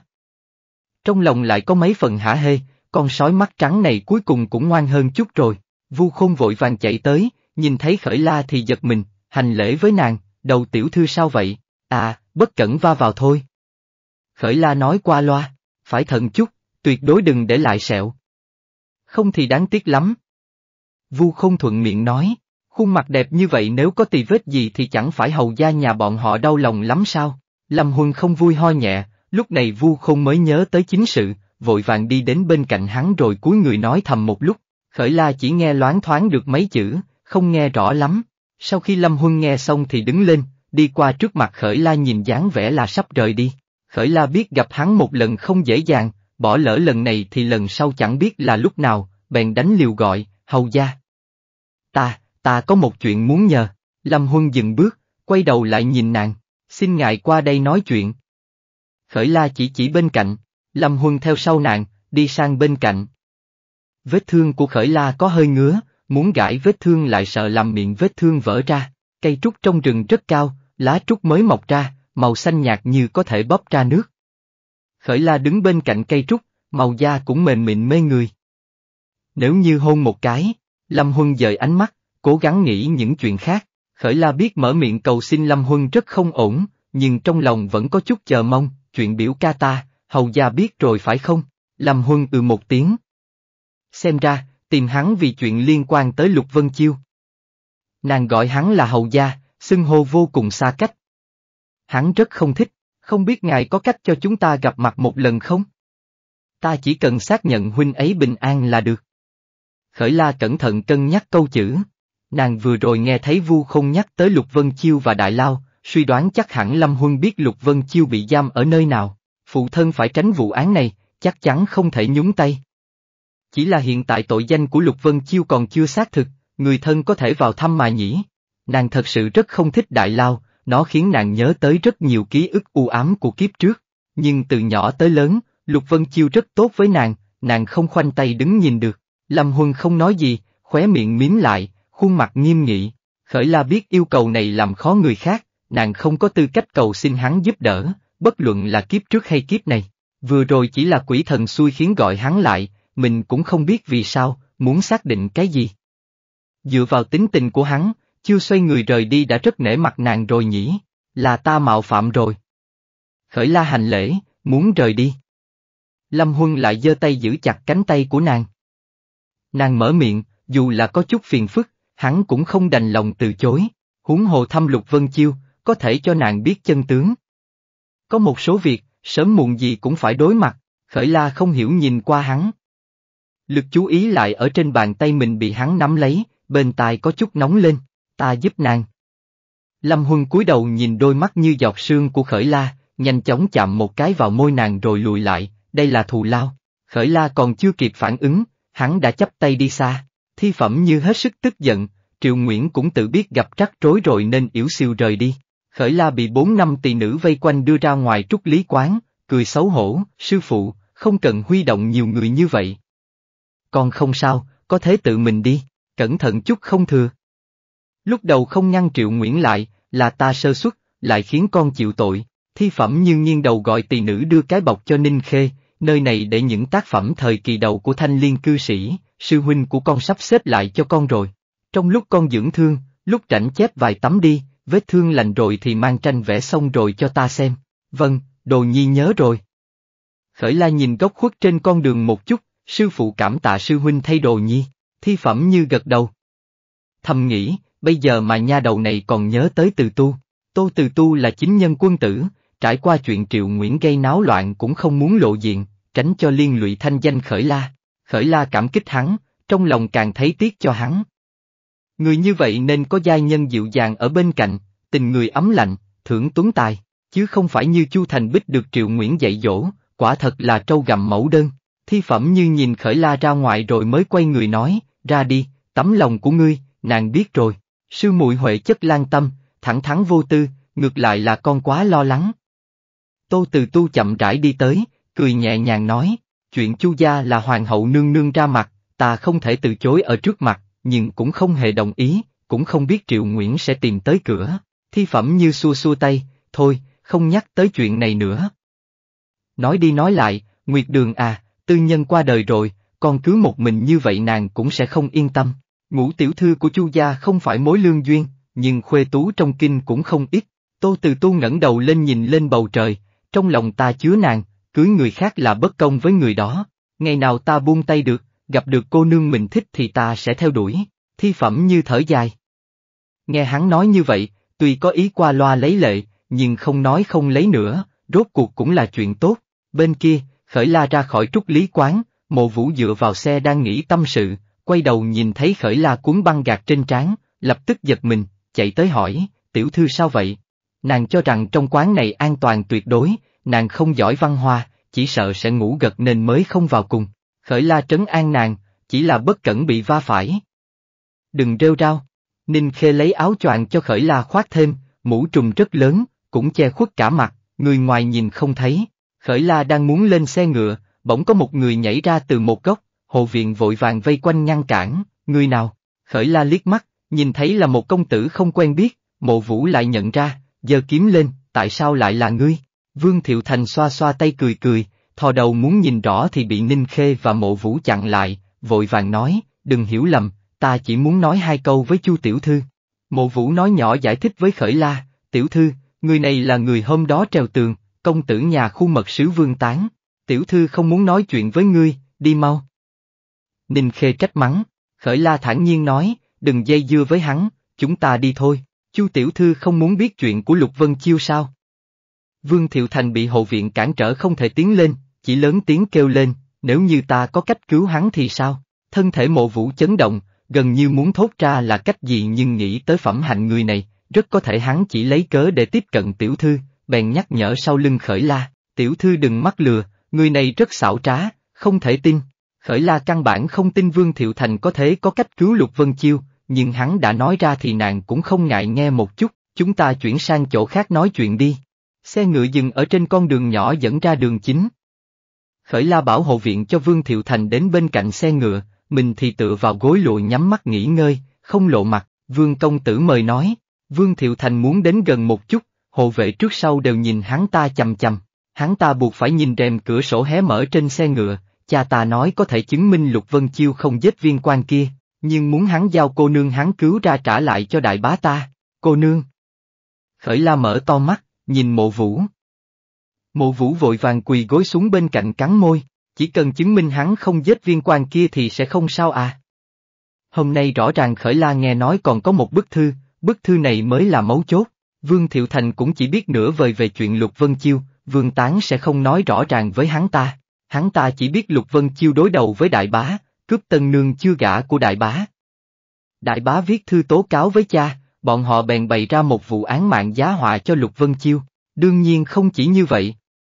Còn muốn nàng giải trừ hôn ước với hắn rồi gả cho ta thì ta mới có thể bảo cha ta nương tay, thả hắn ra. Vương Thiệu Thành cật nhã nói, vô sĩ. Ninh Khê quát nhỏ một câu. Khởi la không hề tức giận, lời của vương công tử ta nghe rõ cả rồi. Nếu không có chuyện gì khác thì cáo từ trước, vương thiệu thành sững sờ, khởi la hạ lệnh xe ngựa chạy đi. Hắn ta vội lùi lại hai bước, trơ mắt nhìn xe ngựa lướt qua trước mặt hắn ta, hắn ta không cam lòng dậm chân, nhưng không hề nản chí, nói sao thì sẽ còn có cơ hội. Không khí trong xe ngựa rất ngột ngạt, mộ vũ không thể không thành thật khai báo, không phải nô tỳ không muốn nói, là sợ tiểu thư lo lắng. Công tử quả thật cứu được một cô nương, cô nương đó là muội muội của công tử, ở chung với nhau từ nhỏ. Về sau bị đưa đến phía nam, những năm qua công tử vẫn luôn tìm nàng. Khởi la suy nghĩ, vì một mùi mùi, lại không tiếc đắc tội nhà họ vương, xem ra mùi mùi này rất quan trọng với hắn. Hắn không sợ bởi vậy mà ảnh hưởng con đường làm quan của mình sao? Mộ vũ nhìn vẻ mặt của khởi la, rất sợ nàng hiểu lầm, giải thích nói, tiểu thư, công tử thật sự không có gì với vị cô nương kia, chỉ là huynh muội thôi. Khởi la cười nói, ta biết, đừng căng thẳng. Đoàn người về đến nhà, khởi la vốn cúi đầu vội vã về chỗ ở của mình, không ngờ đúng lúc va vào quách nhã tâm, bị bà phát hiện vết thương.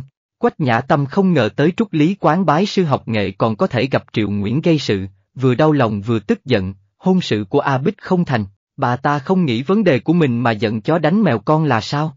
Tuy khởi la không thích Triệu Nguyễn, nhưng chuyện hôm nay cũng có một nửa là ngoài ý muốn. Lúc ấy Triệu Nguyễn chỉ hất nàng ra, là nàng đứng không vững, vừa hay va vào bàn. Nàng sợ quách nhã tâm tức giận đi tìm Triệu Nguyễn rồi lại chịu thiệt, bèn khuyên nhủ, cũng không thể chỉ trách đại bá mẫu, bà ta sốt ruột tức giận vì chuyện ngủ tỷ tỷ, là con bất cẩn, hơn nữa chỉ là vết thương nhỏ mà thôi. Mẹ tuyệt đối đừng nói cho cha, tránh cho cha đi tìm đại bá, lại xảy ra chuyện ồn ào, cho người khác xem trò cười của cả nhà chúng ta, con ấy. Quách nhã tâm cầm tay khởi la, con gái hiểu chuyện, bà lại càng đau lòng hơn. Nhưng khởi la nói không sai, nếu như huynh đệ ruột cứ bất hòa gây gỗ vì chuyện hậu trạch, truyền đi cả nhà sẽ mất hết mặt mũi.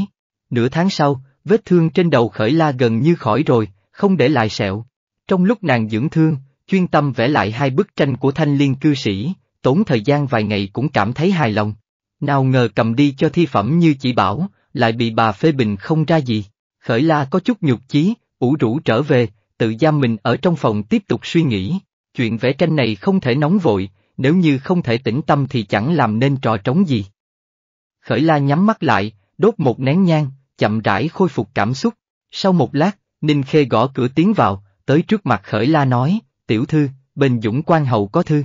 Khởi la lập tức tỉnh táo, Lâm Huân thu xếp cho Khởi la và Lục Vân Chiêu gặp mặt, tất nhiên không thể trực tiếp dẫn nàng tới Đại Lao nên bảo Tào Tình Tình lấy cớ, trước tiên để Khởi La tới Tào Phủ. Tào Tình Tình đưa Khởi La vào trong phòng của mình, bảo Thúy Bình thay cho nàng trang phục hộ vệ và áo choàng. Tào Tình Tình ngồi ở bên cạnh nói, mùi biết không, lúc vị kia sai người truyền tin cho ta, ta giật nảy mình đó. Hai người, là quan hệ thế nào vậy? Tỷ đừng hiểu lầm, chúng ta chẳng có quan hệ gì cả. Khởi La vội vàng làm sáng tỏ, Tào Tình Tình không tin, không có gì, sao hắn có thể giúp muội như vậy chứ? Phải biết ta và mẹ cũng lo lắng cho Vân Chiêu ca ca, nhưng làm gì cũng không gặp được đâu. Hắn còn nói tô phủ nhiều người phức tạp không tiện, cố ý muốn ta về nhà, có thể thấy được nghĩ rất chu toàn. Nói thật, lúc trước lúc Lâm Huân đồng ý, Khởi La cũng có chút bất ngờ. Nhưng nàng không nghĩ sâu nguyên nhân, hiện tại có thể nhìn thấy Lục Vân Chiêu là quan trọng nhất. Tào tình tình đưa Khởi La đến cửa phụ, gọi bà tử mở cửa ra rồi nàng ấy dặn dò, mùi phải chú ý một chút, đừng đi quá lâu.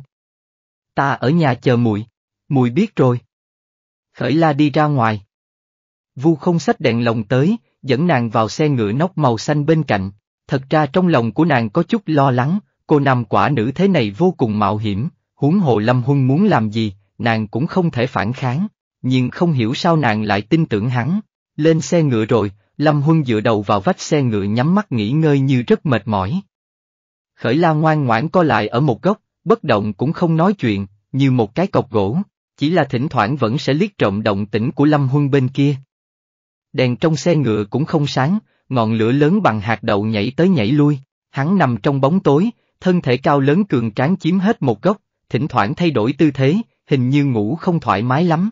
Thật ra Lâm Huân không hề ngủ, hắn thay đổi tư thế chỉ là muốn nhìn rõ vết thương trên trán khởi la khỏi chưa, thấy rõ nàng rồi, cái trán trơn bóng hoàn hảo, hắn mới yên tâm rồi tiếp tục nhắm mắt nghỉ ngơi. Gần đây công việc bận rộn, hắn thu xếp gặp Lục Vân Chiêu cũng tốn không ít công sức, tất nhiên là có chút mệt. Trong xe ngựa rất yên tĩnh, Khởi La bỗng nhớ tới một số việc của kiếp trước, còn nhớ lúc mưa xuân ở dưới gốc cây hạnh, nàng nhớ mẫu thân chưa từng gặp mặt, lại sợ mẹ kế không vui nên lén trốn ở một chỗ vắng vẻ dưới hiên khóc. Khi ấy nàng là một cô bé thích khóc, gặp phải chuyện không vui cũng chẳng dám trút giận với ai, chỉ biết nén giận rồi khóc. Khi ấy Lâm Huân tản bộ một mình tới gần, trong tay cầm một cái ô giấy dầu màu mực, thân hình cao lớn chặn lại màn mưa. Thấy nàng ở đó, lúc đầu hắn muốn quay người rời đi, nàng lại đánh bạo gọi, Lâm Thúc. Hắn không đi nữa, đồng thời thu ô, ngồi xuống nơi cách nàng hơi xa, nhìn nàng khóc. Hắn rất ít nói, trông cũng không biết an ủi người khác, chỉ là lúc nghe thấy nàng thúc thích nói nhớ mẫu thân thì thốt ra một câu, mẫu thân ngươi là một nữ nhân rất tốt. Nàng muốn biết nhiều chuyện về mẫu thân hơn, thà thiết nhìn hắn, phụ thân ngươi không nói với ngươi à. Lâm Huân nhíu mày, nàng lắc đầu, tiến tới một chút, muốn nghe rõ. Hắn nói, ngươi ngồi yên ở đó, đừng đến đây, thật ra hắn rất không thích người khác chủ động đến gần hắn. Hoặc là không quen, ngày ấy trong màn mưa hoa hạnh vẫn nở rực rỡ như gấm, nam nhân ngồi ở dưới hoa, vẻ mặt rất nghiêm túc lại vô cùng kiên nhẫn nói về một nữ nhân chẳng liên quan gì tới hắn, chỉ vì an ủi tâm hồn tổn thương của một cô bé, hắn dịu dàng ở trong từng năm tháng mơ hồ ấy. Vì vậy có một khoảng thời gian rất dài, Khởi La không thể tin rằng, hắn sẽ là người tự tay đẩy mình xuống vực sâu. Lúc nàng hoàn hồn lại từ trong hồi ức thì gương mặt đã ướt. Nàng vội đưa tay lau, sợ bị hắn phát hiện. Đến nơi, Lâm Huân tự động tỉnh lại, hắn xuống xe ngựa trước rồi đỡ Khởi La xuống. Chẳng biết có phải thủ vệ chuẩn bị xong rồi không mà không hề làm khó, Khởi La thuận lợi chui vào. Lục Vân Chiêu không phải là trọng phạm, nơi giam hắn, không phải đại lao mà giống chỗ làm việc của quan viên chính sự đường hơn. Ánh trăng mỏng xuyên qua lan can cửa sổ hành lang, chiếu xuống đất, khởi la đi trong cái bóng của Lâm Huân, trong lòng có mấy phần nặng nề. Nàng chỉ có ký ức của hai đời, chẳng thể nào giúp đỡ chút gì cho Lục Vân Chiêu về chính sự. Nếu như kiếp trước nàng sinh ra ở nhà công hậu cao quý, cho dù là sống trong khuê phòng thì cũng sẽ biết một vài sở thích của nhân vật lớn để kết giao. Nhưng mà kiếp trước nàng chỉ là con gái huyện lệnh bé nhỏ, cũng chỉ quen biết một mình Lâm Huân. Ngay cả Lâm Huân bây giờ cũng chỉ là thiếu niên dũng quan hầu, có lẽ rất giỏi hành quân đánh trận, ở trên chính sự cũng là người mới. Nàng không biết rốt cuộc Lục Vân Chiêu phải như thế nào mới có thể thoát khỏi chuyện này. Ngoài phòng có hai cấm quân canh giữ, Lâm Huân giơ tay lên một cái là hai người kia không người lui xuống. Hắn xoay người, nói với Khởi La, nàng chỉ có nửa canh giờ. Nói ngắn gọn thôi. Là hắn đồng ý giúp nàng, nhưng mà nghĩ tới nàng sẽ ở cùng một chỗ với Lục Vân Chiêu, không tránh khỏi muốn tay chân động chạm, hắn cũng chẳng thoải mái lắm, dựa vào tính cách của hắn thì sẽ trực tiếp kéo nàng rời đi. Nhưng Vu không nói với hắn, thích một người, phải xem nàng muốn cái gì. Nàng thật sự rất lo lắng cho Lục Vân Chiêu nên vừa rồi mới rơi lệ ở trên xe ngựa, vì nước mắt của nàng nên hắn tác thành cho bọn họ. Khởi la nói tạ ơn, Lâm Huân quay người đi. Nàng đẩy cánh cửa sơn hồng ra, người kia ngồi yên tĩnh ở trong góc, trang phục gọn gàng, không một sợi tóc rối như không phải bị tạm giam mà chỉ tạm trú ở đây. Trong phòng có một chiếc nến tối mờ, có chút ít còn hơn không, biểu ca. Khởi la khẽ gọi. Bóng dáng kia giật mình, nhưng không hề cử động, có lẽ hắn tưởng rằng ảo giác. Khởi la tiến lên, bàn tay khoát lên vai hắn. Lúc này Lục Vân Chiêu mới ngẩng đầu lên, ngạc nhiên mừng rỡ, khởi la, thật sự là mùi, sao mùi lại tới đây? Hắn kéo khởi la tới ngồi xuống bên cạnh, nghiêng người ông nàng, lúc này mới cảm thấy chân thực, vừa rồi huynh tưởng rằng đang nằm mơ. Mùi, tới như thế nào vậy? Khởi la cũng không hề giấu giếm hắn, mùi tìm dũng quan hầu giúp đỡ. Lục Vân Chiêu buông khởi la ra, cầm tay của nàng hỏi, hắn có, làm gì mùi không? Hắn còn nhớ rõ lúc ở hành cung, Lâm Huân rõ ràng rất quan tâm khởi la. Nam nhân hiểu rõ nam nhân nhất, nói Lâm Huân không nghĩ tới khởi la chắc chắn không có khả năng. Khởi la bật cười, xem huynh nói này, hắn có thể làm gì mùi chứ? Lục Vân Chiêu yên lòng, giơ tay nâng mặt khởi la lên, xin lôi, để mùi lo lắng rồi. Mặt của hắn lúc sáng lúc tối ở trong ánh sáng tối mờ, khởi la nhìn thấy sắc mặt của hắn, tuy cố hết sức che giấu nhưng vẫn lộ ra vẻ tiêu tụy. Cho dù là người khí phách, rơi vào tình cảnh này đều khó tránh như vậy, huống hồ Lục Vân Chiêu vốn là người hiếu thắng.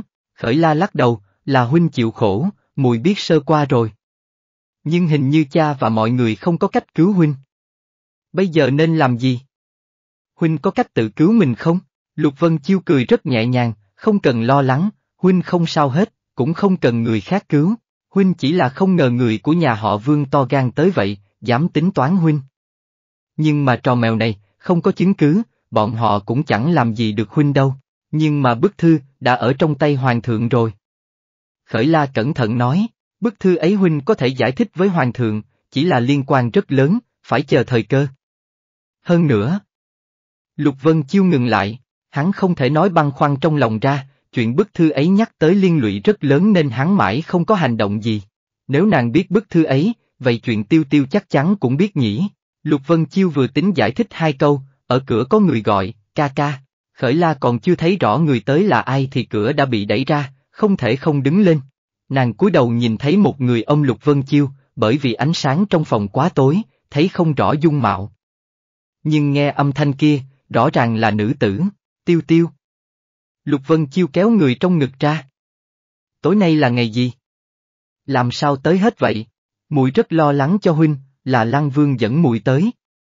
Lục tiêu lại ông Lục Vân Chiêu, giống như trong phòng chỉ có hai người bọn họ. Khởi la nghĩ, huynh muội bọn họ hiếm khi gặp lại, nàng không nên ở chỗ này quấy rầy, hơn nữa không còn sớm nữa, bèn dịu dàng nói, biểu ca, mùi đi trước nhé. Được, mùi đi đường cẩn thận nhé. Lục Vân Chiêu muốn đứng lên tiễn, lục tiêu lại ôm hắn thật chặt không chịu buông tay, âm thầm nhìn khởi la bằng con mắt thù địch. Nàng ta tất nhiên biết người kia là ai, vừa rồi ở ngoài, nàng ta đã nhìn thấy rõ ràng chuyện trong phòng. Đây là người ca ca thích sao? Nhưng mà nàng ta không thích, khởi la ra khỏi phòng, đóng cửa lại, nhìn thấy một người dựa vào lan can bên cửa sổ, hắn giống như tiên nhân đạp ánh trăng giáng trần, giống như mộng ảo, đẹp đến nỗi không chân thực, khởi la dụi dụi mắt, người kia cười, tuấn tú làm người ta kinh ngạc, chu tiểu thư, chúng ta có thể nói chuyện hay không? Khởi la sửng sốt một chút, ngài là, tiên nhân còn chưa mở miệng, Lâm Huân đã đi tới nói, cửu phụ, nàng không biết gì cả. Khởi la thầm nghĩ, cửu phụ của Lâm Huân, chẳng phải là Lăng Vương sao? Lăng Vương là hoài Nam nhị lộ chuyển vận sứ trên danh nghĩa, phú khả địch quốc, lại gần như không tham dự triều chính, vương gia nhàn hạ chân chính. Tuổi Lăng Vương hẳn là sắp sĩ đương kim hoàng thượng, nhưng sao giống như người trẻ tuổi nhỉ? Ông ta tìm mình làm gì?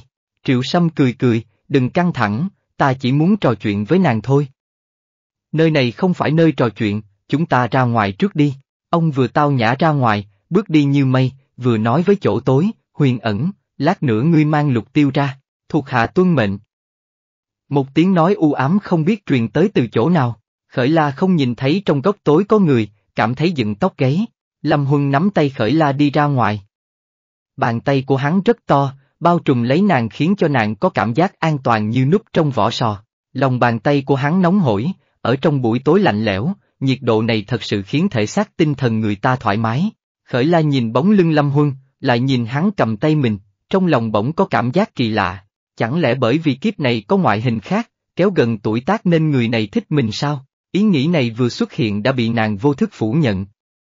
Sao có thể? Lần đầu hôn nàng ở hành cung có thể giải thích để thăm dò, lần hai ở Vũ Nhạc Phường và lần ba ở Trúc Lý Quán là vì cái gì? Còn có như bây giờ, tay nàng vô thức trục về, Lâm Huân quay đầu nhìn nàng, không nói gì, tay lại cầm thật chặt, ra đến bên ngoài, Triệu Sâm bảo khởi la lên xe ngựa của mình. Lâm Huân không yên lòng, muốn theo cùng, lại bị Triệu Sâm giơ tay ngăn lại, ta đưa nàng về Tàu Phủ, con về trước đi, nhìn Lâm Huân đứng bất động, dáng vẻ bảo vệ người ta. Triệu Sâm bất đắc dĩ sờ trán, Huân Nhi, còn không tin cửu phụ à. Lâm Huân biết Triệu Sâm lòng dạ thâm sâu, khó mà biết ông suy nghĩ cái gì, nhưng dù sao ông và Triệu Triết không giống nhau, bao nhiêu năm qua, chưa từng nghe nói bên cạnh ông có oanh yến gì, ngược lại giữ mình rất trong sạch, hẳn là không gần nữ sắc. Nhưng dù sao thì Triệu Sâm cũng là cha ruột của Lục Vân Chiêu, Lục Vân Chiêu có thể bái thanh liên cư sĩ làm sư phụ, bao gồm về sau có thể vang danh thiên hạ. Nói cho cùng có liên quan rất lớn tới sự thúc đẩy của Triệu Sâm ở phía sau. Hơn nữa tối nay có thế thuận lợi như vậy, cũng nhờ Triệu Sâm ra tay giúp đỡ. Lâm Huân biết Triệu Sâm sẽ không đồng ý Lục Vân Chiêu ở cùng với Khởi La, hắn sợ Triệu Sâm bởi vậy mà tổn thương Khởi La, suy nghĩ một chút rồi nói, dĩ nhiên không phải, con nghĩ cửu phụ là vương gia cao quý, cũng không làm khó một tiểu cô nương đâu, tên tiểu tử này không cần khích tướng ta, ta chắc chắn đưa người trở về nguyên vẹn. Triệu Sâm nói xong thì phất tay áo lên xe ngựa, Lâm Huân đỡ Khởi La lên rồi đứng tại chỗ, mắt nhìn xe ngựa đi xa, lại vẫy thân vệ tín nhiệm nhất thấu mặt, đi theo xe ngựa kia, nhìn tiểu thư chu gia vào nhà an toàn thì người trở về. Thật ra thấu mặt cũng là người xuất sắc trước kia huyền ẩn huấn luyện ra, Lăng Vương xem như chủ tử ban đầu của hắn, nhưng sau tuổi niên thiếu theo Lâm Huân, trải qua sinh tử trốn xa trường, hắn đã hoàn toàn coi Lâm Huân là chủ tử của mình, nghe lời răm rắp. Xe ngựa của Triệu Sâm lớn hơn xe ngựa của Lâm Huân rất nhiều, Khởi La vừa lên xe là thấy một bàn gỗ lim nhỏ hình tròn sơn vàng hoa văn củ ấu, còn có gối lụa màu tím vô cùng đắt đỏ, bị Triệu Sâm kê sau lưng.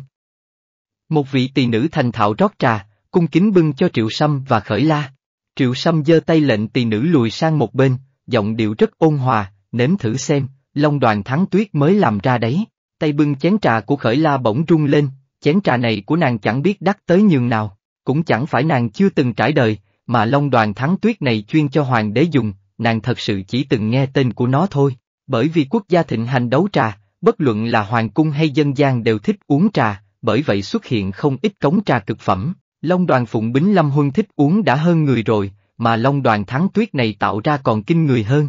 Nghe đồn là thanh liên cư sĩ sáng tạo ra, tinh chế từ thủy mầm tơ bạc. Nàng từng xem bắt Uyển Biệt Lục bên trong chia lá trà thành ba đẳng cấp tử mầm, trung mầm, tiểu mầm. Tử mầm tức là lá trà màu tím, hai lá một mầm, lúc làm ngự trà, tất cả tử mầm đều bị bỏ đi, trung mầm, tức một lá một mầm, dùng làm ngự trà bình thường, lại không có gì đặc biệt, tiểu mầm, là mầm trà vừa mọc ra, hình dạng như lưỡi chim tước, vuốt chim ưng. Tinh túy nhất trong tiểu mầm là như sợi chỉ bạc mới được gọi là thủy mầm, đủ để thấy nó quý giá.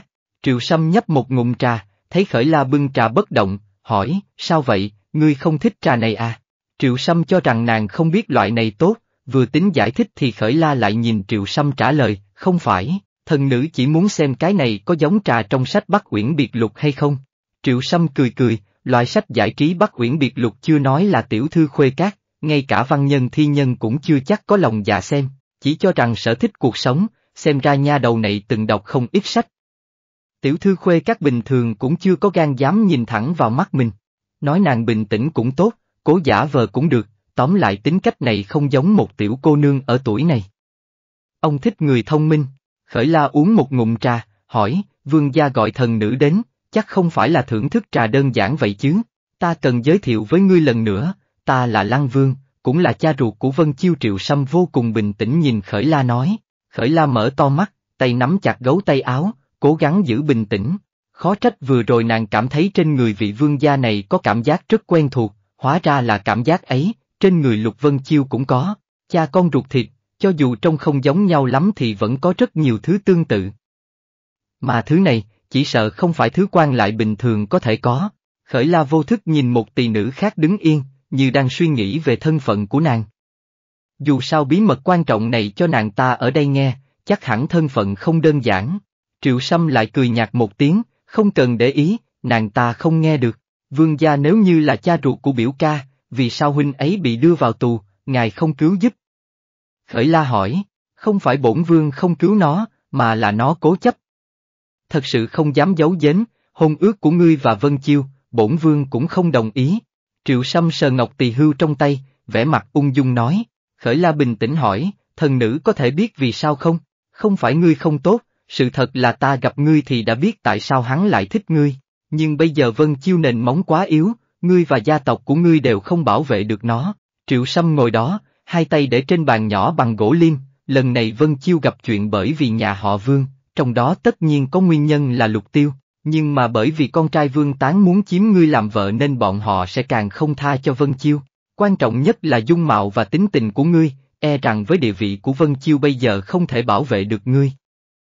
Nói ngắn gọn, các ngươi không thích hợp, khởi la hít sâu một hơi, nhớ kiếp trước ở huyện Sương ấp có một mỹ nhân, không nghe người nhà khuyên can, cố chấp gả cho một thư sinh, về sau bị ác bá chiếm đoạt, hủy trong sạch, thư sinh phẫn uất, liều mạng với ác bá rồi bị đánh chết tươi, mỹ nhân nhảy giếng tự vẫn. Lúc nàng nghe phụ thân nói tới vụ án này, thương xót rất lâu cho đôi uyên ương rơi vào kết cục ấy. Quả thật Lục Vân Chiêu không phải là một thư sinh tay trói gà không chặt, sau này hắn sẽ dưới một người, trên vạn người. Nhưng bây giờ hắn lại chỉ là một quan lại nhỏ bé không thể không che giấu thân thế, bị vương tán dở trò rồi bị bản án cuốn lấy. Phụ thân không cứu được hắn, tạo bá bá cũng không cứu được hắn. Hắn rất tốt với nàng, tốt hết lòng hết dạ, khiến nàng không muốn làm chướng ngại vật trên con đường làm quan của hắn. Lần này là vương tán, lần sau chẳng biết sẽ là ai. Nàng tự nhận ở chung với hắn chỉ vì cầu một người làm mình yên lòng, cũng chẳng phải tình yêu khắc cốt ghi tâm, hắn không cần gánh nguy hiểm lớn như thế vì nàng. Lúc này, xe ngựa dừng lại, phu xe ở bên ngoài nói, vương gia, đến rồi. Triệu Sâm nói, Chu Tiểu Thư là người thông minh, chắc hẳn không cần ta nói thêm gì, biết nên làm như thế nào rồi. Cuộc nói chuyện tối nay, cũng hy vọng chỉ ngươi và ta biết, thần nữ hiểu rõ rồi. Vương gia, biểu ca sẽ không có chuyện gì chứ? Khởi la nhỏ giọng hỏi, vậy phải xem ngươi làm thế nào? Khởi la chậm rãi hành lễ, sau đó xuống xe ngựa rồi đi vào tàu phủ. Nàng ông cánh tay, bỗng nhiên cảm giác tối nay rất lạnh, khí lạnh từ thân thể xâm nhập vào đại não. Mộng đẹp luôn luôn dễ tỉnh. Lúc Tào Tình Tình thay quần áo cho nàng đã thấy sắc mặt nàng bất thường, cầm tay của nàng, lạnh như băng, mùi sao vậy? Chẳng lẽ Dũng Quan Hầu ức hiếp mùi sao? Khởi la lắc đầu, Tào Tình Tình kinh hãi nói, chẳng lẽ Vân Chiêu ca ca không xong rồi sao? Huynh ấy sẽ chết sao? Tỷ đừng đoán, không phải như tỷ nghĩ đâu. Khởi la an ủi nàng ấy, biểu ca nhất định không sao đâu. Tào tình tình vỗ vỗ ngực, vậy là tốt rồi. Mẹ ta vì chuyện của Vân Chiêu ca ca mà cả ngày lo lắng, không buồn cơm nước, lần này ta bỏ thông nhi, cố ý về nhà cùng bà mấy ngày, cũng là muốn khuyên cha giúp đỡ. Nhưng cha ta và cha chồng ta, tôi, khó trách người ta đều nói làm quan càng to càng nhát, bởi vì thân phận và lập trường, chẳng phải cha mùi và đại bá mùi cũng giống vậy sao? Mấu chốt là làm không cẩn thận cũng bị gán tội phản quốc tày trời, người nào cũng muốn tự vệ. Khởi la thay quần áo xong thì đỡ bả vai tàu tình tình, không còn sớm nữa, mùi đi về trước đây, ừ, ta tiễn mùi.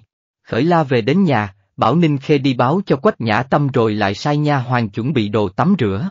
Nàng ngồi ở trong thùng tắm, sờ vòng tay bạc trên cổ tay, nghĩ tới quá khứ, không nén nổi thở dài. Trước kia nàng luôn hâm mộ cuộc sống phú quý của gia đình giàu có, cảm thấy không lo ăn mặc, có cha mẹ yêu thương là tuyệt nhất, nhưng hôm nay sống lại một đời nàng mới biết, thế gian không có nhiều chuyện tốt tới vậy, thân phận gia đình giàu có cũng là một loại xiềng xích. Nàng tất nhiên phải suy nghĩ thật kỹ, rốt cuộc phải làm như thế nào. Vài ngày sau, Diệp Dung bỗng nhiên đến nhà, mang theo rất nhiều quà. Bây giờ bà ấy mang thai, đã được mấy tháng rồi, tuy bụng còn chưa lộ, nhưng đi lại lung tung không ổn lắm. Quách nhã tâm trách cứ, sao tẩu chạy ra ngoài mà chẳng chú ý sức khỏe mình gì cả vậy. Diệp Quý Thần hết lòng tuân thủ hứa hẹn, hàng năm mùa hè đều bảo người nhà đưa cây vải đến cho khởi la. Lần nào cũng là Diệp Dung tự mình đưa tới, thường xuyên qua lại nên cũng thân quen. Bây giờ bên kia đại phòng, Quách Nhã Tâm cũng có chút qua lại với Diệp Dung và Mai Ánh Tú, ngày lễ ngày Tết tụ tập và tặng quà cho nhau. Ôi, ta không ra ngoài một chút thì thật sự chán chết mất thôi.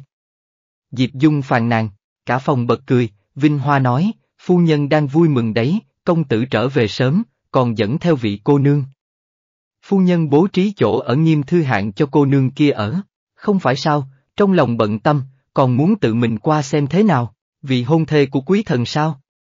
Là cô nương nhà nào vậy? Quách nhã tâm tò mò hỏi, xuất thân không cao, thư hương thế gia xuống dốc, trong nhà không còn ai, khuê danh là Trần Gia Trân, nhưng mà là một người có tri thức hiểu lễ nghĩa, còn là văn tướng làm mai cho. Diệp Dung vui vẻ nói, khởi la chấn động, Trần Gia Trân là mẹ đẻ kiếp trước của nàng phải không? Nàng nhớ rõ trên bài vị trong nhà cũng viết là Trần Thị. Trong lòng nàng khó tránh khỏi chờ mong, bèn khuyến khích quách nhã tâm, mẹ, hay là để con đi cùng Diệp Di Nương nhé, con cũng muốn xem người cửu cửu chọn trúng trông như thế nào. Được, lục tiểu thư cùng đi, ta cũng không buồn chán. Nói thật, cô nương kia cái gì cũng tốt, chỉ là hơi trầm tính quá. Cả buổi cũng chẳng nói năng nhiều. Diệp Dung chê, ta cũng đi cùng các người. Quách Nhã Tâm nói với Diệp Dung, ta xem như là mùi tử của tẩu, khởi la gọi quý thần là cửu cửu, chúng ta là người một nhà. Chủ yếu bà sợ Diệp Dung có thai, khởi la lại là trẻ con, ngộ nhỡ trên đường chăm sóc không chu toàn xảy ra chuyện thì khó ăn nói với phủ quốc công bên kia, nhị phu nhân muốn đi cùng sao? Vậy thật là quá tốt rồi. Diệp Dung vui mừng nói, đoàn người sôi nổi ra cửa, ngồi lên kiệu của riêng mình tới nghiêm thư hạng. Nghiêm thư hạng bình thường là nơi học sinh đi thi thuê, môi trường rất đơn giản, lúc trước Lục Vân Chiêu và Diệp Quý Thần đều ở chỗ này. Đến trước một ngôi nhà, mấy người còn chưa xuống kiệu đã nghe thấy phía trước có người cãi vã. Khởi la xuống kiệu trước, nhìn thấy một thiếu nữ xinh xắn ở trước cửa nói với một phụ nhân vác rổ, nói ba cân trứng gà là ba cân. Bà bị vỡ hai quả thì liên quan gì tới ta, phải trừ tiền đi. Phụ nhân khổ não nghiêm mặt nói, vì tiểu thư này đừng không nói lý lẽ, rõ ràng là vừa rồi ngươi lỡ tay làm vỡ hai quả, sao lại bắt đền bà già này hả? Khởi la cảm thấy gương mặt thiếu nữ kia có chút quen quen, nhất thời không nhớ ra là ai.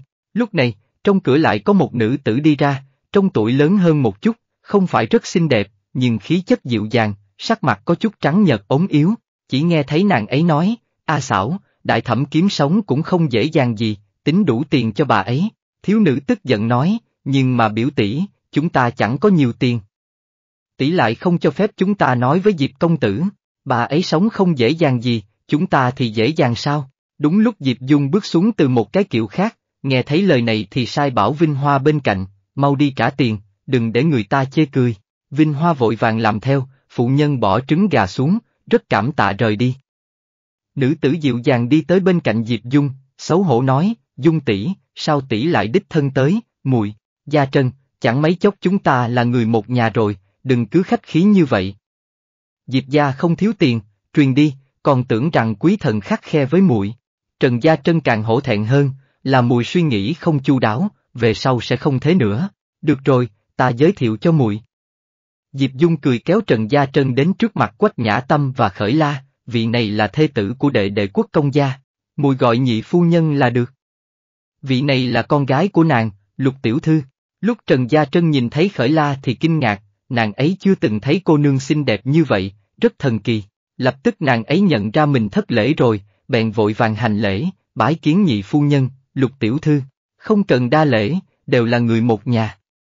Quách Nhã Tâm vừa cười vừa nói, Khởi La quan sát đối phương tỉ mỉ, kiếp trước nàng chưa từng gặp mẫu thân, hai người cũng chưa từng chung sống, chẳng nói tới tình cảm sâu đậm thế nào, thậm chí còn có chút xa lạ. Nhưng hóa ra mình kiếp trước rất rất giống mẫu thân, cái này là huyết thống tình thân. Thiếu nữ vừa rồi chen vào, cũng hành lễ theo, nhìn khởi la su nịnh nói, lục tiểu thư thật là xinh đẹp, giống như tiên nữ trên trời vậy. Khởi la mỉm cười, Diệp Dung ở bên cạnh nói, văn xảo đúng là dẻo miệng, rất giỏi khen người khác. Chúng ta đừng đứng đây nữa, mau vào ngồi đi. Giang Văn Sảo cố ý tiến tới bên cạnh Khởi La, nhiệt tình nói chuyện với nàng. Khởi La trả lời qua loa, nhưng trong lòng lạnh lùng nói, Giang Văn Sảo, chúng ta lại gặp mặt rồi, nhớ đăng ký kênh F5 truyện để giúp mình có thêm động lực nha. Mấy nữ nhân ngồi trong phòng nói chuyện phím, Quách Nhã Tâm và Trần Gia Trân không nói nhiều, chủ yếu là Diệp Dung nói chuyện với Giang Văn Sảo. Giang Văn Sảo cũng coi như xinh đẹp, mặt trứng ngỗng vô cùng duyên dáng, mắt hạnh trong sáng kết hợp với môi anh đào chúng chín. Lúc này bà ta còn chưa bị cuộc sống mài dũa ra vẻ sắc sảo và cay nghiệt, trông không hề quá đáng ghét. Kiếp trước Giang Thị lo liệu trong ngoài diệp gia, xử lý tất cả gọn gàng, không thể nói không có công.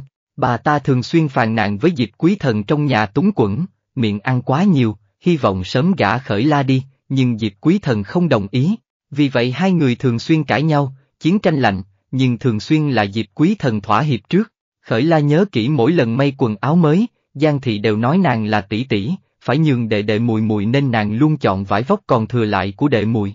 Trong nhà mỗi ngày toàn bày món đệ mùi và dịp quý thần thích ăn, Giang Thị chẳng hề quan tâm nàng thích ăn gì, chỉ thỉnh thoảng có một đĩa tôm, là nàng và dịp quý thần đều thích, nhưng nàng không thể biểu hiện ra ngoài, nếu không sẽ bị Giang Thị mắng. Có một năm khởi la bớt ăn bớt mặt vất vả lắm mới mua được một quyển sách, bị Giang Thị phát hiện ra, lấy đi mất rồi nhét cho nàng một đống đồ theo thùa làm mãi không hết, nói trong nhà không nuôi người vô tích sự, muốn nàng theo xong cầm đi đổi tiền. Ký ức từ sau khi 10 tuổi của Khởi La là may vá, có khoảng thời gian con mắt của nàng gần như sắp mù. Nàng vẫn luôn cẩn thận khiêm nhường, không muốn gây phiền phức thêm cho nhà, sợ Giang Thị gã bừa nàng đi. Thật sự không ngờ phụ thân vừa chết, trên đường lưu vong Giang Thị lại chút thuốc nàng, ép chết nàng, không phải không hận. Hiện tại thỉnh thoảng nàng nằm mơ, vẫn mơ thấy tên thủ lĩnh quan sai ghê tởm ấy tàn phá trên cơ thể nàng thế nào, tra tấn nàng ra sao, nhưng ngay cả sức lực phản kháng nàng cũng không có, kêu cũng không nổi. Tất cả là Giang Thị ban tặng, bây giờ Giang Thị trong mắt nàng chẳng qua là một con dung con dế, có thể tùy ý bóp chết, nhưng Khởi La sẽ không trút thù hận kiếp trước với Giang Thị lên người Giang Văn Sảo trước mắt còn chưa làm cái gì. Giang Văn Sảo có thể biết thân biết phận thì tốt, nếu không, nàng sẽ trừng trị. Diệp Dung nói, nói một lúc, có chút khác rồi, nấu chút trà uống đi. Khởi la tự xin đến bên cạnh pha trà, đồ uống trà trên bàn rất đơn sơ, lá trà chỉ là trần trà bình thường, nàng có chút không biết làm thế nào. Nếu là kiếp trước có đồ uống trà như thế này nàng đã thầm vui vẻ, nhưng với chu khởi la kiếp này mà nói, phú quý thực sự đã trở thành một loại tập quán từ trong xương tủy. Nàng là một người mới hoàn toàn. Trần Gia Trân đi tới, lục tiểu thư cao quý, sợ rằng không quen những thứ này, cứ để ta làm đi. Khởi la cũng không chối từ, nhường chỗ ngồi sang bên cạnh. Trần Gia Trân rất thành thạo sử dụng trà cụ, từ động tác của nàng có thể thấy được giáo dưỡng không tồi, chỉ là gia đạo sa sút, chi phí ăn mặc rốt cuộc không thể cho nàng ấy tu dưỡng. Trần Gia Trân nói, ta luôn nghe quý thần nhắc tới tiểu thư, khởi la gấp bánh trà từ trong hộp ra để vào đĩa, cười hỏi, nói gì về ta? Nói tiểu thư là một vạn bối rất đáng yêu. Trần Gia Trân dùng nước nóng rửa trà cụ, dịu dàng nói, nhưng mà hôm nay ta gặp tiểu thư, cảm thấy hình dung đáng yêu có phần không thích hợp, chúng ta ba năm không gặp rồi. Thật ra hắn chỉ lớn hơn ta mấy tuổi, vừa gặp mặt đã bắt ta gọi cửu cửu, những năm qua cũng đã quen rồi. Trần Gia Trân che miệng khẽ cười nói, hắn quan tâm nhất những thứ này. Hai nhà chúng ta có chút quan hệ họ hàng, lúc trước hắn tốn rất nhiều sức làm rõ vai vế, cũng may về sau chứng minh chúng ta ngang vai ngang vế. Đúng vậy, nếu không phải vậy, kiếp trước phụ thân cũng sẽ không kiên quyết phản đối nạn với Lâm Huân. Ngươi ở nơi này, cửu cửu có tới thăm ngươi không? Khởi la hỏi. Trần Gia Trân buồn bã lắc đầu, từ sau khi tới đây ở còn chưa từng gặp hắn. Hắn bỗng nhiên trở về sớm, việc về kinh chỉ nói cho Dung tỷ, bảo tỷ ấy chăm sóc ta.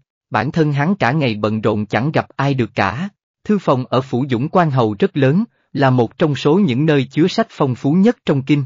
Thường xuyên có đồng lưu lấy danh nghĩa sang đọc và mượn sách, chỉ là mượn sách thì bắt buộc phải trả, ai cũng biết Dũng Quan Hậu Lâm Huân có trí nhớ kinh người, vào lúc hắn còn là thế tử đã lập quy củ, người mượn sách không trả không được đến thư phòng nữa. Giờ phút này, hắn chắp tay đứng ở bên cửa sổ, trên mặt hồ ngoài cửa sổ chỉ còn lá sen khô, nước hồ màu xanh, đục ngầu không nhìn thấy đấy. Nơi này cũng chẳng phải là có dòng nước chảy qua, đầu xuân mỗi năm phải nạo vét một lần. Diệp Quý Thần ngồi ở trên ghế xếp gỗ muôn, hồi lâu không nói gì, ngón tay hơi run rẩy vì sợ hãi. Hắn làm sao cũng chẳng ngờ, ba năm nay cố hết sức điều tra lật đổ Lưu Anh, cuối cùng lại liên lụy Diệp gia. Sao đại bá lại hồ đồ như vậy? Hiện tại chỉ sợ tất cả đã muộn rồi, Lâm Huynh, ta còn có thể làm gì, tin vào Hoàng thượng. Tiếng nói của Lâm Huân rất nặng nề, chẳng mấy chốc Hoàng thượng sẽ triệu kiến Lục Vân Chiêu, vì tự vệ, hắn chắc chắn sẽ nói ra nội dung nhắc tới trong lá thư. Kết quả này trên đường về kinh diệt quý thần đã nghĩ tới rất nhiều lần rồi, hắn biết nhà mình buôn bán vũ khí và lương thảo cho địch quốc là tội nghiêm trọng cỡ nào, huống hồ còn là trận đại chiến đánh Tây Hạ ba năm trước. Thậm chí hắn cảm thấy bản thân không có mặt mũi ngồi ở chỗ này, bởi vì gia tộc của hắn cũng là một trong những hung thủ khiến trụ quốc công Lâm Dương và vô số tướng sĩ bỏ mạng trốn xa trường. Lâm Huân còn có thể nhẫn nhịn nói với hắn những chuyện này đã xem như rất rất ban ơn rồi. Đại bá ta, cha ta, cả nhà họ Diệp mấy trăm người. Diệp quý thần giơ tay che mắt, trong tiếng nói có chút run rẩy. Hắn vẫn chưa tròn 20 tuổi, cuộc đời vừa mới bắt đầu, từ nhỏ thuận buồm xuôi gió. Lúc trước cha muốn hắn bỏ học hành, quản lý công việc làm ăn trong nhà, hắn luôn trốn tránh, nhưng hôm nay xảy ra chuyện, mắt thấy không còn cách nào cứu vãn rồi thì hắn mới thật sự rất hối hận. Nếu như hắn không học hành làm quan, không vì lý tưởng khát vọng của mình vứt bỏ người nhà không quan tâm thì có phải sẽ không có kết cục như hôm nay không? Nếu như huynh muốn thoát thân, lúc này cần vì nghĩa lớn diệt tình thân. Không chờ Lục Vân Chiêu nói ra, huynh chủ động đi gặp hoàng thượng, Lâm Huân quay đầu lại nhìn Diệp Quý Thần. Diệp Quý Thần ngồi ngay ngắn, lắc đầu liên tục, không, ta không thể làm như vậy. Lâm Huân đi tới, túng vạt áo Diệp Quý Thần, kéo hắn đến trước mặt, huynh không làm. Với tính cách của hoàng thượng, Diệp gia phạm trọng tội, nam nhân trong nhà không ai có thể may mắn thoát khỏi.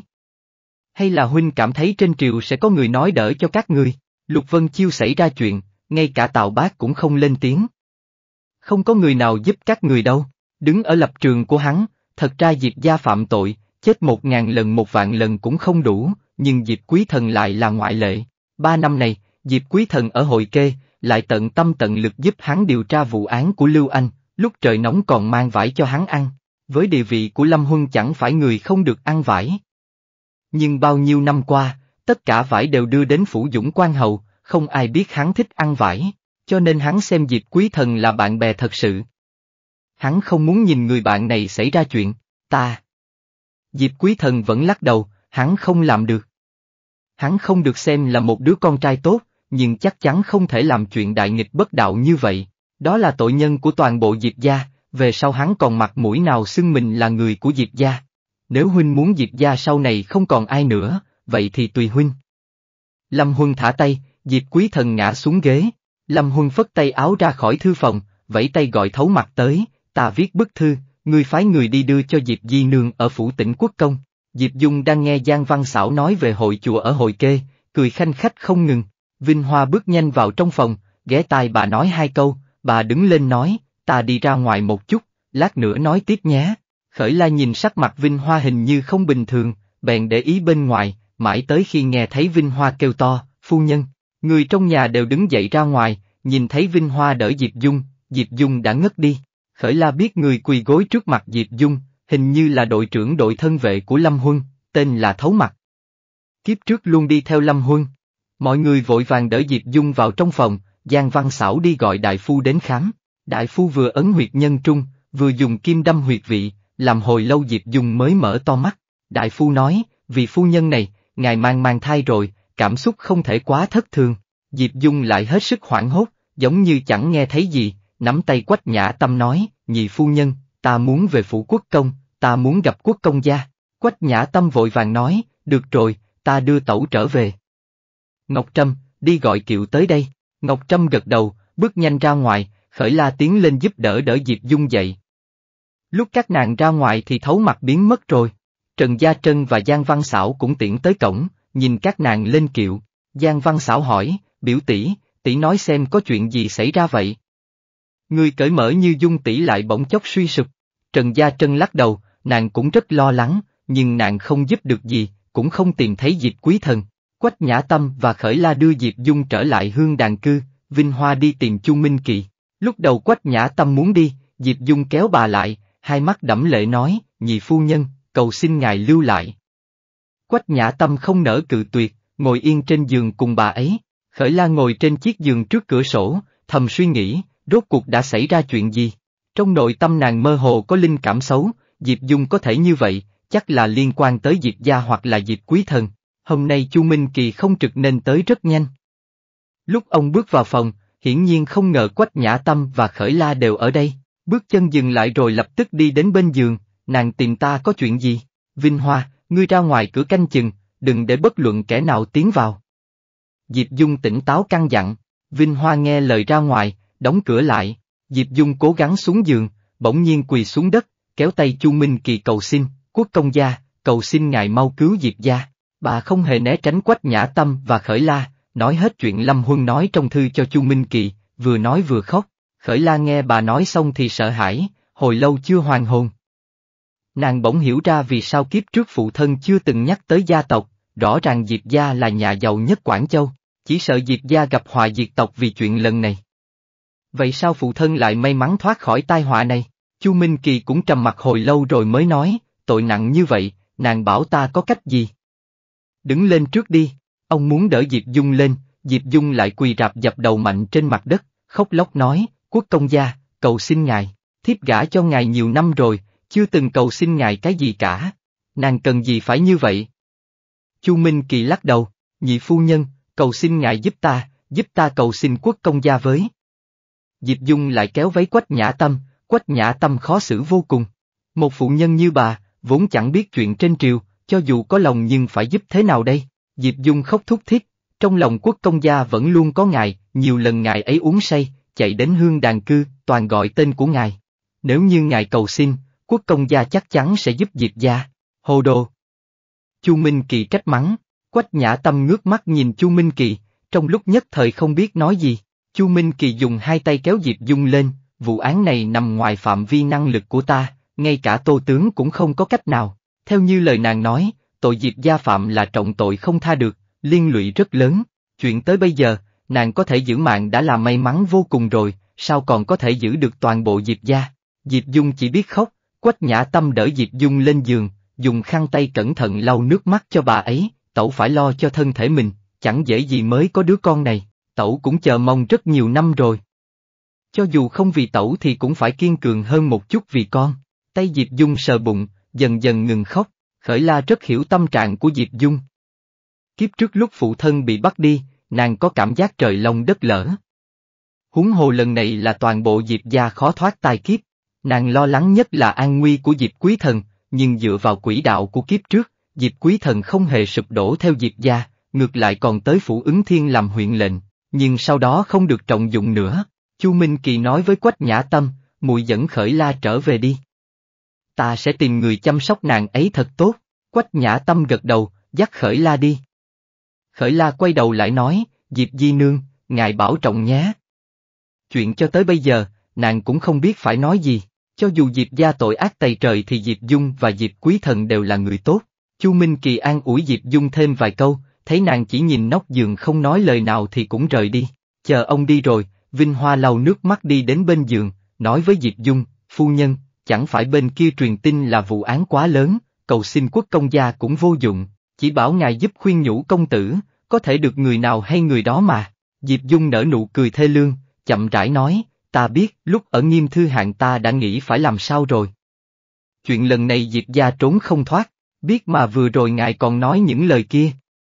Vinh Hoa nhỏ giọng thì thầm, có mấy lời không nói ra sẽ không cam lòng, huống hồ ta muốn giúp quốc công gia.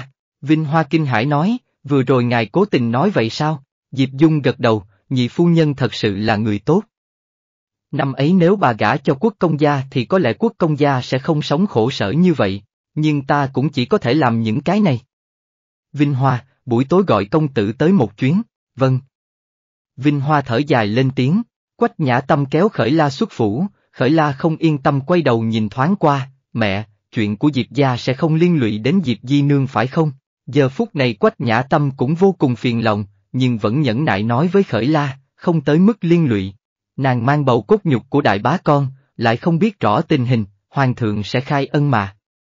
Chỉ là việc này rất lớn, con xem như không biết đi, nhất là lời vừa rồi Diệp Di Nương nói, dạ. Khởi la gật đầu, vừa rồi lời của Diệp Dung có phần nào ảnh hưởng tới quách nhã tâm.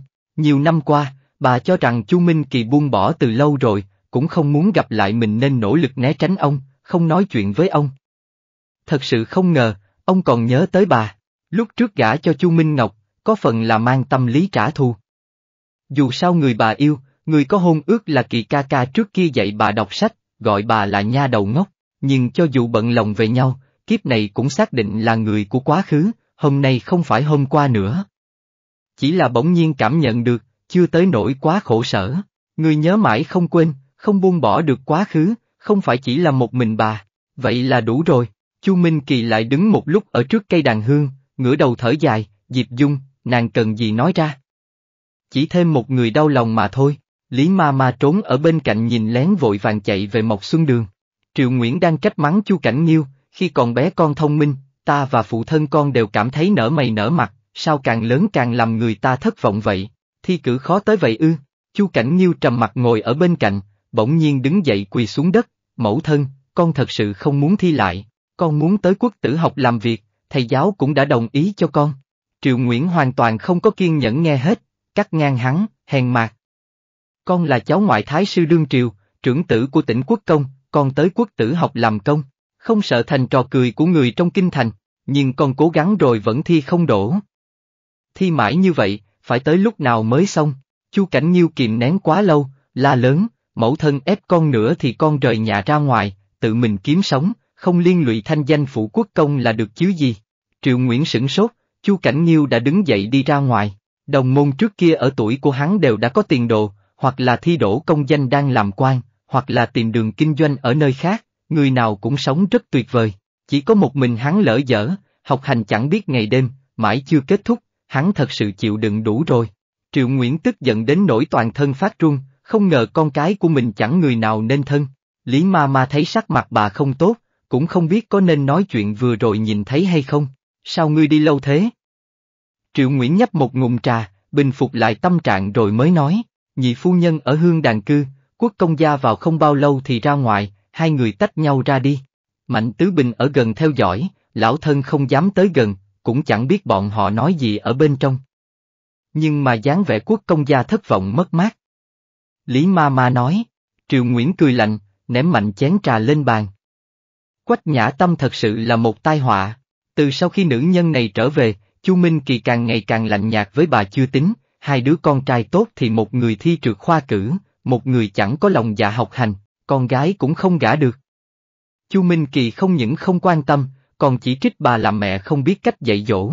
Bà gả cho ông bao nhiêu năm nay, sinh con dưỡng cái, lo liệu việc nhà cho ông, ông chẳng phải lạnh lùng trừng mắt thì là chẳng quan tâm, kết quả còn trách bà ư. Ông vốn chưa từng quên con tiện nhân kia. Triệu Nguyễn nghĩ, mình không sống tốt, Quách Nhã Tâm cũng đừng hòng sống tốt. Mấy ngày sau, sáng sớm bầu trời đã âm u, khởi la ở trong phòng vẽ tranh, bởi vì ánh sáng quá tệ nên bảo nha hoàng đốt đèn. Nàng lo lắng chuyện Diệp gia, cũng lo cho Diệp Quý Thần và Lục Vân Chiêu, nhưng nàng không tiện ra ngoài nhiều nên bảo Ninh Khê và Mộ Vũ chia ra đi nghe ngóng tin tức. Bây giờ sắp tới tháng chạp rồi, trời lạnh dần, trong phòng để mấy chậu than. Bọn nha hoàng dùng gấp than cẩn thận thêm than bạc, xong ấm căn phòng. A Hương đi tới, nói nhỏ, tiểu thư, nữ quan bên cạnh nghi hiên công chúa tới. Khởi la đứng dậy tiếp đón, nữ quan tiến đến hành lễ nói, công chúa mở tiệc ngắm hoa mai nở ở biệt trang ngoài thành, mời tiểu thư cùng tới thưởng thức. Khởi la có chút bất ngờ, mối quan hệ của nàng và Triệu Nghi Hiên không tốt tới mức này. Mời nàng đi ngắm hoa. Sợ là không có chuyện gì tốt, ta không khỏe trong người lắm, chỉ sợ không thể đến, xin truyền đạt sự ấy nấy tới công chúa. Khởi la không người nói, nữ quan lại hiểu rõ cười nói, xe ngựa công chúa phái tới đón tiểu thư đang ở bên ngoài, trong biệt trang cũng có người hầu hạ riêng, tất cả sẽ không khiến tiểu thư chịu khổ, chỉ là ngắm hoa mà thôi, công chúa có thành ý mời tất cả khuê tú trong kinh, không chỉ mình tiểu thư. Tiểu thư nên hạ mình cùng đi một chuyến với nô tỳ. Nữ quan đã nói vậy rồi, khởi la cũng không thể từ chối nữa, bèn đi bẩm báo với Quách Nhã Tâm. Ninh Khê và Mộ Vũ không ở đây, Quách Nhã Tâm phái A Hương và một tỷ nữ khác đi cùng khởi la, nữ quan không cho phép dẫn hộ viện theo. Bà ta nói chuyện bảo vệ giao hết cho cấm quân phụ trách rồi, công chúa là cành vàng lá ngọc, mời mọi người đi ngắm hoa, tất nhiên là chuẩn bị chu đáo về phương diện an toàn. Quách Nhã Tâm cũng hết cách, đành phải căn dặn Khởi La đi đường cẩn thận. Khởi La thay quần áo xong, Quách Nhã Tâm đưa nàng ra ngoài, nhìn thấy bên ngoài quả nhiên có một đội cấm quân đi theo sau xe ngựa, dẫn đầu còn là Mã Hiến, lúc này mới có chút yên tâm. Nàng đội mũ trùng trên áo choàng lên cho Khởi La, dặn dò, dảo dảo, phải trở về sớm nhé. Khởi La cười đồng ý, sau đó lên xe ngựa. Trên đường, A Hương đưa lò sưởi ấm tay cho Khởi La, nhìn ngoài cửa sổ, nhỏ giọng nói, sắp tới tháng chạp rồi, xem thời tiết này, chỉ sợ muộn chút sẽ có tuyết rơi. Tiểu thư cẩn thận chút, đừng để bị cảm lạnh. Khởi la gật đầu, ông lò sưởi tay tựa vào vách xe ngựa. Nàng thầm suy nghĩ, Triệu Nghi Hiên tìm nàng làm gì chứ? Ngoại trừ lần ở hành cung ra thì các nàng cũng không qua lại, cũng chẳng có xung đột lợi ích gì, chẳng lẽ là vì Lâm Huân. Ngoại trừ chuyện này ra, nàng thật sự nghĩ không ra lý do gặp nhau, nhưng vì Lâm Huân, hẳn là không qua lại với nàng mới đúng, cần gì cố ý bảo nữ quan bên cạnh tới mời nàng đi ngắm hoa. Xe ngựa ra khỏi thành, đi về hướng Thúy Sơn. Đi đến nửa đường, Mã Hiến bị nữ quan ngồi trên một cái xe khác gọi lại, thống lĩnh đưa đến nơi này là được rồi, không cần đi theo chúng ta nữa, để lại những cấm quân này bảo vệ là được. Công chúa biết ngài là quý nhân bận rộn, xin về trước đi. Mã Hiến sửng sốt, công chúa cầu xin hoàng thượng rất lâu, hoàng thượng mới đồng ý phái hắn tới làm chuyện này, sao còn chưa đưa người đến đã không cần đưa nữa. Tuy hắn lo nghĩ rất nhiều nhưng việc nhỏ như hộ tống người từ trong thành tới ngoài thành với hắn mà nói quả thật có chút không biết trọng nhân tài, hơn nữa trong tiểu đội còn rất nhiều việc phải xử lý. Mắt thấy sắp tới Thúy Sơn, chắc hẳn sẽ không có nguy hiểm gì, thế là hắn căn dặn cấm quân đi theo rồi cáo từ khởi la, dục ngựa trở về, xe ngựa đi đường núi, bầu trời bắt đầu có tuyết rơi lất phất, nữ quan căn dặn đội ngũ đi chậm một chút, tiếng móng ngựa rất rõ ràng ở trên đường núi trống trải, khởi la phát hiện ra bất thường, hình như tiếng bước chân của cấm quân đi càng ngày càng xa. Nàng vén rèm trên cửa sổ nhỏ ra, nhìn ra sau, xe ngựa của nữ quan và cấm quân bị bỏ lại phía sau, tạo ra một khoảng cách. Nàng linh cảm không ổn, hét lên, mau dừng xe. Tiếng của nàng chưa dứt thì trong nháy mắt con ngựa phát ra tiếng hí chói tai rồi bỗng chạy hết tốc lực. A Hương và tỳ nữ sợ tới nổi thét lên, mấy người trong xe ngựa bị va chạm qua lại. Khởi la cố hết sức bò dậy, vén rèm trước mặt lên xe, cũng chẳng nhìn thấy cái bóng của phu xe. Nàng thử với cương ngựa, nhưng xe ngựa quá lắc lư, tốc độ xe quá nhanh, con ngựa hoàn toàn không bị khống chế. Cứ theo đà này, con ngựa không dừng được, nếu như chạy tới bên vách núi rồi rơi xuống thì các nàng chết không có chỗ chôn. Nhảy xuống xe, mau. Khởi la quay đầu la lên, A Hương và tỳ nữ sớm sợ tới nỗi choáng váng từ lâu, giật mình bất động ở đó. Khởi la túng bả vai A Hương, liều mạng kéo nàng ra ngoài, lớn tiếng nói, nhảy xuống, người chạy quá nhanh, hình dạng toàn bộ cảnh vật trong tầm mắt đều méo mó, thậm chí không thấy rõ đường. Khởi la thấy A Hương chặn ở cửa không dám nhảy, bèn đẩy mạnh nàng ta một cái, bịch một tiếng, A Hương lăn tới trong bụi cỏ ven đường. Khởi la không có thời gian xác nhận tình huống bên ngoài nữa, cũng đẩy một tỳ nữ khác xuống dưới, còn nàng thì nhảy xuống cuối cùng, lăn mạnh vài vòng trên mặt đất rồi rơi xuống khe núi. Bên kia Mã Hiến càng nghĩ càng thấy bất thường, hôm nay nữ quan kia rất kỳ lạ, nhưng bà ta là thân tín bên cạnh công chúa, công chúa rõ ràng chính miệng nhắc tới muốn mời Chu Tiểu Thư đi ngắm hoa, không tới nỗi có vấn đề gì nhỉ. Hắn vừa nghĩ vậy thì nghe thấy tiếng con ngựa hí dài ở sau lưng, hắn giật mình hốt hoảng, hỏng rồi. Hắn vừa muốn quay đầu ngựa ngựa lại thì nhìn thấy ở đối diện có một hàng ngũ chạy như bay đến, dẫn đầu còn là Dũng Quan Hậu cưỡi ngựa đen. Con ngựa đen này vô cùng quý giá, luôn nuôi dưỡng ở chuồng ngựa ở ngoại ô ngoại trừ trên chiến trường ra thì Dũng Quan Hầu sẽ không tùy tiện dùng. Lâm Huân trông thấy Mã Hiến ở giữa đường là biết không ổn rồi, ngay cả chào hỏi cũng bỏ qua, trực tiếp lướt qua người Mã Hiến. Lúc trước thấu mặt nói với hắn, công chúa mời Khuê Tú trong kinh tới Thúy Sơn thưởng mai, cũng mời hắn, hắn cũng không để ý, bởi vì năm nào chẳng vậy. Nhưng về sau hắn nghe thấy Khởi La cũng bị Triệu Nghi Hiên mời thì đã cảm thấy không đúng. Những năm qua Triệu Nghi Hiên cũng mời mọi người tới thưởng mai, nhưng trước giờ chưa từng mời Khởi La, hai người cũng không có tình bạn gì. Đột nhiên mời, chẳng lẽ không phải có mục đích gì khác à? Tuy Triệu Nghi Hiên có chút tùy hứng kiêu căng, lại không thật sự làm ra chuyện gì tàn nhẫn, nhưng người bên cạnh nàng ta thì không nói trước được. Lâm Huân càng nghĩ càng thấy không ổn, không yên tâm đuổi theo nhìn thế nào, không ngờ thật sự có vấn đề. Tuyết rơi càng lúc càng lớn, Lâm Huân nhìn thấy xe ngựa của nữ quan và cấm quân trên đường núi, ghim chặt cương ngựa rồi cúi đầu túng cổ áo một cấm quân nghiêm nghị hỏi, tiểu thư chu gia ở đâu? Cấm quân hoảng sợ nói, vừa rồi ngựa kéo xe bị hoảng sợ, chạy như điên, chúng ta không đuổi kịp. Lâm Huân không có thời gian truy cứu, lên đường đuổi theo xe ngựa tìm dấu vết. Tật Phong là ngựa tốt tiền ngàn dặm mới thấy, con ngựa nào cũng không nhanh bằng nó. Lòng Lâm Huân nóng như lửa, lớn tiếng gọi tên khởi la, khắp nơi lại yên tĩnh, chẳng có hồi đáp, thấu mặt vất vả lắm mới đuổi theo được nói, chủ tử, tuyết rơi lớn, ngài về trước đi, chúng ta đi tìm, Lâm Huân lại như không hề nghe thấy. Hắn muốn tìm thấy nàng, bất luận thế nào, hắn nhất định phải tìm thấy nàng, chủ tử. Chỗ này có người.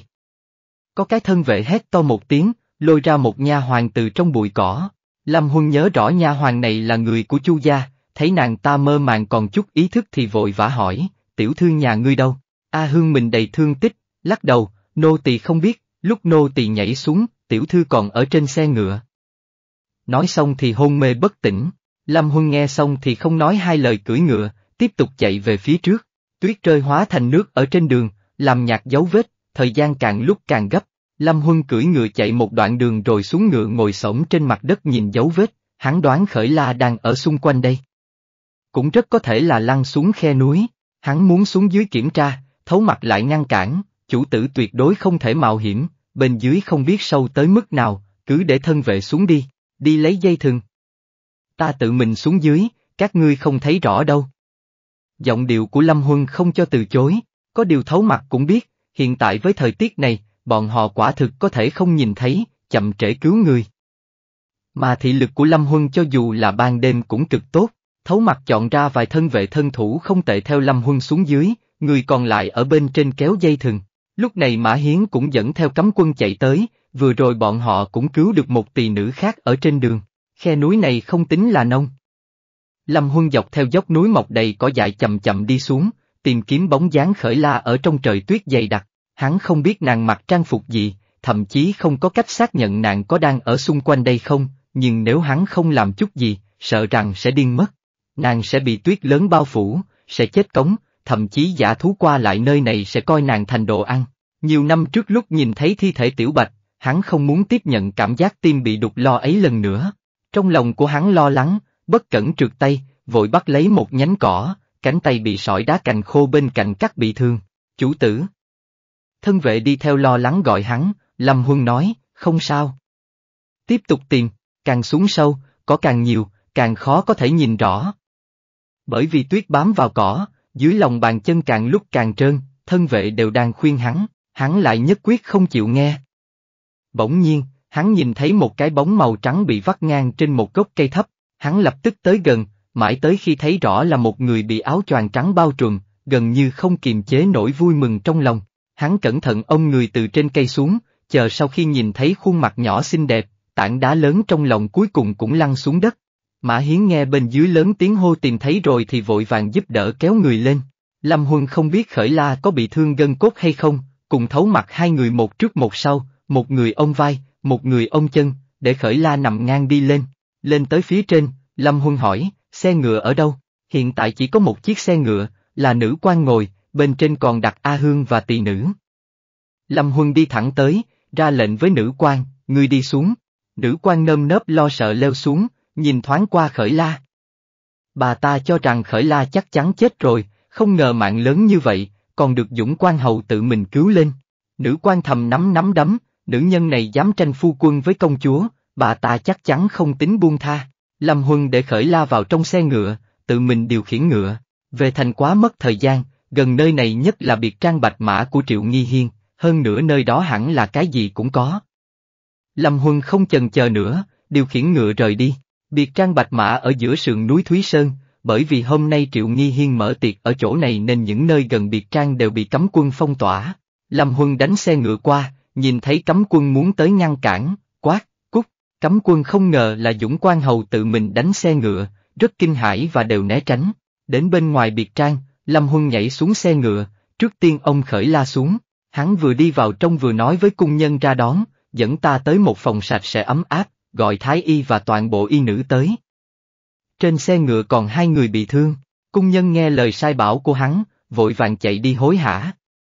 Không hổ là người ra trận giết giặc, thống lĩnh thiên quân vạn mã, có một khí thế làm cho người ta tín phục. Một cung nữ nhìn thấy vết máu nhỏ dọc ven đường, tay trái của Lâm Huân hình như bị thương, nói nhỏ, hầu gia, tay của ngài, không cần để ý, cung nữ khiếp sợ khí thế của hắn không dám nói nữa, chỉ là cố gắng che ô cho hắn vì hắn thực sự quá cao. Triệu Nghi Hiên còn chưa biết chuyện gì xảy ra, còn đang thưởng mai cùng các khuê tú ở trong phòng. Tuyết rơi, phong cảnh hoa mai càng lộ ra vẻ độc đáo, đóa hoa trắng phủ tuyết như nhúm vải bông xốp mềm trắng tinh, làm người ta muốn qua cắn một cái. Hôm nay Triệu Nghi Hiên cố ý mặc váy gấm tay áo rộng màu xanh nhạt theo hoa mai, trên đầu cài vòng hoa khảm nạm trân châu và đá quý, cao quý và xinh đẹp. Các cô nương trẻ tuổi vừa tới đã khen ngợi nàng ta, tần bốc nàng ta tới mức có chút vênh váo.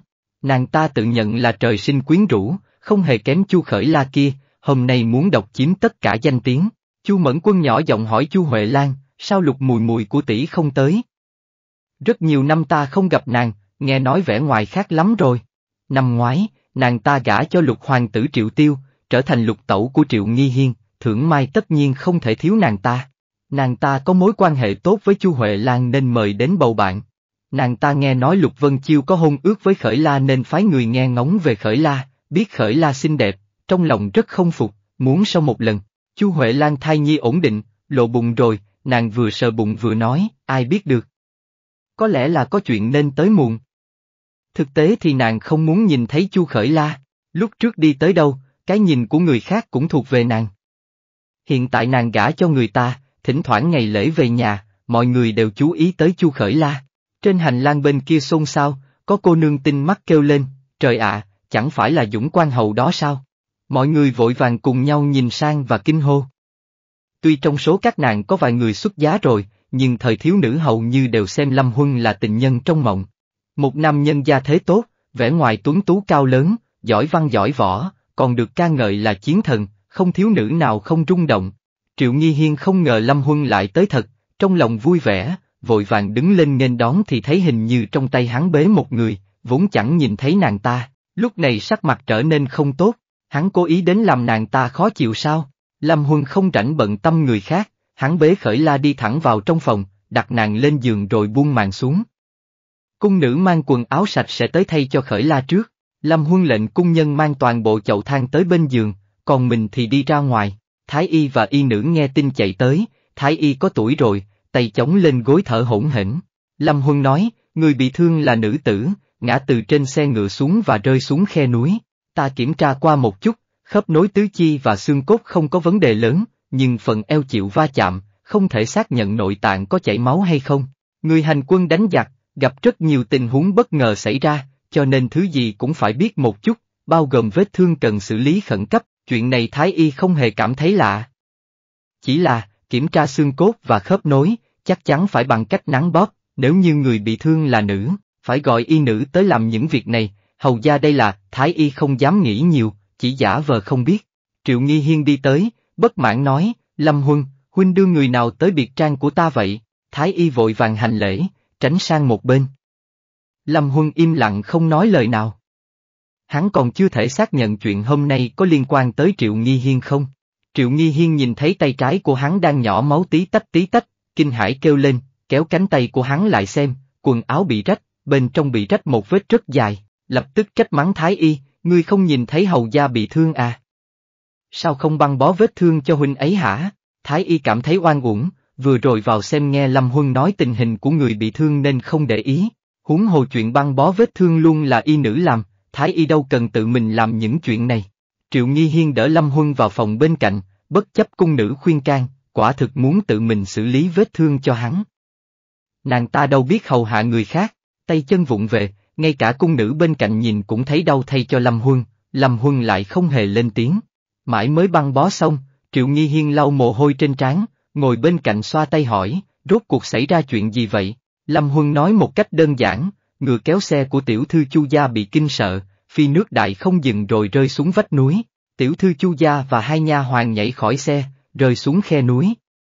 Chuyện này, công chúa có biết không? Triệu Nghi Hiên giơ tay che miệng, tại sao có thể như vậy? Ta, ta thật sự không biết. Ta chỉ mời nàng ấy tới thưởng hoa mai, còn bảo nữ quan và mã hiến đi đón nàng ấy. Thấy Lâm Huân nhìn nàng như đang thẩm vấn, nàng bỗng nhiên đứng lên, ngươi không tin ta à, việc này không liên quan tới công chúa. Nữ quan từ ngoài cửa đi vào, quỳ xuống, con ngựa bỗng nhiên hoảng sợ, nô tỳ cũng hết cách. Nếu hầu gia muốn truy cứu thì truy cứu nô tỳ thôi. Hạ cô cô, rốt cuộc là chuyện gì xảy ra? Triệu Nghi Hiên hỏi, Hạ Nghênh Thu trả lời, nô tỳ không biết. Lâm Huân vỗ bàn một cái rất mạnh, người trong phòng giật nảy mình. Hạ Nghênh Thu vốn rất tự tin, lần này cũng có chút chột dạ. Người bà ta đối mặt là Dũng Quan Hầu, sát phạt quyết đoán trên chiến trường, tuyệt đối không dễ lừa gạt. Quả nhiên, Lâm Huân nói, đồ nô tài xảo quyệt, cho rằng xe bị phá hủy là không có chứng cứ sao. Ta chỉ cần tìm thấy phu xe mất tích thì chân tướng tự nhiên sẽ rõ. Rốt cuộc là người nào sai ngươi ra tay độc ác như thế? Trong lòng Triệu Nghi Hiên đã có mấy phần rõ ràng. Mấy ngày trước đây, Di Mẫu vào cung nói hình như Lâm Huân có quan hệ không tầm thường với Chu Khởi La.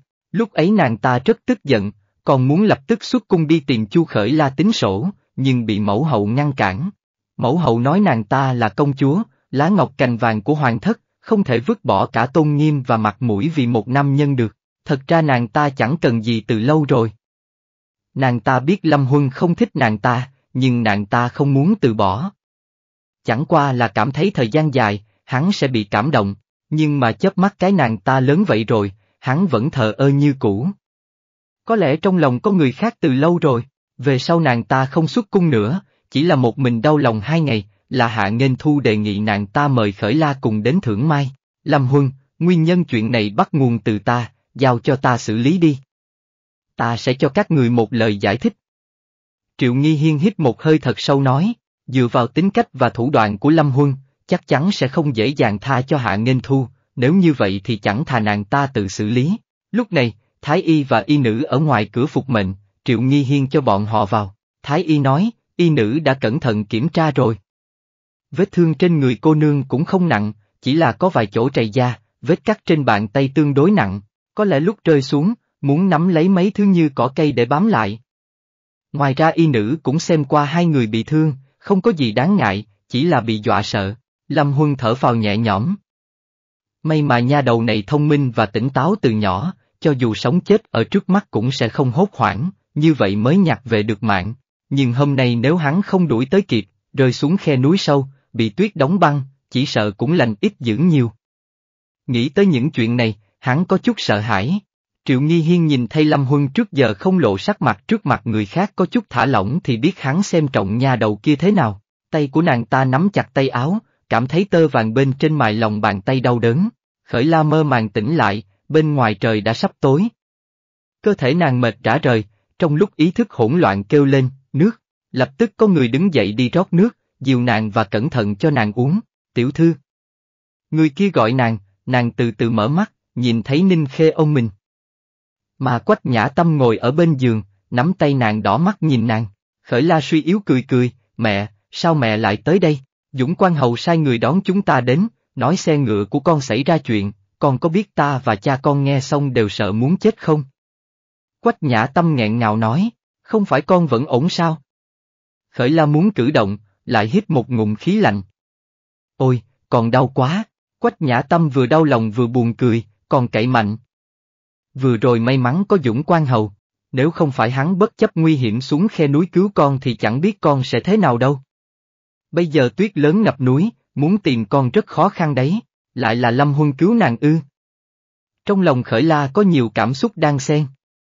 Kiếp trước cầu xin hắn cứu người, bất luận thế nào hắn cũng không chịu cứu, kiếp này nàng không hề cầu xin hắn, hắn lại nhiều lần ra tay cứu giúp. Bọn họ quả thật là nghiệt duyên. Lúc này, Chu Minh Ngọc tâm sự đầy bụng đi đến, Quách Nhã Tâm đứng dậy đón, quan nhân, Dũng Quan Hầu tìm ngài nói gì vậy? Bọn họ vừa tới biệt trang bạch mã là Lâm Huân phái người mời Chu Minh Ngọc đi, nói tới bây giờ mới về. Chu Minh Ngọc nhìn khởi la, không nói một lời. Đến bây giờ ông vẫn còn có chút chưa bình tĩnh lại vì lời Lâm Huân nói với ông thực sự làm cho ông quá kinh sợ. Cha! Khởi la phát hiện ra bất thường, Dũng Quan Hậu nói hắn muốn cưới dảo dảo. Chu Minh Ngọc chậm rãi nói, Quách Nhã Tâm giật nảy mình, kéo cánh tay Chu Minh Ngọc nói, nhưng mà dảo dảo của chúng ta đã đính hôn với Vân Chiêu rồi mà. Ta biết, nhưng mà hắn từng ông dảo dảo, rất nhiều người nhìn thấy. Quan trọng nhất là lúc ấy vì xác nhận vết thương trên người giảo giảo, hắn bất đắc dĩ phải chạm vào thân thể giảo giảo. Hắn nói phải chịu trách nhiệm, quách nhã tâm sửng sốt, thân thể nữ chỉ có trượng phu mới có thể chạm vào, nếu không thì xem như không còn trong sạch. Nàng lẩm bẩm, nhưng mà, giảo giảo và Vân Chiêu, đứa bé Vân Chiêu chờ nhiều năm rồi mới chờ được giảo giảo lớn lên. Nếu như biết, sẽ đau lòng thế nào chứ? Lúc đầu khởi la khiếp sợ, sau đó đã bình tĩnh lại. Tình huống lúc ấy, nếu như gãy xương, di chuyển tùy ý quả thực sẽ làm bị thương nặng hơn, không cẩn thận sẽ còn mất mạng. Lâm Huân để bảo đảm an toàn của nàng, làm như vậy không gì đáng trách. Hơn nữa, nàng và Lục Vân Chiêu cũng nên có một kết thúc, chẳng bằng nhân dịp này. Cha, mẹ, con có chuyện muốn nói với cha mẹ. Khởi la bám vào Ninh Khê, khó khăn ngồi dậy, hôn ước của con và biểu ca, dù sao cũng chưa chính thức xác định, hủy bỏ đi thôi. Ninh Khê kinh ngạc, Chu Minh Ngọc và Quách Nhã Tâm cùng nhìn Khởi La, chẳng ai ngờ rằng nàng sẽ nói ra mấy câu này. Khởi La nói tiếp, sự tình đã biến thành như vậy, nếu còn cố gắng để biểu ca cưới con thì không công bằng với huynh ấy. Giảo giảo, chẳng lẽ con không thích biểu ca sao?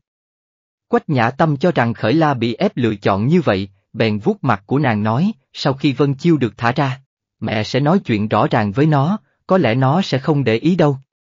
Bên Dũng Quan Hầu để cha con từ chối là được.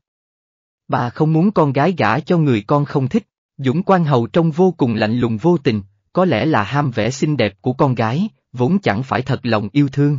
Khởi La lắc đầu nói, Dũng Quan Hầu đã nhắc tới, e là không chịu dễ dàng bỏ qua. Con không muốn liên lụy biểu ca nữa, có lẽ Lâm Huân có nỗi lòng này chẳng phải ngày một ngày hai. Tuy nói nàng chưa chắc muốn gả cho hắn nhưng sớm đẩy Lục Vân Chiêu ra có thể tránh cho Lâm Huân có ý đồ gì với huynh ấy. Đây cũng là một cách nàng bảo vệ Lục Vân Chiêu, quách nhã tâm im lặng, Chu Minh Ngọc lại có suy nghĩ khác. Khi còn bé khởi la mập mạp, dung mạo không hề xuất chúng, Lục Vân Chiêu đáng tin cậy và thông minh, cho dù xuất thân không cao thì ông cũng cảm thấy mối hôn sự này không tệ. Nhưng từ khi Lục Vân Chiêu xảy ra chuyện, ý nghĩ của ông đã thay đổi. Nam tử tất nhiên tài học nhân phẩm rất quan trọng, nhưng trong triều, có thể tự bảo vệ không để cho người nhà lo lắng cũng quan trọng. Với địa vị của Lục Vân Chiêu bây giờ, chỉ sợ sau này không thiếu chuyện như vậy. Ông không muốn đứa con gái duy nhất trải qua thời gian sợ hãi lo lắng như vậy, với dung mạo của con gái, tới lúc ấy ngộ nhỡ có kẻ xấu nhân lúc vắng nhà lẻn vào thì phải làm thế nào đây? Quách nhã doanh là vết xe đổ sờ sờ ra đó. Năm ấy lúc bà bị phát hiện ở trong ngôi miếu đổ nát, tuy không có ai nhìn thấy nhưng vẫn có rất nhiều lời đồn đại lan truyền. Về sau bà từ chối hôn sự theo lục tốn, nếu không phải mang thai rồi thì còn chẳng biết có bao nhiêu người có ý đồ với bà. Đối với nữ tử xinh đẹp, có một trượng phu có thể bảo vệ mình, thật sự quá quan trọng. Lại nói chuyện đã xảy ra hôm nay liên quan tới nữ quan bên cạnh công chúa. Chưa nói Lục Vân Chiêu còn bị giam không giúp được gì, cho dù hắn không bị sao, có thể có cả đội thân vệ hỗ trợ cứu người, còn có thể khiến công chúa thẳng thắn đồng ý xử lý người thân tín đắc lực nhất bên cạnh sao. Thứ như quyền thế địa vị là vốn liếng của nam nhân, Lâm Huân có vốn liếng ấy, hắn có thể bảo vệ dạo dạo rất tốt. Từ góc độ một phụ thân mà nói, Lâm Huân chắc chắn là ứng cử viên con rể cực kỳ tốt. Vừa rồi nói tới chuyện này, Chu Minh Ngọc gần như muốn đồng ý hôn sự này luôn, nhưng suy nghĩ phải suy xét ý của thê tử và con gái, lúc này mới nhẫn nhịn trở về hỏi. Thể lực của Khởi La còn chưa hồi phục, không chống đỡ được bao lâu. Chu Minh Ngọc nhìn nàng ngủ thiếp đi thì vỗ vai quách nhã tâm, bảo bà ra ngoài, quan nhân thật sự muốn gả dảo dảo cho Dũng quan hầu sao? Quách nhã tâm lo lắng hỏi, ta vẫn chưa đồng ý, nhưng xem tình hình bây giờ, Dũng quan hầu hiển nhiên là có ý với dảo dảo. Cho dù chúng ta không đồng ý thì hắn cũng sẽ không dễ dàng từ bỏ. Vân Chiêu đáng thương, Chu Minh Ngọc bắt cánh tay của Quách Nhã Tâm, nhỏ giọng hỏi, phu nhân, nàng thật sự cảm thấy dảo dảo thích Vân Chiêu ư? Quách Nhã Tâm sững sờ, không biết vì sao ông hỏi vậy, gật đầu nói, lúc ở Dương Châu, bọn họ rất tình cảm. Chu Minh Ngọc cười cười như nghĩ tới chuyện gì đó, trong mắt lóe lên tia sáng chập chờn, nàng hiểu rõ, thích và chấp nhận là hai loại tình cảm. Mỗi lần chỉ nghe thấy tên Dũng Quan Hầu là vẻ mặt và thái độ của dảo dảo khác thường. Rất nhiều chuyện, trong nhà chưa tỏ, ngoài ngõ đã tường, thân thể quách nhã tâm cứng đờ, quan nhân, thiếp.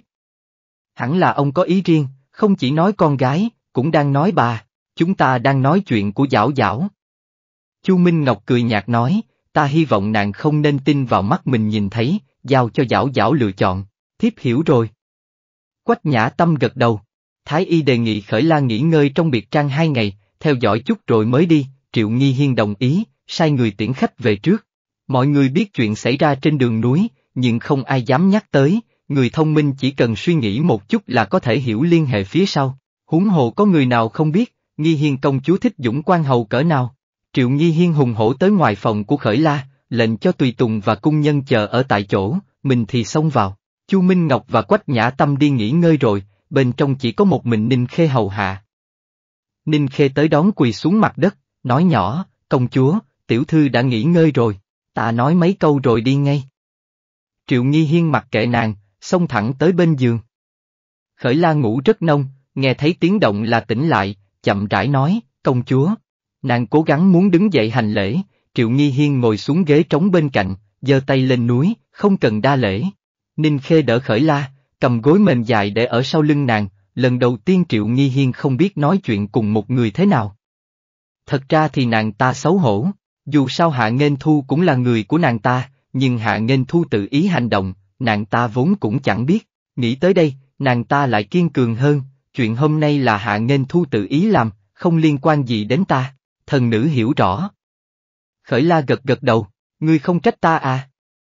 Triệu Nghi Hiên cảm thấy rất bất ngờ, người bình thường chịu kinh hãi lớn vậy, suýt nữa mất mạng, cho dù mình là công chúa cao quý, chỉ sợ đối phương cũng sẽ không nể mặt. Khởi la lại vô cùng bình tĩnh nói, thần nữ không dám, cũng không cần trách công chúa. Chỉ cầu xin công chúa có thể đòi lẽ phải cho thần nữ là được. Triệu Nghi Hiên buồn bã nói, chuyện xảy ra ta hỏi rõ rồi, là hạ nghênh thu sai. Ta đánh bà ta hai mươi trượng rồi phạt đi tới lãnh cung rồi. Như vậy ngươi hài lòng chưa? Khởi la không nói gì. Nếu hôm nay không phải nàng mạng lớn, việc ngoài ý muốn này sẽ liên lụy ba mạng người.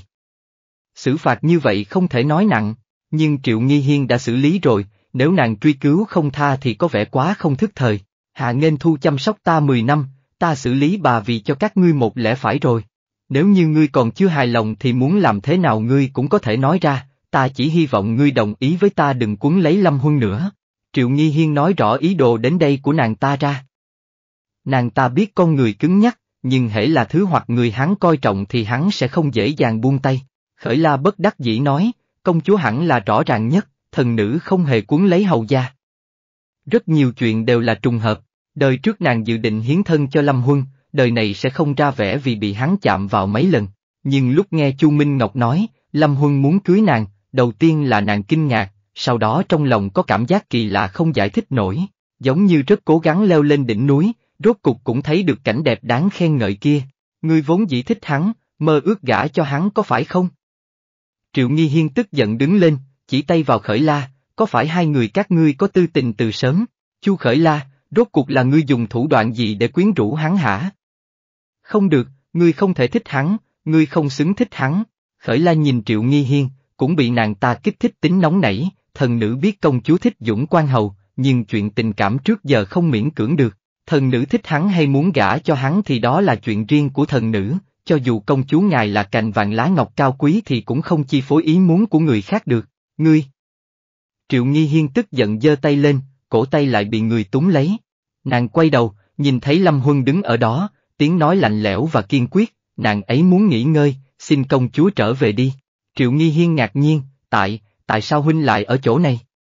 Phong nữ tử tuy nói là ngủ lại bên ngoài thì nam nhân cũng không thể tự ý ra vào, trừ khi bọn họ có tư tình. Khởi la cũng kinh hãi, nàng không hề chú ý Lâm Huân tiến tới từ lúc nào. Lần này hết đường chối cãi. Người này là chê công chúa chưa đủ hận nàng sao? Các, các người không biết xấu hổ. Triệu Nghi Hiên hiển nhiên là hiểu nhầm, mắng một câu, lại chưa hết giận, ta có thể đuổi hết các người ra ngoài. Lâm Huân buông Triệu Nghi Hiên ra, tỏ vẻ chủ nhân nói, hình như công chúa quên, thôn trang này là mẫu thân của ta tặng cho ngài. Triệu Nghi Hiên nghẹn lời, dầm mạnh chân rồi bụng mặt đi ra ngoài, ngài không đuổi theo nàng ta à? Không sợ nàng nói lung tung à? Khởi la nhìn hướng Triệu Nghi Hiên rời đi hỏi, kệ nàng ta nói gì thì nói. Lâm Huân ngồi xuống bên giường, không có ý rời đi. Khởi la lùi ra một chút, làm bộ muốn nằm xuống, ta muốn nghỉ ngơi, xin hầu gia trở về đi. Lâm Huân nhiên người nắm cổ tay của nàng, cổ tay nhỏ như ngó sen, làn da mềm mịn như lụa, ta có lời muốn nói. Hắn thăm dò thái độ của Chu Minh Ngọc, biết Chu Minh Ngọc không phản đối mối hôn sự này. Nhưng mà dù sao Chu Minh Ngọc cũng không thể đại biểu ý của nha đầu này. Đêm buông xuống, ánh nến trong phòng rất mờ mịt, hai cái bóng trên đất gần như hòa vào nhau, tư thế quá mập mờ và nguy hiểm. Trên người khởi la còn bị thương, tay cũng cuốn băng gạt, cử động nhẹ cũng đau, sức mình thua xa sức hắn, thật sự không cần làm chó cùng rứt dậu, chỉ cúi thấp đầu, ngài nói đi. Nói xong đi mau. Lâm Huân thấy nàng không kháng cự thì thả lỏng cổ tay của nàng ra. Tóc của nàng đen giống như mực, trong ánh lửa phát ra ánh sáng bóng bẩy, hắn không khỏi giơ tay vuốt tóc của nàng, vừa mềm vừa mượt, bỗng nhiên cảm thấy miệng lưỡi khô khốc, khởi la cảm thấy mình như con chó con, đầu bị hắn vân vê, bèn giơ tay bắt bàn tay của hắn lại, tức giận nhìn hắn. Mấy ngày nữa, Lục Vân Chiêu hẳn là không sao rồi, nàng đi nói rõ với hắn. Chẳng mấy chốc là tháng chạp rồi, chờ sang năm, ta phái người tới quý phủ cầu hôn, tiếng của hắn rất nhỏ, có chút khàn khàn. Hiện tại sự chú ý của hắn đều trên tay, bàn tay của hắn bị hai bàn tay nhỏ lạnh lẽo của nàng nắm lấy như có một móng vuốt đang cào hắn, vừa mềm vừa ngứa, ta nói rõ với biểu ca, nhưng ta sẽ không gả cho ngài. Khởi la quả quyết nói, Lâm Huân nhíu mày, đôi mắt màu hổ phách lóe lên một tia không vui. Khí thế bức người vừa rồi hắn cố hết sức che giấu lập tức lộ ra, có cảm giác vô cùng ngột ngạt, người truyền lệnh ngàn quân, tất có khí thế như sấm chớp, nếu không sẽ không khiến cho mấy chục vạn người nghe hắn sai bảo. Khởi la quay đầu sang chỗ khác, lạnh lùng nói, ngài cưới ta chỉ xuất phát từ chịu trách nhiệm, không cần phải như thế, ta không tới mức không gả đi được, tìm một nhà chồng bình thường là được. Lâm Huân hoàn toàn sầm mặt, lại thế, lại là thái độ này. Thật sự là con sói mắt trắng, hắn đưa tay bóp cái cầm nhỏ của khởi la, ép nàng nhìn mình, nàng cảm thấy nhà chồng bình thường có thể bảo vệ được nàng ư, hả? Ai nói ta cưới nàng chỉ vì trách nhiệm, chu khởi la, ngoại trừ ta ra, nàng đừng hòng gả cho người khác, khởi la ngẩn người, Lâm Huân đã hôn nàng. Nàng cắn môi, ngón tay của hắn dùng chút sức, miệng thơm của nàng hé mở tiện cho cái lưỡi của hắn tiến vào, cuốn lấy lưỡi nào. Nàng không chống đỡ được, hô hấp dần nặng nhọc, dùng tay đánh bả vai hắn, nhưng mà sức lực kia giống như gãi ngứa cho hắn, giống trêu chọc hơn. Bụng dưới của Lâm Huân nóng lên, mặc cho nàng đánh, giơ tay che chở sau lưng nàng nhẹ nhàng đặt nàng lên giường, hôn sâu hơn. Hắn chưa từng mê muội một nữ nhân như thế, ngày nhớ đêm mong, hận không thể móc cả trái tim ra cho nàng. Tay của hắn cách chăn mền dọc theo đường công thân thể nàng hướng xuống, như bị sức mạnh thần bí dẫn dắt, khao khát nhiều hơn, bỗng nhiên tiến vào trong chăn. Khởi la hoảng hốt, bắt lấy tay hắn theo bản năng, lại không ngăn nổi sức mạnh của hắn, chỉ túng được băng gạt cuốn trên cánh tay trái của hắn. Ngài bị thương à? Nàng dùng ý thức còn lại quay đầu đi, nhìn cánh tay hắn, hơn nữa cánh tay bị băng kỹ, còn có vết máu nhỏ thấm ra. Lâm Huân chống người lên nhìn nàng ở dưới thân, mặt đỏ như ráng chiều, tóc giống như mây đen, mắt như hồ nước mùa xuân, đẹp tới mức như thần nữ trên vu sơn, không gì sánh được. Hắn không muốn cho bất kỳ kẻ nào nhìn thấy vẻ xinh đẹp này, bởi vì người nhìn thấy đều sẽ muốn chiếm hữu. Lý trí của hắn khôi phục lại, đứng dậy ngồi sang bên cạnh ung dung chỉnh lại tay áo, không có việc gì. Khởi la ngồi xuống, kéo tay của hắn qua nhìn, trong lòng chua xót, là vì cứu ta à. Mặc dù quách nhã tâm chỉ nói qua loa vài câu quá trình hắn cứu nàng, nhưng nàng biết, khe núi kia không hề nông, hơn nữa lúc ấy có tuyết rơi. Hắn hoàn toàn có thể bảo người khác xuống cứu nàng, nhưng mà hắn tự mình đi cứu, còn bị thương vì vậy, nàng có chút đau lòng, vết thương hình như vỡ ra rồi, cần băng bó lại. Nàng nhỏ giọng nói, chỉ là vết thương nhỏ. Ngủ đi, ta đi đây.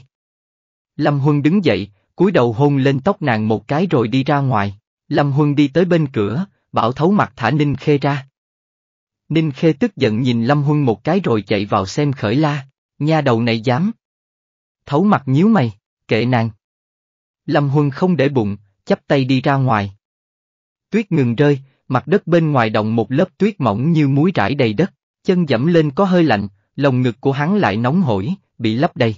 Một thân vệ chạy tới, nhỏ giọng nói, chủ tử, theo dấu vết tìm thấy trên đường núi, người của chúng ta đuổi theo rồi, hẳn là có thể bắt được về.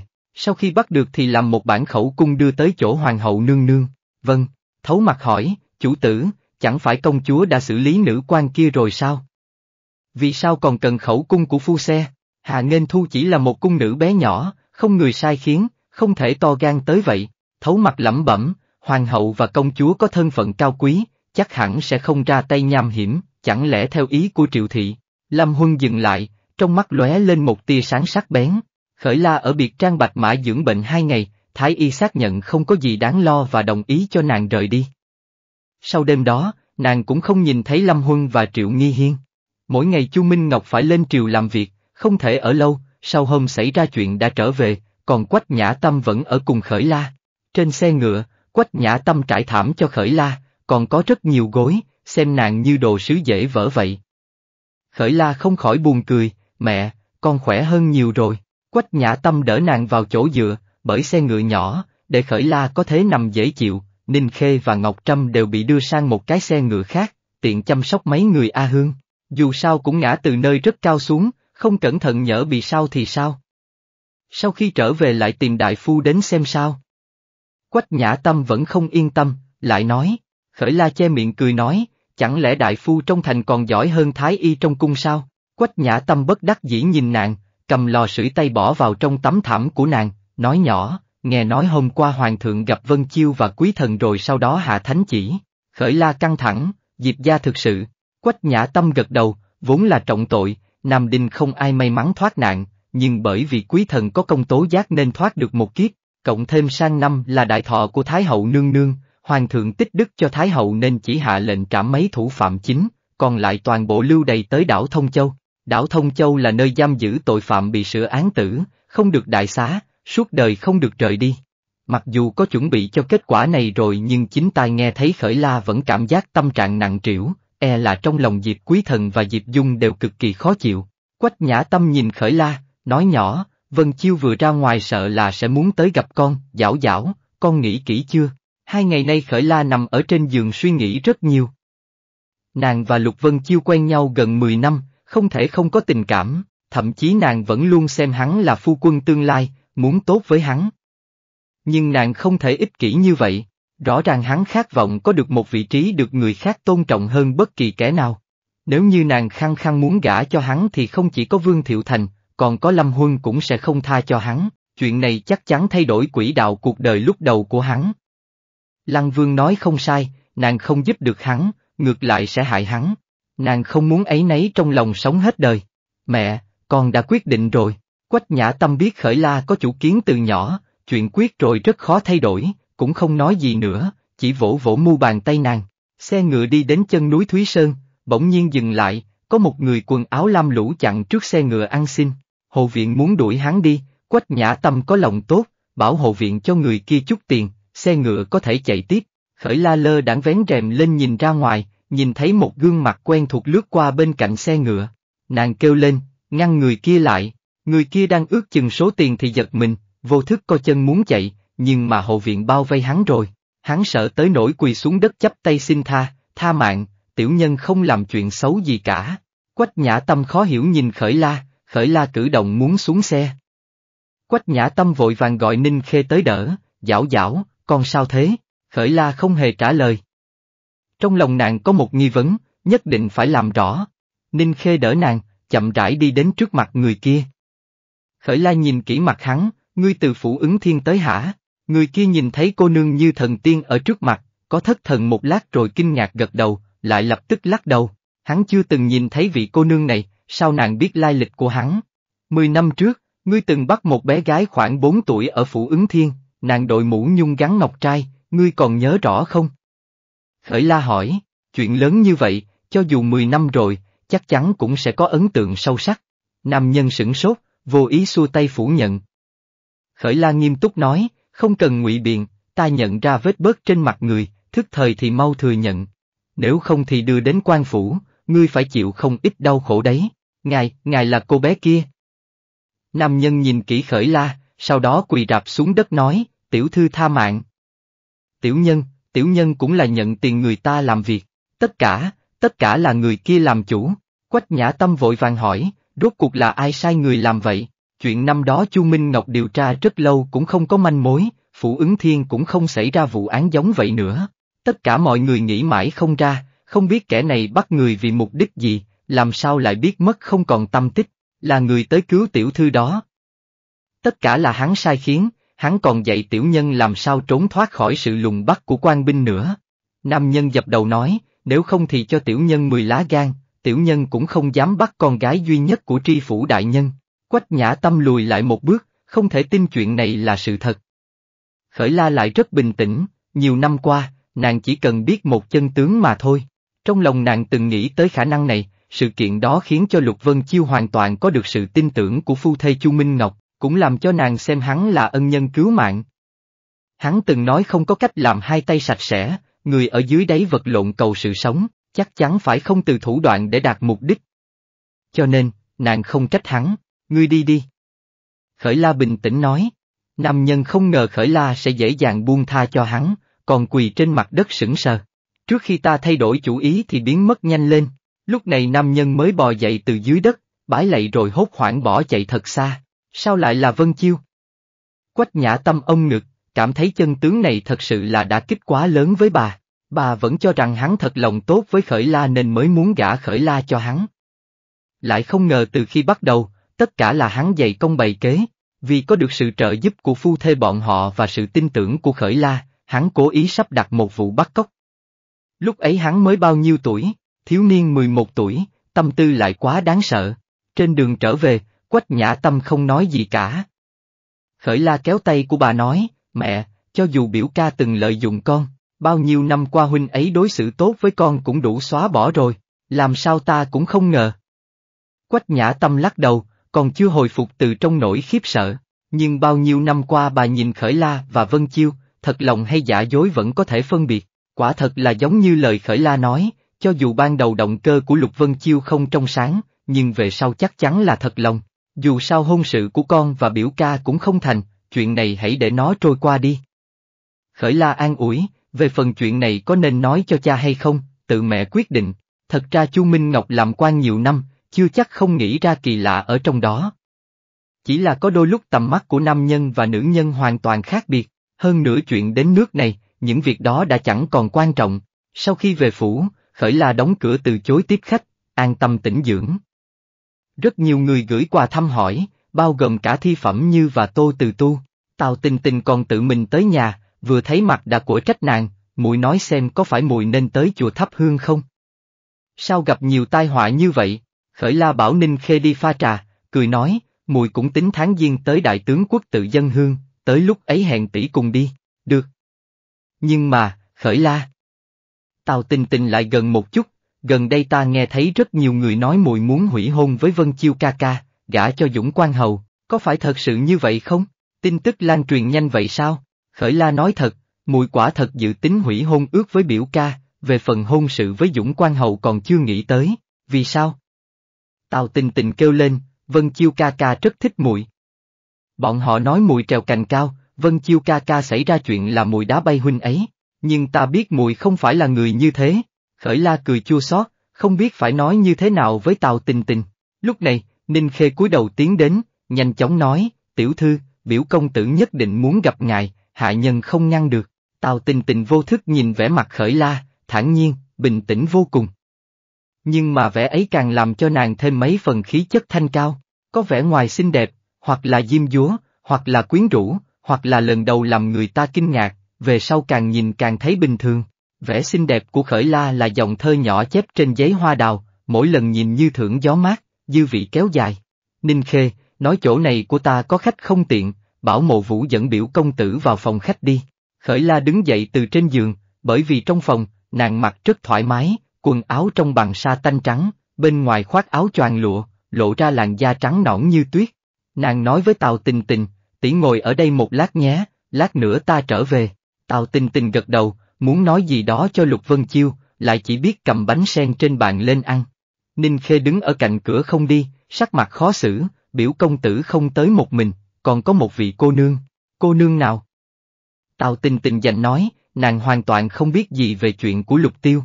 Nàng thật sự sắp bị Lục Vân Chiêu cho làm tức chết, làm gì có người nào tới gặp người trong lòng còn dẫn theo cô nương khác. Nha hoàng hậu hạ khởi la thay quần áo trang điểm, khởi la thất thần, không sao. Mời tất cả tới phòng khách đi. Mộ vũ ra ngoài đón, nhìn thấy Lục Vân Chiêu thì vô cùng vui vẻ, tiến lên hành lễ, công tử, ngài không sao chứ, Lục Vân Chiêu gật đầu cười. Sau khi hắn được thả ra khỏi nha môn hình bộ thì đã trở về nghiêm thư hạng rửa mặt chải đầu trước, hắn thay bộ quần áo dài màu xanh mới tinh, thắt lưng màu cỏ, lại lấy túi tiền khởi la theo cho hắn từ trong rương ra, phủi phủi rồi nhét vào ngực. Chung Nghị chuẩn bị rất nhiều quà, nhưng vừa rồi lúc chào hỏi Quách Nhã Tâm, tuy Quách Nhã Tâm cười, thái độ lại có chút lạnh nhạt. Lục Vân Chiêu rất mẫn cảm, trong lòng mơ hồ cảm giác không tốt, nhưng cũng không hỏi. Trong phòng tiểu thư có khách, hiện đang thay quần áo, bảo nô tỳ dẫn nhà vào phòng khách ngồi. Mộ vũ làm tư thế mời, lục tiêu ông cánh tay Lục Vân Chiêu nói, ca ca, mùi đi với huynh. Chung Nghị cảm thấy tiểu thư có phần dính công tử hơi quá, nhưng nghĩ bọn họ là huynh muội ruột, cũng không có gì. Chỉ là chắc là biểu tiểu thư sẽ ngại, Chung Nghị từng trải, biết lòng dạ cô nương gia đều nhỏ nhen, tiểu thư, công tử tìm biểu tiểu thư có việc, tiểu nhân dẫn ngài đi nơi khác dạo một vòng nhé. Ông đề nghị, lục tiêu lại lắc đầu, cau mày nói, ta không đi. Ta muốn ở cùng ca ca, Chung Nghị khó xử nhìn Lục Vân Chiêu, Lục Vân Chiêu nói, kệ mùi ấy. Ta vốn cũng muốn dẫn mùi ấy đi gặp Khởi La. Khởi La, tay lục tiêu tay túng váy, cắn môi, gọi thật là thân mật. Phong khách bố trí ở đầu vườn hoa trong sân, bởi vì vào đông rồi nên cửa sổ đều đóng chặt, chậu đồng đang đốt than bạc. Trên bàn tròn bày bình sứ men miệng nhỏ in hình sếu và nai, bên trong cắm mấy cành mai trắng đã cắt tỉa tỉ mỉ, không khí có mùi thơm nhạt phản phất. Tranh chữ treo trên tường không phải tác phẩm nổi tiếng gì, lại là được dày công chọn ra, hoa cỏ bốn mùa, mỗi cái đều có bản sắc riêng, dưới trục cuốn tranh treo tua rua màu tím, tất cả lộ rõ lối suy nghĩ khéo léo của nữ nhi gia. Lục tiêu nhìn bố trí xung quanh, nói với Lục Vân Chiêu, nơi này thật xinh đẹp, không biết là người nào trang trí nhỉ, là chủ nhân nơi này. Lục Vân Chiêu nhìn bức tranh dày công treo trên tường nõn sen mới nhú như sừng nhọn, khóe miệng cong lên, tối hôm nọ các muội từng gặp rồi, lát nữa chính thức giới thiệu cho các muội làm quen. Cửa vang lên tiếng bước chân, Lục Vân Chiêu vô thức đứng dậy, Khởi La vừa quay đầu nói với Ninh Khê vừa tiến vào. Nàng mặc áo choàng cổ chéo màu xanh đậm nhũ vàng theo chim hỉ thước trèo lên cành cây, bên dưới mặc váy thập nhị phúc màu xanh nhạt, trên đầu trải hai búi tóc đôi, cài hai cái trăm cài trang trí bằng lụa và ngọc trai, cả người toát lên vẻ hoạt bát nhanh nhẹn. Lục Vân Chiêu vội vàng đi qua, kéo tay Khởi La, vết thương của muội không sao chứ? Hắn về nhà nghe Chung Nghị nói lúc trước Khởi La rơi xuống khe núi bị thương, hắn vốn còn rất nhiều việc gấp cần xử lý, lại vội vã chạy tới. Khởi la cúi đầu, hơi do dự rồi nhẹ nhàng rút tay ra, không sao, Lục Vân Chiêu cứng đờ. Hai chữ nhẹ như mây gió, người trước mắt như bỗng nhiên cách hắn rất xa. Lần trước Lục Tiêu nhìn Khởi La ở nơi tăm tối, cảm thấy nữ nhân hai mắt một mũi, chẳng có gì đặc biệt, nhưng hôm nay thiếu nữ thanh tú động lòng người đứng ở trước mắt nàng ta, vừa trẻ tuổi vừa xinh đẹp, còn có khí chất đoan trang nhã nhặn, thật sự là nàng ta không sánh được. Khởi La nhìn Lục Tiêu, cười chào hỏi, Lục Tiêu tỷ tỷ. Lục Tiêu cười có chút miễn cưỡng, Chu tiểu thư. Lần đầu tiên có một nữ nhân xinh đẹp đến mức khiến nàng ta tự ti mặc cảm, hiểu rõ cái gì gọi là khác nhau một trời một vực, khó trách ca ca luôn nhớ mong nàng, nữ tử như vậy, chắc là nam nhân nào cũng muốn có, cũng sẽ không buông tay. Khởi la ngồi xuống, trên mặt nở nụ cười, đứng đó làm gì? Ngồi đi, lòng Lục Vân Chiêu trùng xuống, quen biết nhiều năm, từng cử chỉ của nàng không qua nổi mắt hắn. Hôm nay nàng rất khác như đang cố gắng kìm nén tâm trạng gì đó, chẳng lẽ là để ý Lục Tiêu? Ninh Khê, ngươi dẫn Tiêu Tiêu đi chỗ khác đi. Lục Vân Chiêu sai bảo. Ninh Khê nhìn Khởi La một chút, thấy Khởi La không phản đối thì tiến lên mời Lục Tiêu, ca ca. Lục Tiêu không muốn đi, Lục Vân Chiêu lại nói, nghe lời, Lục Tiêu chỉ có thể không tình nguyện đi theo Ninh Khê. Lục Vân Chiêu hít một hơi thật sâu, quay đầu nhìn Khởi La, cười nói như thường ngày, còn chưa chính thức nói với muội, Lục Tiêu là mùi mùi của ta. Khởi La nhìn sang nơi khác, mùi biết, mùi cũng biết hai người không có quan hệ máu mủ. Lục Vân Chiêu bước nhanh mấy bước tới bên cạnh Khởi La, sốt ruột giải thích, Khởi La, không phải như mùi nghĩ. Khởi La tháo vòng bạc trên tay ra, nhẹ nhàng để lên bàn, lúc đầu mùi nghĩ nghỉ ngơi khỏe hơn chút rồi đi tìm huynh. Nếu huynh tới rồi thì mùi nói ra luôn, biểu ca, e rằng mùi không thể gả cho huynh. Tim Lục Vân Chiêu như bị đâm mạnh một cái, cảm giác đau đớn lan khắp cơ thể. Hắn vô thức nắm vai khởi la, khó khăn hỏi, vì sao? Trên đường tới, hắn nghe Lục Tiêu nói rất nhiều tin đồn, nhưng hắn chẳng hề tin. Nàng chắc chắn không phải người dựa dẫm vào kẻ có quyền thế, lúc trước hắn rất tầm thường, là nàng lôi hắn chật vật từ trong vũng bùn lên, cho thế giới u ám của hắn có màu sắc sáng chói. Bản thân ở trong nơi âm u hẻo lánh kia, từng thù địch cả thế giới, may mắn được bàn tay non nớt của nàng kéo lại, hiện tại, nàng lại muốn buông tay. Lục Vân Chiêu bỗng nhiên cúi người ông khởi la, cười nói, nha đầu này, chắc chắn là nói đùa với huynh, phải không? Hương tùng trên người hắn nhàn nhạt thanh nhã, thấm vào ruột gan. Rất nhiều năm sau, hắn sẽ là tể tướng quyền cao chức trọng, đứng đầu chính sự đường, địa vị ngang khu phủ, cân sức cân tài với Lâm Huân. Kiếp trước tuy nàng chưa từng gặp hắn, nhưng có thể tưởng tượng ra hắn khi đó chắc chắn như trăng giữa vì sao, thần thái sáng láng. Mỗi một cử chỉ đều toát ra vẻ tao nhã cao quý của văn nhân. Hình như còn rất nhiều chuyện chưa cùng hắn làm, tiếc là không còn kịp nữa rồi. Khởi la nhắm mắt lại nói, là vấn đề của muội, huynh đừng hỏi nữa. Nàng nhẹ nhàng đẩy hắn ra, sau khi đứng dậy lùi hai bước thì trái lương tâm nói, muội muốn tìm một người có thể bảo vệ muội thật tốt. Xin lỗi, muội không muốn lấy huynh chịu khổ, ta sẽ không để cho muội chịu khổ. Tiếng nói Lục Vân Chiêu hơi run, những năm qua hắn làm nhiều như vậy, thậm chí không chó cùng rứt dậu, liên lụy tới Diệp gia trong vụ án, cũng là để về sau có thể tiếp tục có cuộc sống không lo cơm áo. Nếu như nàng từ bỏ rồi, vậy tất cả những gì hắn làm, còn có ý nghĩa gì? Xin lôi biểu ca, muội từng nói, muội rất lười, còn tham hư vinh. Huynh nhất định sẽ tìm được người thích hợp với huynh hơn muội. Là mùi phụ huynh, khởi la nói xong, bước nhanh ra ngoài cửa.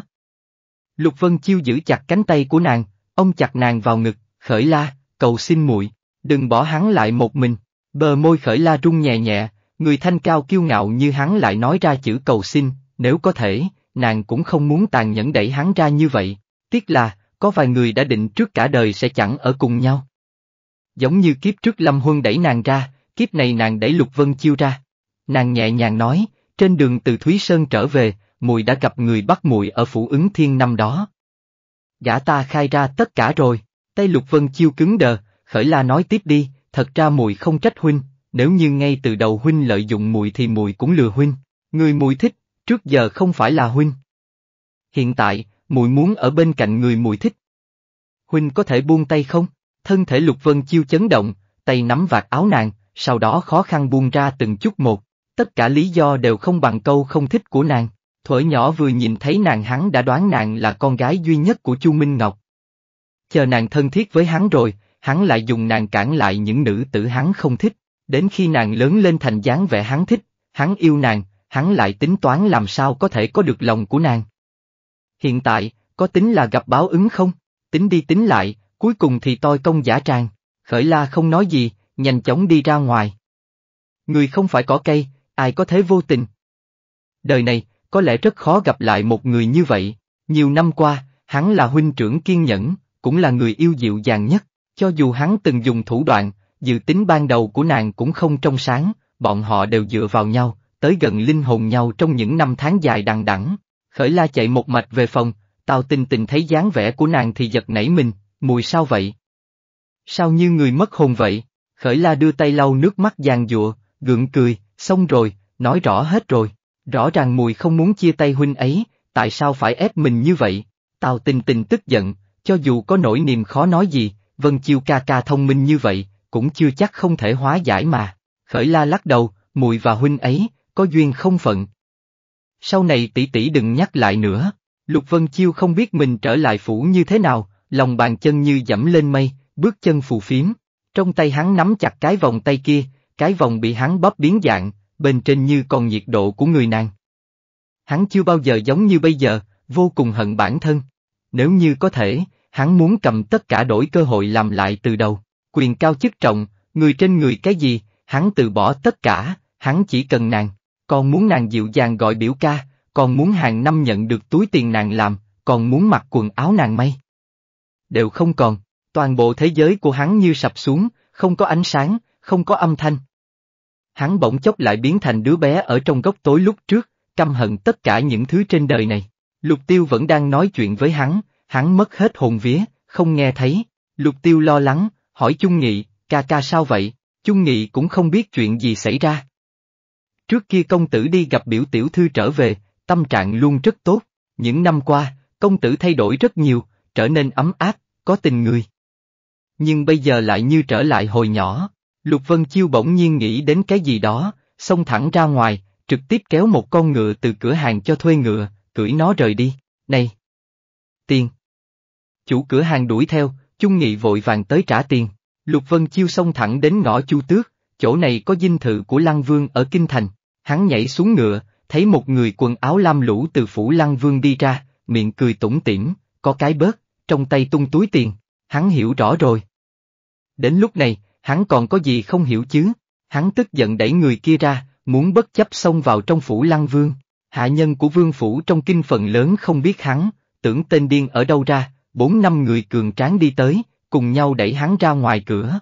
Hắn là thư sinh yếu đuối, đâu chịu nổi xô đẩy, lập tức ngã nhào xuống đất, nhưng hắn lập tức bò dậy lại. Huyền ẩn nghe thấy tiếng động thì ra cửa xem, quần áo của Lục Vân Chiêu đã bị kéo sọc sệt nhưng hắn vẫn muốn xông vào. Tất cả dừng tay. Huyền ẩn quát to một tiếng, người vương phủ lùi lại. Lục Vân Chiêu quát lên với hắn, Lăng Vương đâu?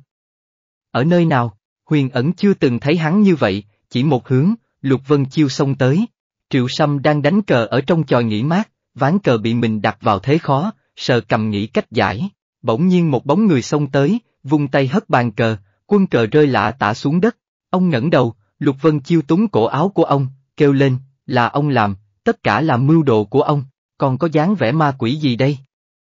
Triệu Sâm không vui hỏi, ta biến thành như vậy, chẳng lẽ không phải nhờ ông ban tặng? Lục Vân Chiêu lạnh lùng nói, ông tìm mọi cách để chia rẽ chúng ta, hiện tại ông toại nguyện rồi. Triệu Sâm giật tay hắn ra, lạnh nhạt nói, một nữ nhân mà thôi. Chờ con nắm quyền hành trong tay, còn sợ không có nữ nhân à? Lục Vân Chiêu quát, ta không cần những nữ nhân khác, con muốn nàng. Nhưng con muốn là được ư?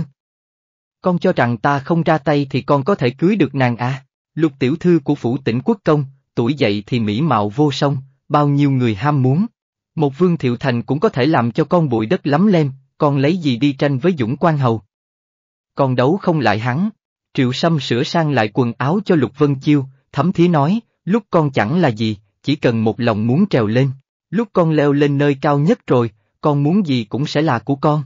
Ban đầu con làm rất tốt, về sau bởi vì Chu Khởi La, con muốn trở nên sạch sẽ, trở nên lo sợ cái này lo sợ cái kia, không hề giống con.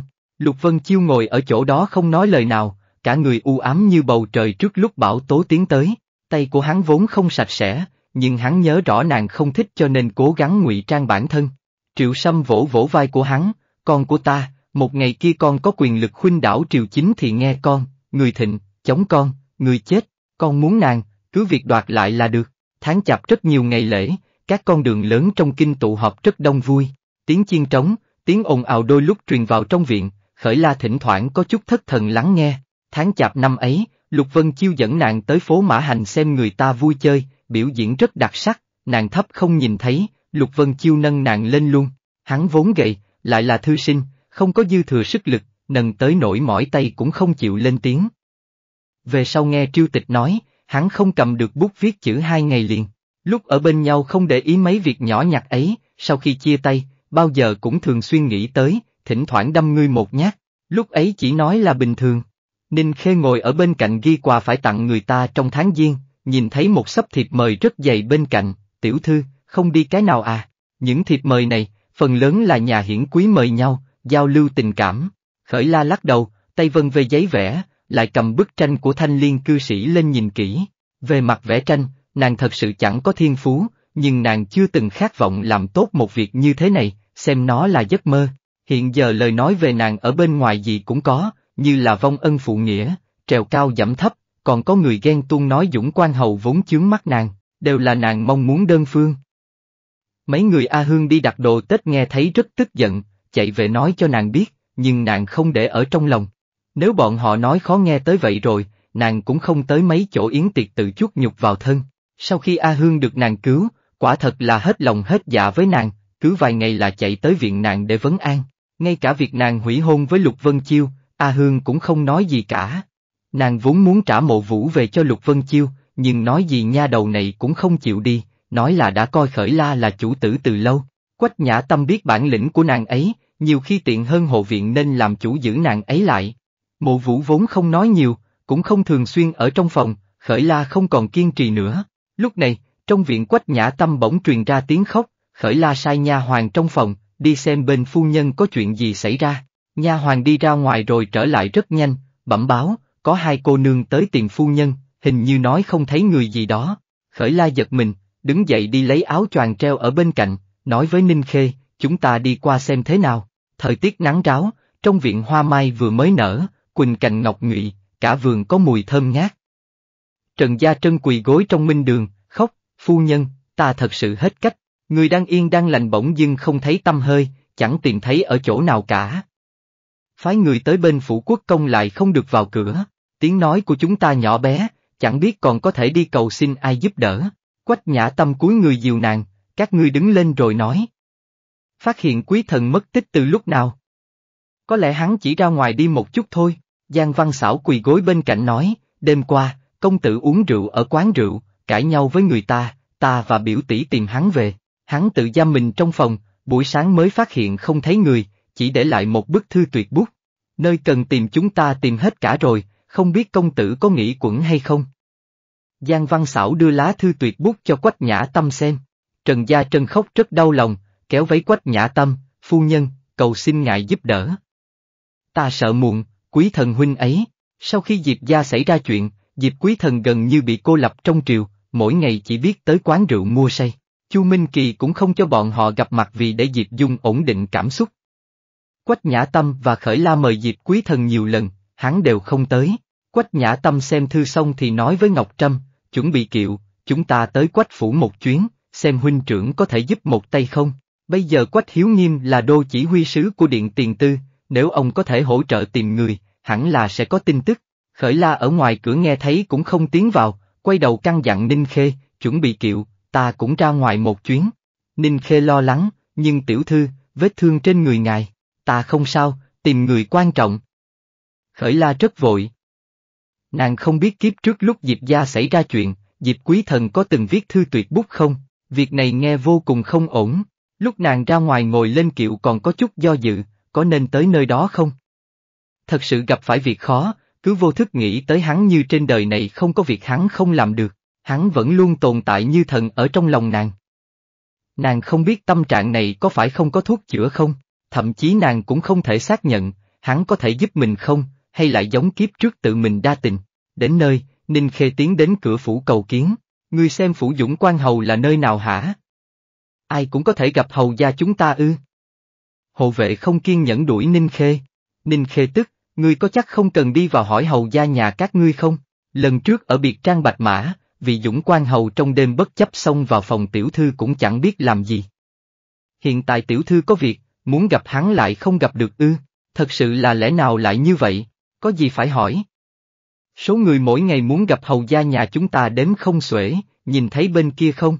Hộ vệ chỉ chỉ mấy người ông qua xếp thành một hàng dài ở bên đường, muốn gặp cũng được, qua bên kia xếp hàng ghi danh, chờ hầu gia chúng ta rảnh rỗi thì sẽ gặp các người. Ninh Khê thò người ra nhìn, hàng người bên kia dài tới nỗi không thấy đuôi đâu. Nàng thở dài, trở về bên cạnh kiệu nói với Khởi La, tiểu thư, hộ vệ phủ dũng quan hầu muốn chúng ta xếp hàng ghi danh trước, sau đó xem Dũng Quan Hầu có tâm trạng gặp hay không.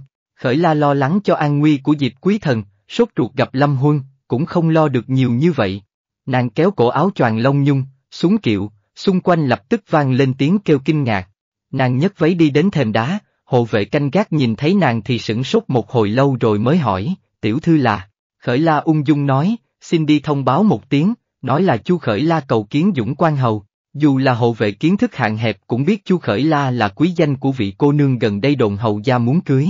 Hắn không dám thất lễ, ngộ nhỡ lời đồn là thật, vị cô nương dung mạo như tiên nữ ở trước mặt là hầu phu nhân tương lai, nữ chủ nhân của hầu phủ, ai đắc tội nổi chứ? Tiểu thư xin chờ chốc lát, tiểu nhân đi thông báo ngay. Hộ vệ lùi lại hai bước, quay người chạy vào trong phủ.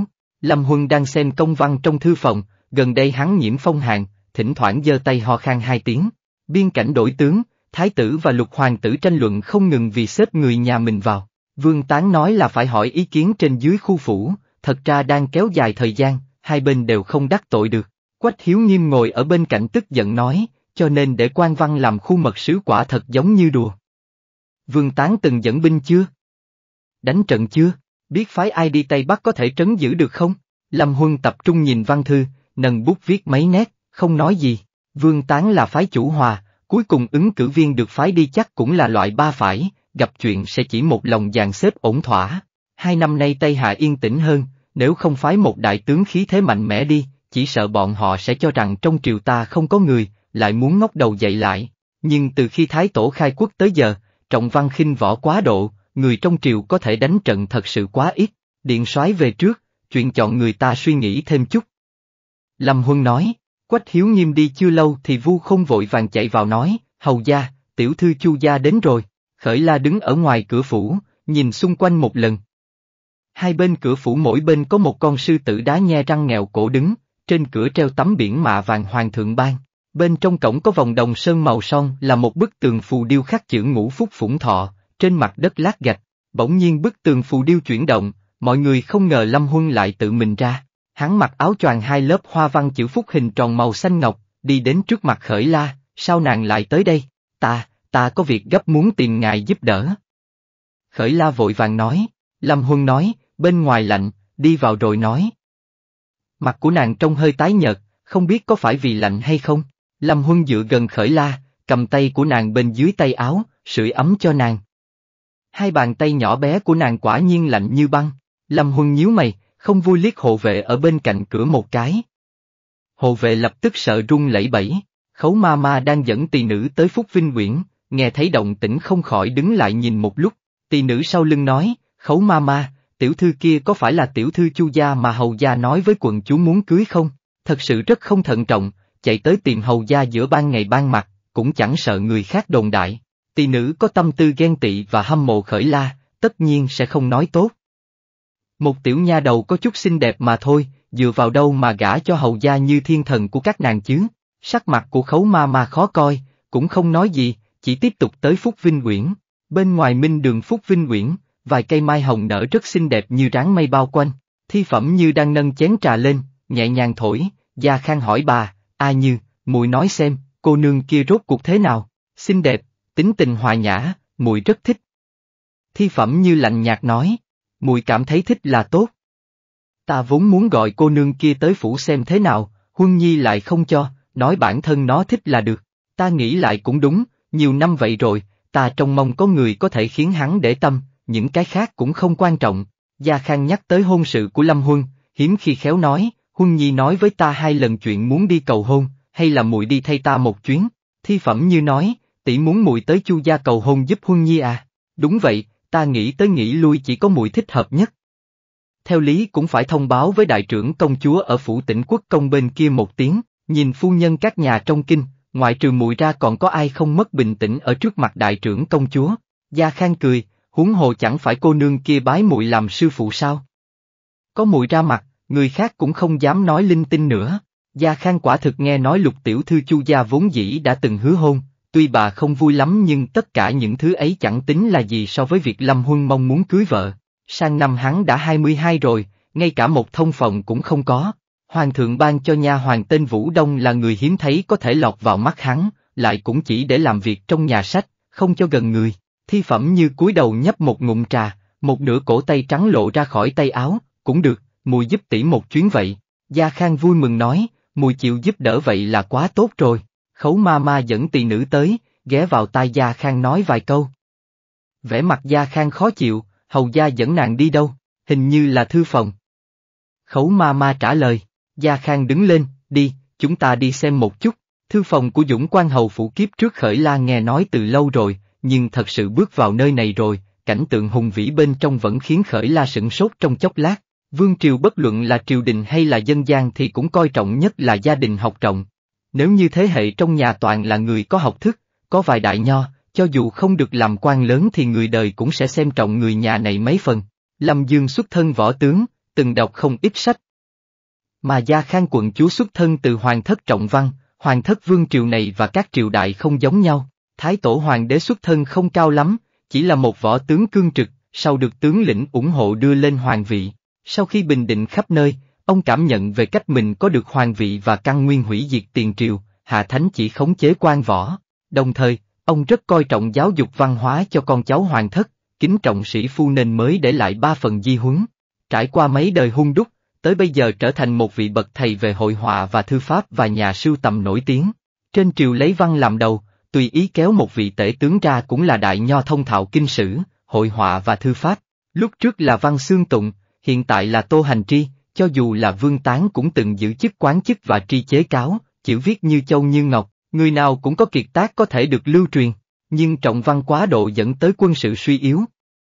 Không có vũ lực mạnh mẽ bảo vệ quốc gia, đại liêu trọng võ không ngừng tiến về phía nam chèn ép, ngay cả nước từng là thuộc địa Tây Hạ cũng dám cử binh xâm phạm. Vì thế không ngừng cắt đất bồi thường nghị hòa, quả thật là gánh nặng quá lớn với quốc khố. Đến lúc hoàng đế nhận ra hiện trạng nghèo nàn suy yếu của quốc gia, quyết đoán cải cách thì bọn sĩ phu yếu ớt cả triều quấy nhiễu đủ kiểu. Phái thủ cựu và phái cách tân, phái chủ chiến và phái chủ hòa thường xuyên tranh luận không ngừng vì một quyết sách, dân tấu công kích lẫn nhau. Thậm chí mỗi lần quốc gia có việc hệ trọng, tể tướng và khu mật sứ thường xuyên bất đồng chính kiến dẫn tới trễ quân cơ. Có lẽ vì vậy, Lâm Dương hy vọng thông qua vũ lực bảo vệ quốc gia mới có thể cho Lâm Huân đi theo con đường quan văn. Chỉ có quan văn mới có thể chân chính nắm giữ quyền lực, từ đó ảnh hưởng đến tương lai của quốc gia. Khởi La vội vã nói với Lâm Huân chuyện của Diệp Quý Thần, sau khi Lâm Huân nghe xong thì chỉ nói, hắn đã chọn giữa Diệp gia và tự vệ thì sẽ không nghĩ quẩn. Thư tuyệt bút và trốn đi hẳn chỉ là trút ra cảm xúc. Nàng ngồi xuống trước đi, ta sai thấu mặt đi tìm. Khởi La nghĩ cũng đúng, nàng biết chuyện sau này từ lâu, hiện tại lo lắng lung tung rồi. Dù sao kiếp này, nàng không muốn để cho Diệp Quý Thần lặp lại vận mệnh kiếp trước, nàng muốn hắn sống tốt. Nàng cũng sẽ liều mạng bảo vệ hắn. Khởi La bình tĩnh suy nghĩ, ngồi ở trên ghế gỗ muôn. Lâm Huân tới bàn đọc sách nhất ấm nước ở đó lên, rót cho nàng một chén trà nóng, cầm lấy. Vết thương trên người không sao chứ? Khởi La gật đầu, giơ tay nhận lấy chén trà, ông vào lòng bàn tay sưởi ấm. Nàng hỏi, vết thương trên tay ngài thì sao? Còn đau không? So sánh với vết thương trên tay hắn, những vết trầy da của nàng đều xem là vết thương nhỏ, lành rồi. Lâm Huân nói xong thì ra cửa gọi thấu mặt, khởi la cúi đầu uống một ngụm trà, cả người đều ấm áp. Lúc đi ra không cảm thấy quá lạnh, vừa rồi lúc đứng ở ngoài cửa hầu phủ cũng không thấy lạnh lắm, lúc này yên tâm rồi thì mới cảm thấy thời tiết tháng 12 quả thật khiến cho người ta có chút chịu không nổi. Tuy dưới thư phòng có đốt than nhưng nhiệt độ này với nữ tử sợ lạnh mà nói vẫn còn hơi thấp. Lâm Huân là nam tử, ở trong khí hậu khắc nghiệt hành quân thời gian dài tất nhiên chẳng cảm thấy gì, nhưng khởi la được nuông chiều nên yếu ớt, ngồi một lúc đã cảm thấy khó chịu. Vì chuyển sự chú ý, nàng nhìn Lâm Huân đứng ở cửa. Cả người hắn thẳng tắp như cây tùng cổ trong sân, cánh tay và thân người đều rất khỏe mạnh, gần như chắn hết một cái cửa, dáng người như hắn, quần áo tất nhiên cũng lớn hơn người bình thường rất nhiều. Áo choàng người thường mặc hơi rộng, mặt trên người hắn lại hơi bó sát, thấu mặt nhận lệnh rời đi, lúc Lâm Huân quay người, trong tay cầm thêm một cái chén. Lúc hắn đi châm trà, hắn ho khan hai tiếng, khởi la hỏi, ngài, bị cảm lạnh à? Trong trí nhớ của nàng, hắn rất ít khi sinh bệnh, không sao. Lâm Huân đi tới, đặt chén trà mới ở bên cạnh bàn trà, đổi chén đi. Chén đó ta dùng rồi, vừa rồi quên mất, không nên lây bệnh cho nàng, người này. Khởi la lập tức đỏ mặt, cúi đầu cầm chắc chén trà vương tay ra, chờ hắn cầm lấy, tay của hắn nắm lấy, Khởi la chỉ cảm thấy bị kéo mạnh một cái rồi va vào trong ngực của hắn. Sau đó hắn ngồi xuống, ông nàng ngồi trên chân, vòng tay quanh bờ vai nàng, một tay cầm bàn tay của nàng ấn vào ngực, như vậy có thể ấm áp hơn không? Hắn thấy nàng lạnh tới phát run rồi, cơ thể của hắn rất nóng như một cái lò lửa tự nhiên lớn. Khởi la cảm thấy còn có tác dụng hơn mấy chậu than trong phòng, nhưng vẫn dãy dùa. Người kia ở trên đỉnh đầu nàng, khang giọng nói, đừng cử động lung tung. Nàng không dám cử động một chút nào. Lâm Huân cúi đầu nhìn vật nhỏ trong ngực, cảm giác trong lòng như bị người này chen vào lấp đầy. Hình như nàng thích mặc áo choàng trắng, áo choàng có viền lông tơ, nàng bị cuốn ở bên trong, làn da còn trắng hơn tuyết, xinh đẹp khiến người ta kinh ngạc. Hắn không dám hôn nàng, cố gắng kìm nén chạm vào trán của nàng, sang năm nàng 14 rồi, chi tử vu quy, nghi thất nghi gia. Khởi la sửng sốt, hơi ngẩng đầu nhìn hắn. Yết hầu của hắn nhô ra, trên cằm có vài gốc trâu, lại cộng thêm mấy phần quyến rũ của nam nhân trưởng thành. Trên người hắn có mùi lông não thơm lành lạnh, ngửi vào có thể khiến người ta tỉnh táo.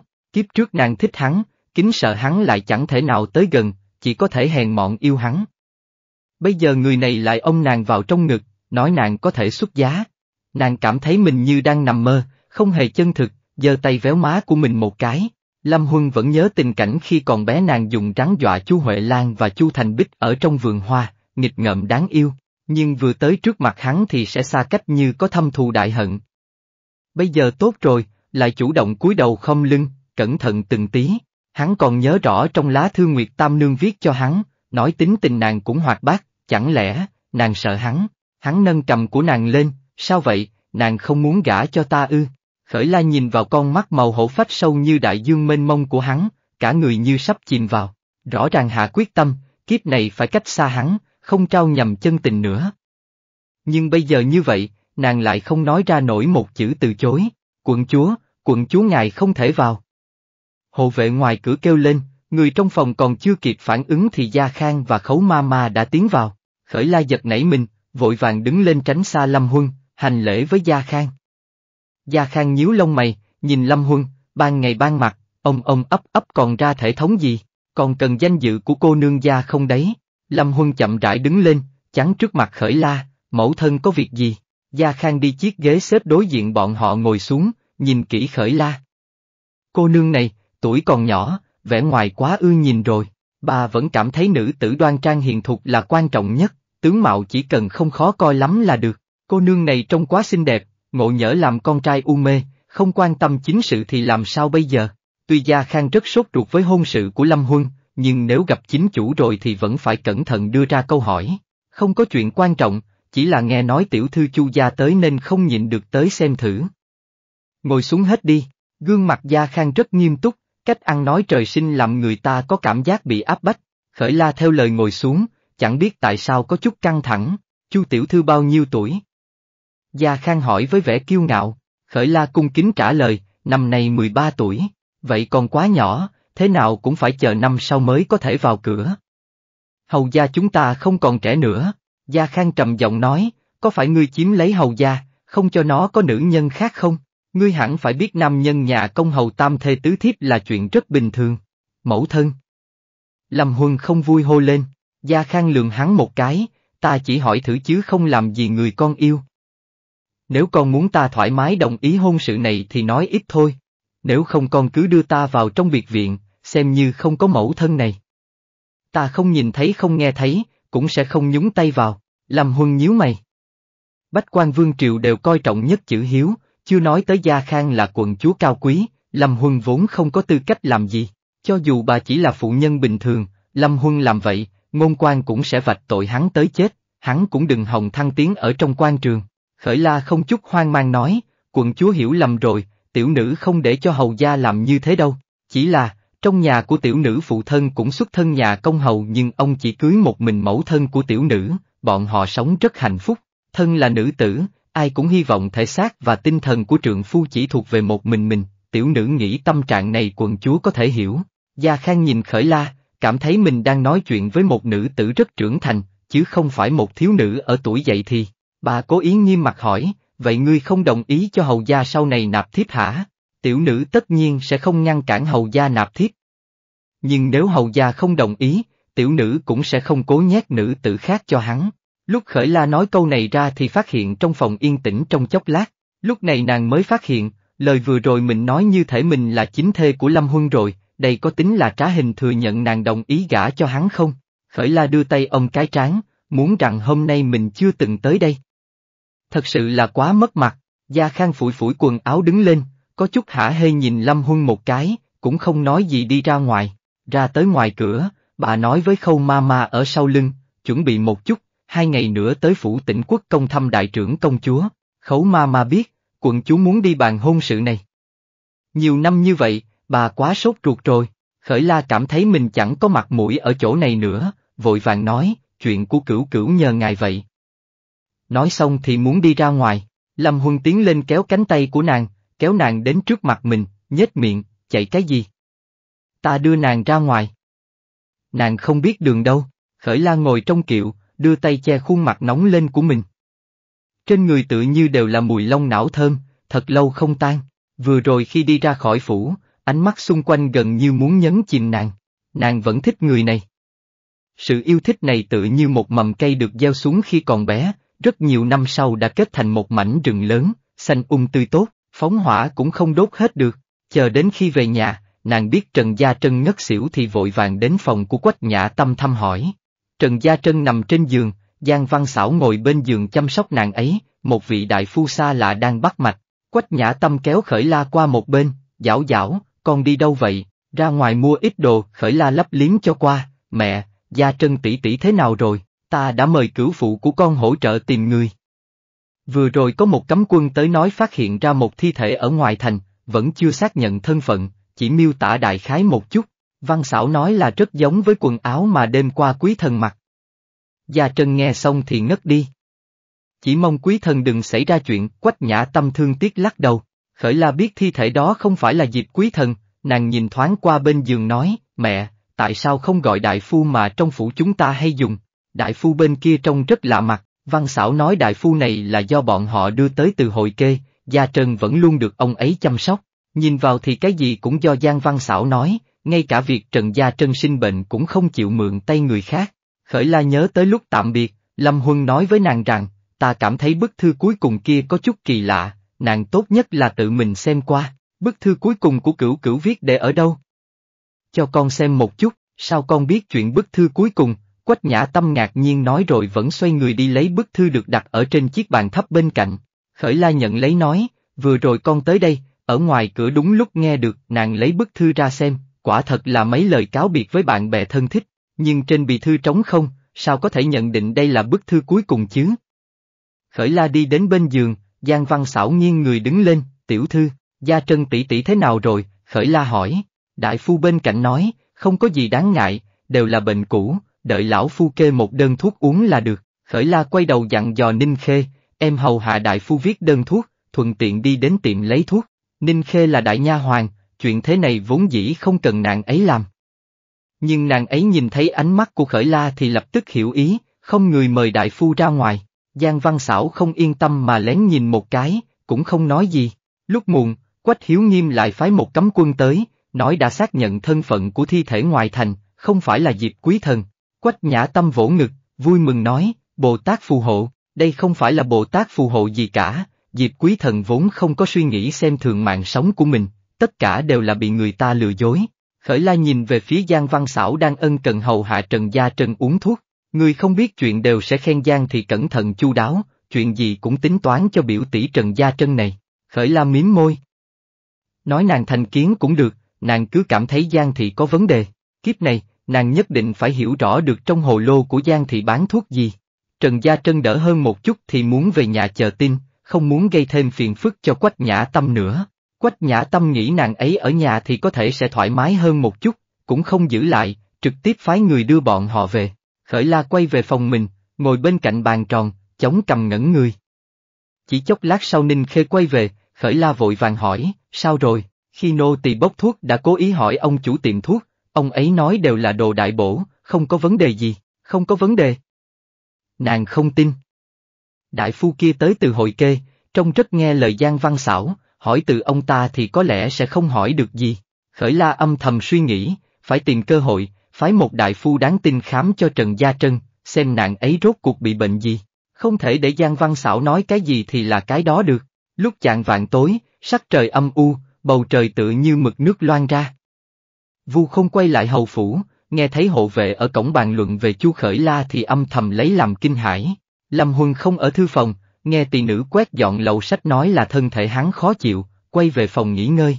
Vu không nghĩ xem có nên để buổi tối rồi hắn nói cho hắn biết tin tức hay không, lại sợ làm lỡ chuyện nên vẫn đi gõ cửa phòng Lâm Huân, hầu gia, tiểu nhân về rồi, có chuyện muốn nói với ngài, vào đi, trong phòng truyền ra tiếng ho khan. Vu không đẩy cửa đi vào rồi đi đến sau tấm bình phong phía tây, Lâm Huân đang ngồi dậy từ trên giường, chuyện gì? Lúc tiểu nhân đi đến nhà thượng thư bộ lễ tặng quà ngày lễ thì đã nghe được một tin buồn, Lâm Huân ngước mắt nhìn ông ấy, yên lặng chờ đoạn tiếp theo.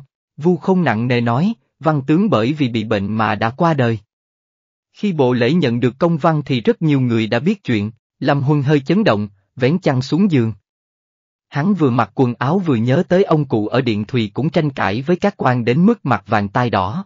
Khi bị cách chức rời khỏi kinh thành, ông ấy đứng trên bậc thềm trước điện Đại Khánh hô một cách hào hùng, nơi nào có đường, dù cho có muôn vàng khó khăn, ta vẫn tiến tới.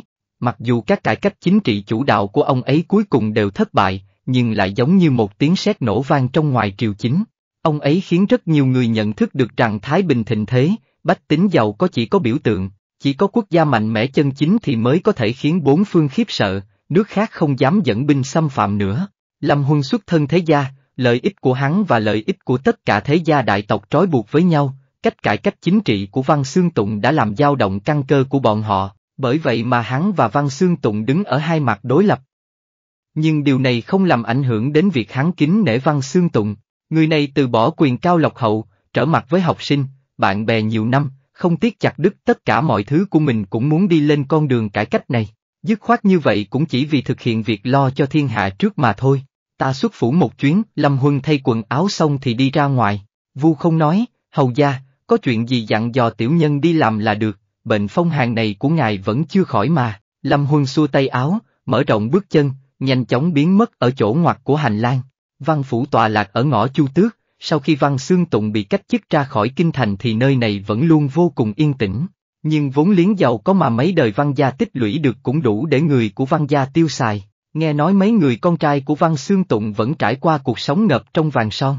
Giờ phút này, các hạ nhân đang bố trí cửa phủ, đổi sang đèn lồng vải màu trắng, trên tấm biển cũng treo dây lụa màu trắng. Lâm Huân nhảy xuống khỏi ngựa, đi lên bậc thang.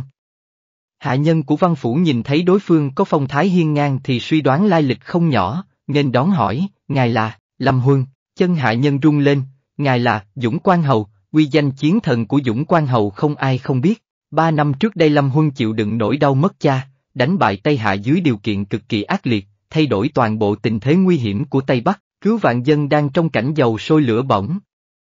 Nghe nói bách tính ở vùng Hà Sáo đó còn đúc bia lập miếu cho hắn, tôn sùng làm thần linh. Lâm Huân gật đầu, hạ nhân nổi lòng tôn kính, vội vàng dẫn hắn đi về phía chính đường, mời hậu gia tới bên này, phu nhân ở bên trong, linh đường đang được bố trí, đám hạ nhân tới lui hối hả. Hoàng thượng hạ chỉ, phong văn xương tụng làm tương công, an táng trong mộ tổ của văn thị cách kinh thành không xa, di thể đang trên đường trở về. Văn phu nhân đang sa sút tinh thần ngồi trên ghế bành gỗ đen, sắc mặt tái nhợt, dưới mắt là quần thâm, bà ấy mặc bối tử màu xám đen, bên dưới là váy lụa trắng, trên đầu chải búi tóc đơn, cài trang sức bạc đơn giản. Bà ấy không phải là nguyên phối của Văn Xương Tụng mà là tái giá, nhỏ hơn Văn Xương Tụng hai giáp, vẫn đang ở độ tuổi rất tốt. Một bé trai 7-8 tuổi dựa sát vào trong lòng bà ấy, môi hồng răng trắng rất đáng yêu. Nghe nói đây là đứa con trai mà về già Văn Xương Tụng mới có được, rất được ông ấy nuông chiều, bởi vì không nỡ để con trai nhỏ đi ngựa xe mệt mỏi nên cố ý để mẹ con bọn họ ở lại kinh thành. Hạ nhân đi qua nói một tiếng, Vu Nhàn lập tức đứng lên, hành lễ với Lâm Huân, hầu gia, bé trai đó nhút nhát trốn sau lưng mẫu thân, đôi mắt to đen lúng liếng hoảng hốt nhìn qua Lâm Huân. Lâm Huân nhớ tới đứa trẻ ở trong phủ mình, sinh lòng thương tiếc, chắp tay nói, phu nhân nén bi thương. Nếu như có gì cần hỗ trợ thì cứ mở lời, Vu Nhàn không người, hầu gia có lòng rồi, Lâm Huân dừng lại một chút rồi lại hỏi, không biết Diệp Quý Thần, Diệp Đại Nhân có từng tới không? Hắn là thuộc hạ của văn tướng khi nhậm chức Tri Châu, nghe được tin dữ hẳn là sẽ chạy tới. Vu nhàn sửng sốt rồi che miệng nói, lúc trạng sáng có người ở ngoài cửa vừa quỳ vừa khóc. Hạ nhân hỏi hắn là ai, hắn nói chuyện không rõ nên đã đuổi hắn tới cửa hông, chẳng lẽ đó chính là Diệp Đại Nhân? Lâm Huân nói, xin hỏi cửa hông của quý phụ ở đâu? Vuông nhàn dẫn Lâm Huân đi đến cửa hông ở trong hẻm nhỏ, Diệp Quý Thần quả nhiên đang nằm ở bên tường, không biết là say hay là ngủ thiếp đi mà không nhúc nhích. Lâm Huân đi qua, ngồi sổng người xuống lắc hắn, hắn không có phản ứng. Lâm Huân đưa tay đè bờ vai hắn, kéo hắn lên lưng cổng. Vuông nhàn vội vàng nghiêng người tránh ra, thật sự xin lỗi, không biết vị này là Diệp Đại Nhân, nếu sớm biết thì sẽ không để hắn ở đây, là hắn gây thêm phiền phức cho quý phủ rồi, hầu gia nói gì vậy chứ, vu nhàn liên tục xua tay, nhìn Lâm Huân cổng Diệp Quý Thần đi xa, cảm thấy Dũng Quan Hầu cũng không máu lạnh vô tình như trong truyền thuyết. Lâm Huân cổng Diệp Quý Thần về phủ, các hộ vệ kinh hải, vội vàng đón lấy Diệp Quý Thần rồi đưa đến phòng khách sắp xếp, hạ nhân thay quần áo khác cho hắn, lại đút cho canh gừng và canh giải rượu. Diệp Quý Thần bị sặc, mơ mơ màng màng ông đầu ngồi dậy, ta đang ở đâu vậy? Lâm Huân chỉ ngồi bên cạnh uống trà, không nói chuyện. Lâm Huynh, Diệp Quý Thần cho rằng mình xuất hiện ảo giác, sao lại nhìn thấy Lâm Huân chứ? Sau khi Diệp gia xảy ra chuyện, tất cả mọi người hận không thể cách hắn thật xa. Lâm Huân hời hợt nói, lúc trạng sáng ngươi đi đến văn phủ làm loạn, hạ nhân của văn phủ đuổi ngươi tới cửa hông, ngươi ở đó ngủ thiếp đi. Diệp Quý Thần ngơ ngẩn, ta nhớ lúc trời còn chưa sáng, thật sự không ngủ được nên đã ra ngoài uống rượu, hình như nghe thấy có người nói văn tướng mất rồi. Chuyện sau đó thì không nhớ rõ, Lâm Huynh, văn tướng thật sự. Mặc dù Lâm Huân không nói chuyện, nhưng nhìn vẻ mặt của hắn thì Diệp Quý Thần đã có đáp án. Hắn gục đầu xuống, vẫn nhớ rõ văn tướng ân cần dạy bảo hắn, khi rời khỏi hội kê còn nói gặp lại ở Kinh Thành. Không nghĩ tới lần từ biệt này chính là vĩnh biệt, hiện tại hắn là một phế nhân, việc văn tướng đang làm gian dở, hắn cũng không có cách nào giúp ông ấy hoàn thành nữa. Lâm Huân nói, có người nói ngươi để lại lá thư cuối cùng rồi mất tích. Vị hôn thê của ngươi sợ ngươi nghĩ quẩn, đi khắp nơi xin người ta tiền ngươi, Diệp Quý Thần nghi hoặc hỏi, lá thư cuối cùng gì, xem ra là quả thật không có thứ này. Lâm Huân xoay chén trà trong tay, người nói là phát hiện ra lá thư cuối cùng quả nhiên có vấn đề, nhất định là Gia Trân rất lo lắng, không được, ta phải trở về, Diệp Quý Thần nhảy xuống giường, vội vàng mang giày vào. Lâm Huân nhìn hắn nói, nếu đã quyết định sống thì hãy đi làm việc mà một nam nhân nên làm. Vì gia đình mà che gió che mưa, đừng để nữ nhân của ngươi lo lắng hải hùng theo. Động tác của Diệp Quý Thần dừng lại, hắn ta tự dễu nói, ta hoàn toàn không được tính là nam nhân, ta là đồ hèn. Ngay cả chết ta cũng không dám, Lâm Huân đi qua, dùng một tay đè Diệp Quý Thần vào tường, trầm giọng nói, muốn chết thì quá dễ, bây giờ ta có thể thành toàn cho ngươi. Diệp Quý Thần, ngươi cho rằng dựa vào việc ngươi nói mấy câu trước mặt hoàng thượng là có thể sống tiếp à? Là phụ thân của ngươi và đại bá của ngươi vận dụng lực lượng cuối cùng của Diệp gia để giữ mạng ngươi. Ngươi suy nghĩ rõ ràng cho ta, còn muốn chết nữa không? Diệp Quý Thần mở to hai mắt, khó có thể tin mà nhìn Lâm Huân, hốc mắt đỏ bừng, bọn họ, không phải bọn họ nên hận ta à? Diệp gia đời đời buôn bán, trong nhà không dễ gì mới có một người đọc sách là ngươi, thi cử đổ đạt, làm quan thanh liêm, cả nhà đều lấy ngươi làm niềm kiêu ngạo. Việc bọn họ bí quá hóa liều mà làm cũng chỉ vì sau này có thể chuẩn bị nhiều hơn cho ngươi ở trong triều. Ngươi là toàn bộ hy vọng duy nhất của bọn họ, cứ suy nghĩ xem làm thế nào đi, Lâm Huân buông hắn ra, những lời này Lâm Huân vốn không muốn nói. Lâm Huân không muốn tìm bất cứ cái cớ gì cho hành vi bán nước của Diệp gia. Nhưng chung quy hắn vẫn không đành lòng, Diệp quý thần ông Lâm Huân khóc trống lên. Mấy ngày nay, sự sợ hãi bất lực của hắn, đau khổ bàng hoàng của hắn, tất cả đều bị kìm nén dưới đáy lòng. Cuộc đời hắn vốn thuận buồm xuôi gió, hắn tự như đứa trẻ ngây thơ không lo nghĩ, chưa từng trải qua những cực khổ ngăn trở này, hắn không biết làm thế nào. Lâm Huân nhíu mày, cúi đầu nhìn hắn nhưng không đẩy ra. Hiện tại việc duy nhất hắn có thể làm chính là mượn bả vai của Lâm Huân để phát tiết cảm xúc.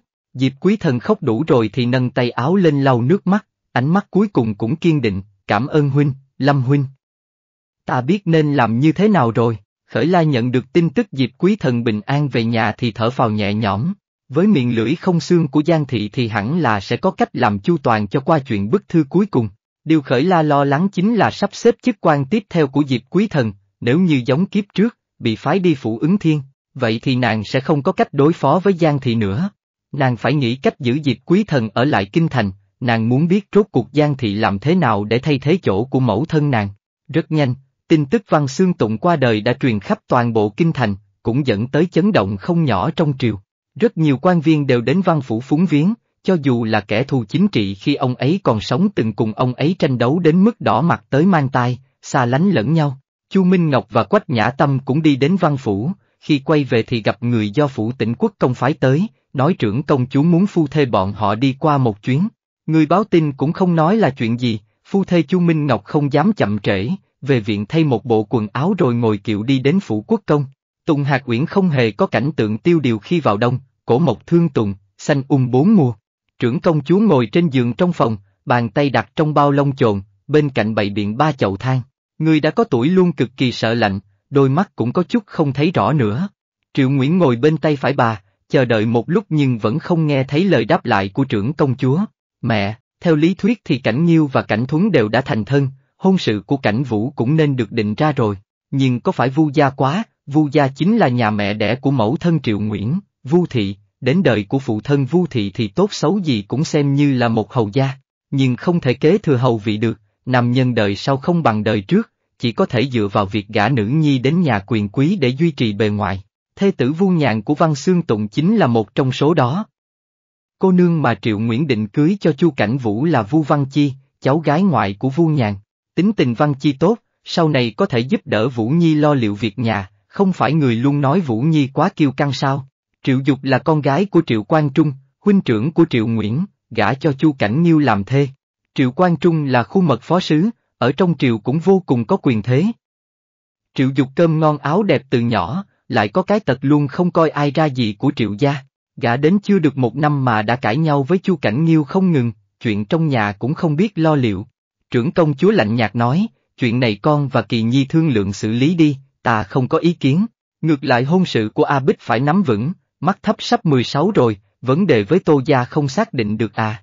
Triệu Nguyễn nhắc đến cái này là tức giận, nếu không phải do Chu Khởi la ngăn cản thì hôn sự của A Bích đã sớm xong rồi. Mẫu thân không biết đâu, nhà đầu kia ỷ vào việc có chút sắc đẹp mà thông đồng khắp nơi, thế mà còn muốn gả đến phủ dũng quan hầu. Thật sự là si tâm vọng tưởng, trưởng công chúa ngắt lời bà ta, không vui nói, con là trưởng bối, nói chuyện đừng khó nghe quá, lúc này, Sơn Kiều ở bên ngoài nói, công chúa, nhị gia và nhị phu nhân tới rồi, Triệu Nguyễn cực kỳ không ưa người của nhị phòng, muốn nhắm mắt làm ngơ, đứng lên nói, mẫu thân, con đi trước, trưởng công chúa gật đầu, cũng không giữ bà ta. Dựa vào tính tình của bà ta, nếu nghe được chuyện Gia Khang đã nhắc đến hôn sự của Lâm Huân thì còn không biết sẽ giận thành thế nào nữa. Chu Minh Ngọc ông vai quách nhã tâm, hai người vừa nói vừa cười chờ trong minh đường. Nhìn thấy Triệu Nguyễn từ bên trong đi ra, quách nhã tâm vội hô, đại tẩu. Triệu Nguyễn lại không hề nhìn bọn họ, vênh vang đắc ý rời đi.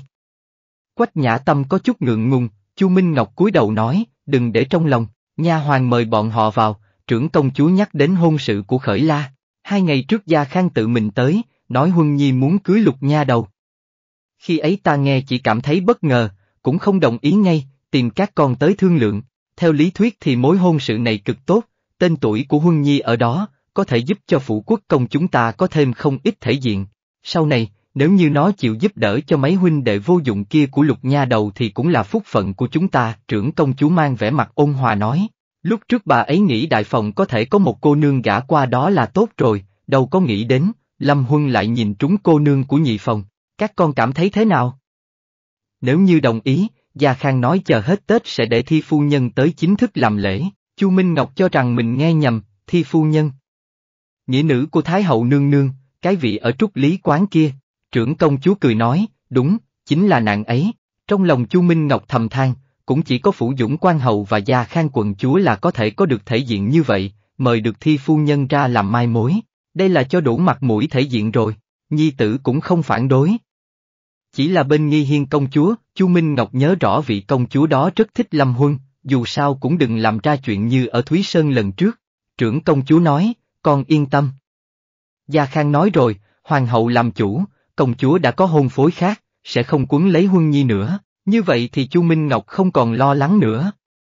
Ông nhìn về phía Quách Nhã Tâm luôn không nói một lời, Quách Nhã Tâm chần chờ nói, con nghĩ vẫn là đi về hỏi ý của Giảo Giảo, bà làm mẫu thân, cân nhắc suy nghĩ hơn Chu Minh Ngọc nhiều.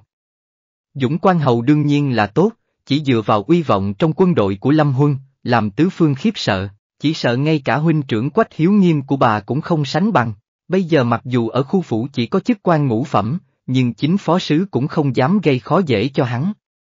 Đợi một thời gian nữa thì còn không biết sẽ lợi hại như thế nào, nhưng nếu như giảo giảo không muốn, bà cũng không muốn trèo lên cành cây cao này, còn chưa biết tính tình Lâm Huân như thế nào, sau này nếu như dảo dảo chịu uất ức gì thì phủ quốc công cũng không chèn ép được Lâm Huân. Sơn Kiều đứng ngoài cửa nghe một lúc rồi lén chạy đến Mộc Xuân Đường, nói cho Triệu Nguyễn biết những gì mình nghe được. Triệu Nguyễn tức giận đến mức giọng nói rung lên, ngươi xác định không nghe nhầm, Sơn Kiều gật đầu, hai ngày trước khi Gia Khang quận chúa tới, khẩu ma ma kia canh giữ ngoài cửa, nô tỳ không nghe được công chúa và bà ấy nói gì, hôm nay lại nghe thấy rõ ràng. Nhìn ý của công chúa và nhị gia thì sợ là mối hôn sự này sẽ thành. Triệu Nguyễn cho rằng lần trước đã chỉ điểm cho Hạ Nghênh Xuân, Triệu Nghi Hiên có thể trừng trị được tai họa Chu Khởi La kia, không nghĩ tới Chu Khởi La mạng lớn, còn được Lâm Huân cứu. Sau đó, bà ta bị hoàng hậu gọi vào cung khiển trách một trận, muốn bà ta đừng gây thêm phiền phức nữa. Bà ta đâu phải gây thêm phiền, rõ ràng là giúp Nghi Hiên một tay, hoàng hậu không cảm kích thì thôi. Triệu Nguyễn không cam lòng, bà ta cũng không tin Chu Khởi La tốt số như vậy. Muốn gả cho Lâm Huân à? Hừ, không dễ vậy đâu. Buổi tối ăn cơm xong, Quách Nhã Tâm gọi Khởi La tới phòng của mình, nói chuyện gia khang quận chúa đến cầu hôn. Phút cuối cùng, bà sờ tóc Khởi La nói, dảo dảo, con nghĩ thế nào về mối hôn sự này? Khởi La không nghĩ tới Lâm Huân hành động nhanh như vậy, chỉ cúi đầu nói, toàn bộ do cha mẹ làm chủ là được, không ai hiểu con bằng mẹ. Quách Nhã Tâm nhìn thấy Khởi La phản ứng như vậy thì biết trong lòng nàng yêu thích, bà không khỏi hỏi, chẳng lẽ, người mà trong lòng con thích vẫn luôn là Dũng Quan Hầu? Vậy Vân Chiêu, Khởi La không biết làm thế nào để giải thích cho Quách Nhã Tâm biết về những quanh co trong đó. Nàng từng thật sự muốn gả cho Lục Vân Chiêu làm thê, nhưng cũng thật sự thích Lâm Huân. Có lẽ rất nhiều chuyện đều là định mệnh, tránh cũng không tránh được, trốn cũng trốn không thoát. Quách Nhã Tâm thấy Khởi La không nói lời nào, sợ nhắc đến chuyện thương tâm của nàng nên đổi chủ đề, dảo dảo, con phải suy nghĩ cho kỹ. Phủ Dũng Quan Hầu không phải là gia đình bình thường, phía trên còn có một gia khang quận chúa đè ép con. Mẹ là người từng trải, phụng dưỡng bà mẫu như vậy không dễ dàng. Hôm đó ở thư phòng Khởi La đã gặp Gia Khang quận chúa, cảm thấy mặc dù trong bà ấy nghiêm túc nhưng lại không phải là kiểu bà bà hung hăng ngang ngược, không nói đạo lý. Nàng suy nghĩ một chút rồi nói, mẹ, con hiểu tâm ý của mẹ. Nhưng mà dựa theo cách nói của cha, con cũng chỉ có thể gả cho Dũng Quan Hầu, chàng đã chịu liều mình cứu con, con gả cho chàng cũng là việc nên làm. Người và cha không phải cũng là tình cảm bồi dưỡng từ thành thân sao? Quách nhã tâm bị nàng hỏi mà không nói được lời nào, hôn nhân đều là lệnh của cha mẹ, lời của mai mối. Không phải là không có phu thê chưa từng gặp nhau trước khi thành thân, bà lại cẩn thận suy nghĩ về cách làm người của Lâm Huân, cảm thấy quả thật không tệ. Hơn nữa với tài mạo và tính tình của con gái, chưa chắc không thể sống tốt. Đúng rồi, hôm nay ở văn phủ hình như ta đã nhìn thấy đại công tử của Tô Gia ngăn cản Vân Chiêu, không biết hai người đó nói gì. Đây là lần đầu tiên ta gặp Tô Đại Công Tử, tướng mạo và khí chất quả thật đều đứng đầu. Trước đó, Khởi La đã gặp Tô Tòng Tu hai lần ở Trúc Lý Quán. Một lần là Tô Tòng Tu có chút việc đi thỉnh giáo thi phẩm như, một lần là hắn đi tặng quà ngày lễ, chạm mặt Khởi La còn hỏi hang nạn đôi câu. Trên người Tô Tòng Tu có loại khí chất nhàn nhạt như nước chảy, ở chung rất dễ chịu, hoàn toàn không nhìn ra được hắn là con trai của tể tướng, có chức quan cao. Kiểu văn nhân cả ngày chìm đắm trong kinh sử thế này sẽ tự có một hơi thở không dính khói lửa trần gian, chẳng trách hắn không muốn cưới Chu Thành Bích. Tuyết trắng mùa xuân, đương nhiên là cao siêu ít người hiểu, hiếm có ai có thể thông thạo. Quách nhã tâm thở dài nói, nhưng ta thấy Vân Chiêu hình như có chỗ nào đó khác thường, trước kia luôn cảm thấy nó là một đứa trẻ vô cùng ôn hòa, bây giờ nhìn lại thấy u ám, dù sao Lục Vân Chiêu cũng là cháu của bà, mấy năm nay hiểu tận gốc rễ, Mặc dù năm đó hắn làm chuyện như thế nhưng cũng thật sự tốt với Khởi La. Trong lòng bà vẫn thích Lục Vân Chiêu hơn một chút, Khởi La không nói gì, nàng đối với Lục Vân Chiêu là hổ thẹn. Mặc dù tất cả cũng là suy nghĩ cho tiền độ của hắn, cũng là chịu ý của Lăng Vương, nhưng trong mắt mọi người đều là nàng nhẫn tâm bỏ rơi hắn, hơn nữa còn có mục tiêu khác cao hơn. Nhất định là hắn hận chết nàng nhỉ. Đón Tết một cách náo nhiệt xong, thi phẩm như đến phủ quốc công cầu hôn, trưởng công chúa gật đầu đồng ý mối hôn sự này. Sau đó Dũng Quan Hầu phái người chính thức mang lễ tới cửa cầu hôn, đây xem như là chính thức bắt đầu thực hiện lục lễ. Trong kinh vì hôn sự này mà ồn ào xôn xao, nhiều năm như vậy, ai cũng đoán xem rốt cuộc Dũng Quan Hầu sẽ lấy ai, một người không cần cả công chúa, cuối cùng lại muốn cưới một tiểu thư không có danh tiếng gì, mọi người có thể không tò mò à. Rất nhiều người nghe danh mà vây kín xung quanh Chu Phủ, muốn thấy dáng vẻ của Khởi La. Chu Minh Ngọc phái người đuổi đi hai lần, những người đó vẫn chăm chỉ không ngừng, trốn ở trong tối nhìn trộm. Nhưng chưa tới hai ngày, mấy người hóng hớt này biến mất, cũng không có ai dám tới gần Chu Phủ nữa. Tháng Giêng cực kỳ nhiều ngày lễ, bách tính đều thích đi chùa bái Phật cầu nguyện vào đầu năm mới. Hương hỏa của Đại tướng quốc tự trong kinh cũng đến thời điểm đầy đủ nhất trong năm. Đại tướng quốc tự là chùa cổ đầu tiên của đất nước, được xây dựng vào thời tiền triều, đã có lịch sử mấy trăm năm. Khởi La và Tào Tình Tình còn có Trần Gia Trân đã hẹn nhau, cùng đi chùa bái Phật. Đại tướng quốc tự là quốc tự, thường có quan lớn quyền quý đến đây làm pháp sự, cho nên bảo điện đại hùng ở trong thường không mở ra cho người thường. Bách tính bình dân chỉ có thể đến điện thiên vương ở viện phía tây thắp hương, cho nên chính viện ở nơi này vắng vẻ hơn viện phía tây. Kiệu được nâng tới cửa chùa, dừng lại trong sân chính viện. Khởi la viện ninh khê xuống kiệu, Tào Tình Tình và Trần Gia Trân đã đứng trong sân trò chuyện giết thời gian, trông rất hợp nhau.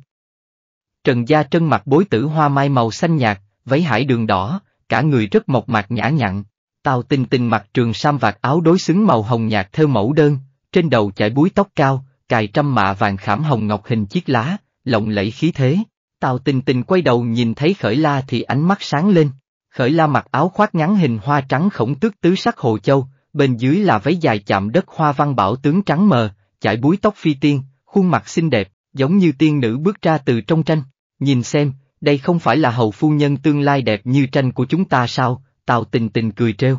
Trần Gia Trân hành lễ, cũng không nhịn được mà tán dương, nam nhân có thể cưới lục tiểu thư thật sự là có phúc lớn, vừa sáng sớm mà miệng của hai vị tỷ tỷ như được bôi mật vậy, có ý đồ gì đây, khởi la hắn giọng, đâu dám có ý đồ. Hai chúng ta sao dám đắc tội hầu phu nhân chứ, Tào tình tình đi tới kéo cánh tay nàng, ta cho rằng muội sẽ không tìm được phu quân tốt hơn Vân Chiêu ca ca, còn thấy tiếc thay muội. Muội thì lợi hại rồi, làm chiến thần say mê điên đảo. Mấy ngày nay ta đi theo bà bà đến yến hội, toàn bộ kinh thành đều đang bàn luận về muội. Ngũ tỷ kia của muội nói muội không tốt, ta cùng nàng ta lý luận hai câu. Cái này làm người tỷ tỷ khoan dung như ta đây thật là đủ tiểu nhân, khởi la không lên tiếng, đi kéo Trần Gia Trân, ba người cùng nhau vào bảo điện Đại Hùng. Bọn họ quỳ gối trên bồ đoàn bái Phật, lại tự mình lắc ống tre rồi cầm tới chỗ hòa thượng với lông mày trắng ở bên cạnh giải xăm.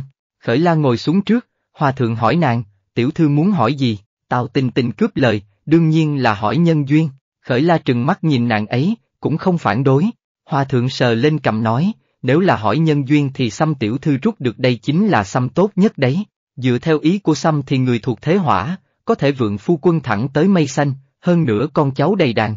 Khởi la vốn còn có chút lo lắng bác tự không hợp với Lâm Huân, nghe thấy hòa thượng nói như vậy thì không khỏi thở vào nhẹ nhõm. Trần Gia Trân cũng hỏi nhân duyên, lão hòa thượng im lặng thật lâu rồi mới nói, xăm này của tiểu thư chính là mệnh gặp tiểu nhân, ý là nếu trong số mệnh của người gặp được quý nhân, vậy thì có thể cùng phu quân bên nhau lâu dài. Nếu như không gặp được vị quý nhân này, người có khả năng hồng nhan mất sớm. Trần Gia Trân che miệng, Tào Tình Tình vội kéo Trần Gia Trân dậy, hòa thượng này, gần sang năm mới rồi mà sao lại ăn nói điên cuồng vậy, bản thân nàng ấy dứt khoát không hỏi nữa, kéo Trần Gia Trân ra ngoài. Khởi la lại yên lặng cho hòa thượng bạc, người giải xăm này thật sự xem như là thần rồi. Buổi trưa hòa thượng trong chùa có chuẩn bị đồ ăn chay, mời ba người khởi la đến thiện phòng nghỉ ngơi trước. Khởi la nói, trong đại tướng quốc tự có một đạo tăng có y thuật rất tốt, chi bằng gia trân tỷ tỷ mời ông ấy đến xem. Trần Gia Trân khổ sở nói, bệnh của ta đều do vị đại phu tới từ hội kê xem, hôm nay văn xảo cũng không ở đây, ta không biết làm như vậy mùi ấy có giận không, Giang văn xảo đương nhiên sẽ không tới, khởi la đã sớm nghĩ cách đẩy nàng ta đi rồi. Tào tình tình ở bên cạnh nói giúp vào, nếu đã tới rồi thì xem đi, ta biết vị cao tăng đó, lợi hại lắm, có thể xem được rất nhiều bệnh hiểm nghèo từ lâu. Trần Gia Trân đành phải gật đầu, thật ra vốn không phải là đạo tăng gì, là một vị danh y mà Khởi La dùng số tiền lớn mời đến, vì không để cho Trần Gia Trân nghi ngờ nên giả làm dáng vẻ tăng nhân để tóc tu hành trong chùa đi xem bệnh cho Trần Gia Trân. Khi xem bệnh, Tào Tình Tình liếc mắt ra hiệu cho Khởi La, Khởi La để Ninh Khê ở lại trong phòng rồi cùng nàng ấy đi ra ngoài. Tào Tình Tình tới ngoài cửa, nhìn lướt qua trong phòng, Khởi La, mùi làm gì mà mất công thế? Khởi La đúng sự thật nói, mùi chỉ muốn biết rốt cuộc Gia Trân tỷ tỷ bị bệnh gì mà thôi. Mời thẳng đại phu tới nhà không phải là được rồi sao? Khởi la thở dài nói, tỷ không nghe hòa thượng vừa rồi nói sao? Trong mệnh của tỷ ấy có tiểu nhân, đương nhiên phải tránh kẻ tiểu nhân kia mới được. Tào tình tình nghe mà không hiểu ra sao, cũng không muốn hiểu. Nàng ấy có chuyện quan trọng hơn muốn nói, lúc nãy có Gia Trân ở đây, ta không nói thẳng ra. Mấy hôm trước trong yến hội, ta không chỉ thấy ngũ tỷ kia của mùi mà còn thấy cả vị đại tẩu kia của mùi nữa, nhìn còn ra vẻ hơn cả công chúa. Lúc ta tới sương phòng thay quần áo, hình như nhìn thấy nàng ta và thái tử đi vào trong núi giả nói chuyện, nghe động tĩnh có gì đó không đúng lắm, khởi la vội vàng che miệng tào tình tình lại, liếc nhìn xung quanh, bọn họ không nhìn thấy tỷ đấy chứ, tào tình tình lắc đầu, đương nhiên không thấy, ta cũng không dám nhìn kỹ, chuyện này tỷ còn nói với ai nữa, tào tình tình phất tay nói, ta không biết nên làm thế nào, không dám nói với người khác, chỉ dám nói với muội thôi, tỷ hãy quên chuyện này đi, cũng đừng nói cho bất kỳ người nào khác, nhất là người bên nhà chồng của tỷ khởi la nhắc nhở. Thái tử Phi Tô Uyển hiện tại của Thái tử Triệu Tể là cháu gái của Tô Hành Tri, vậy nên Tô Gia đứng bên phía của Thái tử. Mà Thái tử lại là anh em họ với đường tẩu triệu dục của Khởi La, hai người chơi cùng nhau từ nhỏ nên có tư tình cũng không lạ. Chẳng qua bây giờ mỗi người đều đã có hôn phối riêng mà còn làm ra chuyện như vậy, nếu bị người khác biết được sẽ trở thành sóng to gió lớn. Ta biết rồi. Hai ngày trước ta về nhà, thấy Vân Chiêu ca ca tới bái phỏng cha ta. Huynh ấy thay đổi nhiều quá, rất yên lặng, cũng không thấy cười, Tào tình tình chọc chọc đầu khởi la, chuyện này tám phần là do muội làm hại, khởi la cảm thấy trong chuyện của Lục Vân Chiêu, nàng đúng là có trách nhiệm không thể trốn tránh, chỉ đành thở dài. Hơn nữa Vân Chiêu ca ca chuẩn bị ba năm lại không đi thi quán chức, mà không biết dùng biện pháp gì trở thành tả tư gián, huynh ấy đi làm gián quan, khởi la không kìm được buộc miệng thốt ra. Không giống, chuyện này hoàn toàn không giống quỹ đạo của kiếp trước, đài, gián duy trì trật tự tất cả các quan lại, khuyên nhủ hoàng đế, người này cần phải có tính tình thẳng thắn, xương cốt cứng, không sợ đắc tội người khác, sơ sẩy một chút là sẽ bị biếm chức, nhưng có thể nhanh chóng gây ấn tượng cho hoàng thượng và đủ các quan lại, ví dụ như Tào Bác chính là được thăng cấp từ gián viện. Nhưng Tào Bác không có tài hoa như Lục Vân Chiêu, cho nên chỉ có thể đi lối tắt nguy hiểm như vậy. Quan viên từ tế chấp trở lên chú ý tới xuất thân nhất, nếu là quán chức, học sĩ của các điện, nếu có xuất thân từ xá nhân viện hoặc hàng lâm viện, lúc đề bạc chắc chắn sẽ được hoàng đế ưu tiên suy xét. Lục Vân Chiêu thì ngược lại, bao nhiêu người chen chúc muốn vào được quán chức, hắn lại từ bỏ cơ hội như vậy. Tào tình tình nhìn sắc mặt của Khởi La, không biết nàng suy nghĩ cái gì. Đừng thấy nàng ấy lớn hơn Khởi La mấy tuổi, nàng ấy còn không điềm tĩnh bằng Khởi La, cũng không thông minh và biết nhiều thứ như Khởi La. Có đôi khi Tào tình tình cảm thấy bản thân rất ngốc, lúc còn nhỏ chỉ đọc mấy quyển sách, lúc chán thì không đọc nữa, sau đó đi nghiên cứu mấy thứ như nữ hồng, quản gia các loại. Phẩm hàm của các quan viên trên triều đình cũng không hiểu, nên lúc Tô Tự Nhiên nói chuyện nặng ấy không thể nói xen vào. Lúc nam nhân Tô gia nhà bọn họ ngồi cùng nhau thích đàm thơ luận sử, lúc vui còn chơi tửu lệnh, nàng ấy thường thường ngồi bên cạnh ngủ gà ngủ gật, vì đại bá kia của nàng ấy càng là tài trí hơn người, cầm kỳ thư họa tùy tiện thể hiện một chút cũng làm người kinh ngạc. Nếu không sao cha mẹ chồng của nàng ấy sẽ không đồng ý hôn sự với ngũ tiểu thư phủ tỉnh quốc công chứ. Dù Chu Thành Bích và Chu Khởi La đều mang họ Chu, nhưng hai người cách nhau quá xa. Lúc này, đại phu từ trong phòng đi ra, nói với Khởi La và Tào Tình Tình, thân thể của vị tiểu thư bên trong quá yếu, còn có bệnh tim, bệnh này không thể chịu được hoảng sợ, cũng không chịu được cảm xúc dao động mạnh, sẽ thương đến cơ thể. Đơn thuốc vị đại phu trước kia kê ta cũng xem qua rồi, đúng là thuốc đại bổ, nhưng lại không giúp ích gì cho bệnh tình của người bệnh. Ta kê một đơn thuốc khác cho vị tiểu thư kia điều dưỡng thân thể, làm phiền đại phu, nghe đến đây khởi la đã hiểu rồi. Giang thị biết Trần Thị có bệnh tim, trước đó cố ý nói rằng dịp quý thần xảy ra chuyện, chính là vì dọa nàng ấy, dọa mấy lần, người đang khỏe cũng phải bị bệnh, càng đừng nói là người bệnh. Chẳng qua Giang Thị hẳn là mới có ý muốn mưu hại, nếu không Trần Thị đã sớm mất mạng. Một tiểu tăng đi tới, nói với Khởi La, Tu Thiện trưởng lão mời Chu Tiểu Thư tới Điện La Hán một chuyến, Tu Thiện trưởng lão là đại hòa thượng quản lý chuyện tu sửa của đại tướng quốc tự. Lúc trước trưởng công chúa vì muốn tích đức làm việc thiện, cố ý quyên tiền cho La Hán trong chùa để tu sửa lại kim thân. Trưởng công chúa đã lớn tuổi nên không thể tự tay xử lý chuyện này, Triệu Nguyễn là đương gia chủ mẫu không có thời gian xử lý, nhóm tiểu bối cháu dâu lại không đáng tin cậy.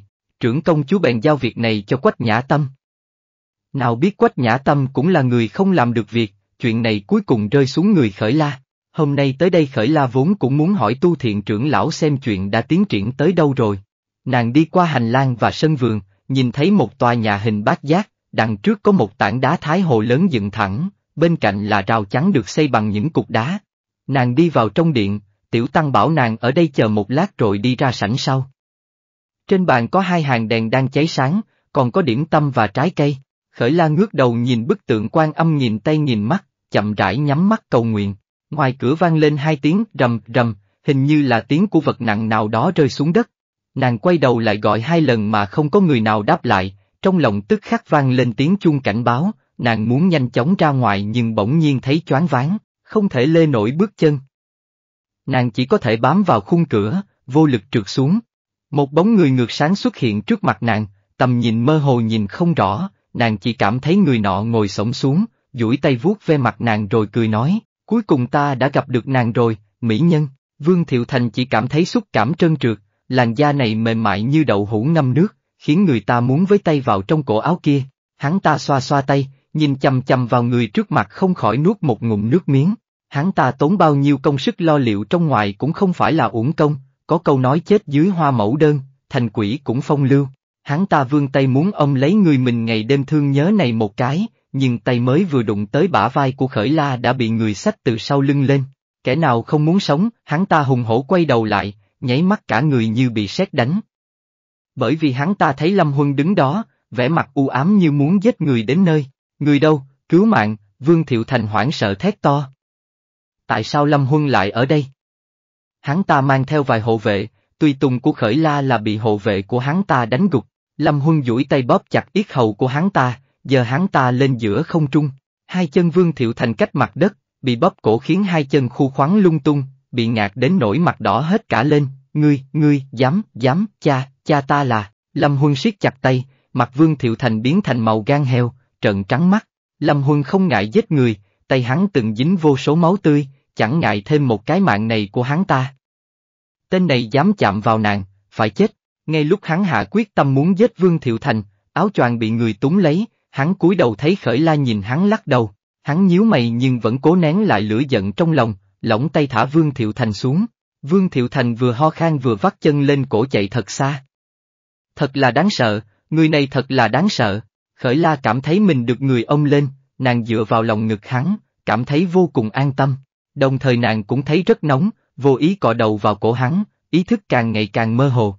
Lâm Huân cúi đầu nhìn khuôn mặt nhỏ ửng đỏ của nàng, nhìn như là say rượu, đôi môi đỏ mọng khẽ mở như đang thở dốc, trong nháy mắt ấy hắn đoán được nàng trúng không phải mê được, mà là xuân dược. Tên Vương Thiệu Thành đáng chết này. Vừa rồi không nên thả hắn ta mà, Lâm Huân ông khởi la vào một gian phòng trong một loạt sương phòng sau điện là hắn. Hắn đặt nàng lên giường đá, xoay người muốn đi rót nước, khởi la lại bắt lấy tay hắn, bàn tay nhỏ nóng bỏng, lẩm bẩm nói, ôm, Lâm Huân sững sờ, sau đó theo lời cuối người ông nàng vào lòng, một cục nho nhỏ mềm mại đè trong ngực hắn, hơi thở của hắn cũng nóng rực. Nàng ngẩng đầu hôn lên yết hầu của hắn, sau đó hai tay vòng lấy cổ hắn, lầm bầm, lâm thúc, hôn, vừa nói, cánh môi mềm mại của nàng đã chạm vào môi hắn, hành động này không khác gì đốt lửa. Lâm Huân bị nàng hôn đến nỗi gần như không còn lý trí, đơn giản đè nàng xuống dưới người, đảo khách thành chủ. Lâm Thúc, nhớ rõ mấy năm trước lúc nàng bị người Tây Hà bắt cóc, nàng đã gọi hắn là Lâm Thúc. Nàng gọi hắn là Thúc, hắn già như vậy sao? Hắn hôn lên hàng mi dài, cái mũi, cánh môi, cái cầm của nàng, giống như việc hắn đã làm nhiều lần trong giấc mơ. Sau đó men theo đường nét của khuôn mặt hôn vào cổ và vành tai, vành tai của nàng đầy đặn, trông giống như một viên trân châu nhỏ màu hồng, hắn há miệng ngậm lấy, nghe thấy nàng kêu ưng một tiếng. Từ nãy tới giờ nàng vẫn làm nũng như một cô gái nhỏ, khác xa một trời một vực so với ngày thường. Hắn thích nàng như thế này, tự như hắn được nàng cần và dựa vào hệt tiểu bạch trước đây. Tay nàng nắm lấy tay hắn, ngón tay thon dài luồn vào trong tóc, hắn cảm thấy mình sắp không kiềm chế được, vươn tay xoa nắng ngực nàng qua lớp quần áo. Ừm, núi đồi nhấp nhô, quả thật không nhỏ. Bỗng nhiên người nằm dưới im bặt, hắn cúi đầu xuống nhìn thì thấy nàng nằm nghiêng mặt ngủ rồi, hơi thở đều đều, như một đứa trẻ sơ sinh không hề phòng bị. Hắn bỗng nhiên muốn cười. Rõ ràng lửa dục đốt người lại cứ thế mà bị khuôn mặt yên bình khi ngủ của nàng dập tắt. Lâm Huân đứng dậy, hắn bế nàng lên rồi ôm vào lòng. Kim thoa trên tóc nàng đã bị bung ra, hắn cũng không biết làm những chuyện này, đơn giản tháo hết chúng xuống, búi tóc rối tung, hắn xõa tóc của nàng ra, mái tóc đen buông xuống vuốt ve trên mu bàn tay hắn, còn mượt mà hơn quần áo trên người nàng. Hắn dùng một tay nâng mặt nàng lên cẩn thận ngắm nghía, không nhịn được cúi đầu mục lấy đôi môi mềm mại của nàng. Hắn vốn muốn nghe theo kiến nghị của mẹ định hôn kỳ vào đầu xuân sang năm, nhưng bây giờ hắn cảm thấy mình không thể nào chờ lâu như vậy được nữa. Tuổi còn nhỏ, nhưng thân thể đã phát triển rất tốt, cưới nàng luôn trong năm nay đi. Bên ngoài có tiếng la hét, hình như có người đang tìm nàng. Lâm Huân sửa sang lại quần áo cho nàng, nhất thời vô cùng luyến tiếc buông tay. Sau lần này không biết tới khi nào mới có thể gặp lại. Bình sinh vốn không tương tư, thế mà tương tư, khổ vì tương tư. Tào tình tình với Trần Gia trần thấy khởi la đi mãi mà không thấy về, cảm thấy hơi lo lắng, mỗi người dẫn tùy tùng của bản thân đi tìm. Nhưng nơi đây là quốc tự chứ không phải chỗ nào, hẳn là sẽ không đến mức xảy ra chuyện. Đến khi bọn họ thấy Lâm Huân ông khởi la từ trong sương phòng ra đều trố hết mắt lên, khí thế trên người Lâm Huân quá mạnh, Trần Gia Trân sợ tới mức không dám động đậy. Nàng ấy ở hội kê cũng từng nghe uy danh của Dũng Quan Hầu, nói hắn có sức dời núi, khí trùng trời, thắng ba quân. Trong đầu lập tức hiện lên một người nam nhân vô cùng cường tráng, vóc dáng giống độ tể hoặc đao phủ, không nghĩ tới người thật lại vô cùng cao lớn và anh tuấn, khắp người tỏa ra mị lực của nam nhân trưởng thành, khó trách ngay cả công chúa cũng thích.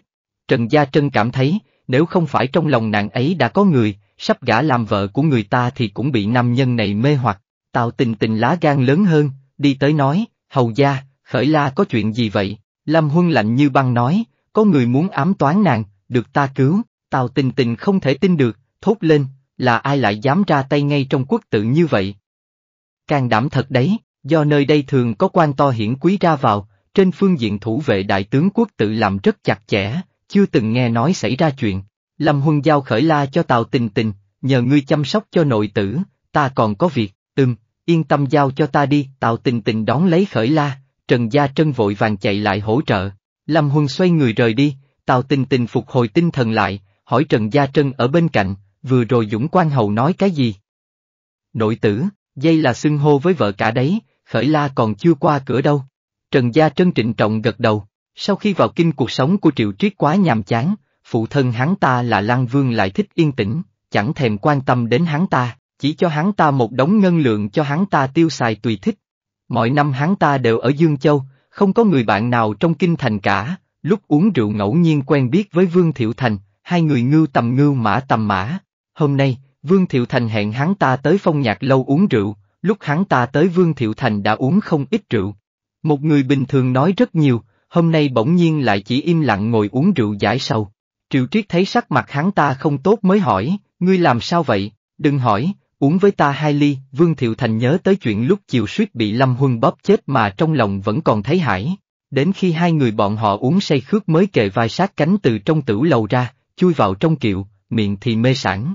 Kiệu phu không còn cách nào, chỉ có thể cùng đưa bọn họ về phủ. Bây giờ đã là giờ hợi, ngoài mấy tửu lâu lớn và nơi phong nguyệt còn đang kinh doanh, những cửa hàng khác đã đóng cửa từ lâu, càng rời khỏi đường lớn càng vắng vẻ không có người nào. Tới một cái ngõ nhỏ, trước sau thông rộng, bỗng nhiên có một đội nhân mã chạy tới vây quanh bọn họ. Kiệu phu không biết đã xảy ra chuyện gì, đặt cổ kiệu xuống mặt đất, liếc mắt nhìn nhau. Mấy hộ vệ theo phía sau muốn ra tay, đối phương chỉ cần hai người đã đánh cho bọn họ sắp mặt xuống đất, kiệu phu thấy thế tưởng kẻ thù tới trả thù, vội vàng quỳ xuống xin tha. Vương Thiệu Thành ngồi trong kiệu kêu lên, bà nó, chán sống rồi à. Biết ông đây là ai không hả?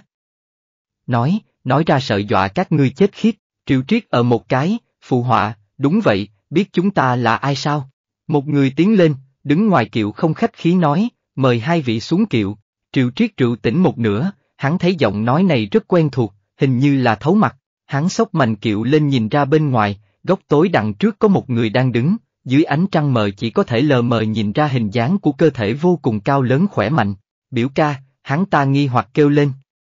Người nọ từ góc tối bước ra, bước chân như có gió, không phải Lâm Huân thì là ai? Vương Thiệu Thành sững sờ ngồi trong kiệu, không nghĩ tới Lâm Huân lại vẫn tìm tới cửa, muốn mạng của hắn ta sao? Hắn ta dựa lưng vào mặt sau vách kiệu theo bản năng, khuôn mặt sợ hãi. Triệu Triết đã đi xuống, lung la lung lay đứng một bên, chỉ vào bản thân, biểu ca, tại sao huynh lại ở đây? Lâm Huân liếc hắn một cái, nói với người trong kiệu, ra ngoài, Vương Thiệu Thành thấy tránh không khỏi, lề mà lề mề từ trong kiệu đi ra, sau đó lại trốn đằng sau Triệu Triết, ngươi, rốt cuộc ngươi muốn thế nào, ai nói cho ngươi biết, cái gì, Vương Thiệu Thành còn chưa tỉnh rượu, ai nói với ngươi hôm nay nàng tới đại tướng quốc tự? Đừng để ta hỏi tới lần thứ ba, ánh mắt của Lâm Huân liếc qua, ngay cả triệu triết cũng rung bắn lên, thân vệ các nơi thì nắm chặt kiếm trên eo, nhìn Vương Thiệu Thành như hổ rình mồi. Lâm Huân là vương hầu duy nhất được hoàng đế cho phép nuôi dưỡng tư binh, là người có thể không cần tháo kiếm mà vẫn có thể vào điện văn đức gặp hoàng đế, nghe nói trong tay hắn còn có đan thư thiết khoáng, có thể thấy được sự sủng ái của hoàng đế lớn nhường nào. Đương lúc Vương Thiệu Thành do dự có nên nói người kia ra hay không, Lâm Huân lại chẳng còn chút kiên nhẫn nào, bảo thấu mặt ném một đồ vật qua đó.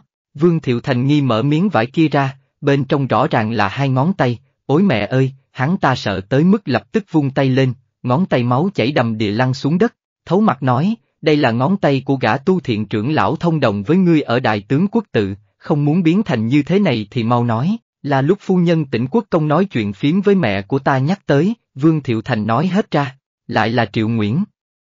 Lâm Huân siết chặt tay lại, khớp xương giữa các ngón tay kêu răng rắc, hắn gọi Vương Thiệu Thành sang một bên, Vương Thiệu Thành giơ tay lên khấn lạy, chỉ thiếu quỳ xuống đất nữa thôi, những gì ta biết ta đã nói hết rồi, ta nhất thời bị quỷ mê tâm hồn.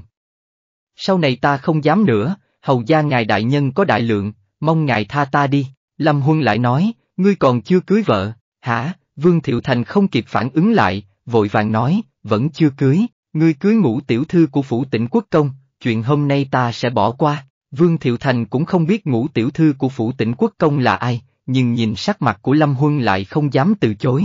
Dù sao vợ cũng chỉ là vật trang trí với hắn ta mà thôi, nghe nói thân thế của nàng ta cũng không tệ, cưới về cũng chẳng có gì to tác, vội vàng đáp, được, ta đi cầu thú. Nhưng, nếu người ta không đồng ý thì sao? Lâm Huân nhíu mày, ngươi không biết nghĩ cách à, bày mưu đặt kế là sở trường của Vương Thiệu Thành, hắn ta gật đầu như giả tỏi, ta nhất định cưới được ngũ tiểu thư của Chu gia. Lâm Huân phất tay, đội thân vệ thu binh theo hắn rời đi. Vương Thiệu Thành lau mồ hôi trên trán. Lúc trở lại bên cạnh Triệu Triết, hắn ta đã tỉnh rượu hẳn, hơn nữa còn bị dọa bay nửa cái mạng. Triệu Triết thuận miệng nói, Thiệu Thành huynh, trước đó rốt cuộc ngươi đã làm gì mà khiến biểu ca của ta nửa đêm tới chặn đường ngươi vậy? Ta ở tận Hoài Nam đều biết, ngàn vạn đừng đắc tội hắn, ngươi, ôi, đừng nói nữa, Vương Thiệu Thành nghĩ, hắn chắc chắn là bị con lừa đá vào đầu nên mới đi trêu chọc tên Diêm Vương này. Hết chương 60, cảm ơn các bạn đã lắng nghe, nhớ đăng ký kênh để ủng hộ mình nha.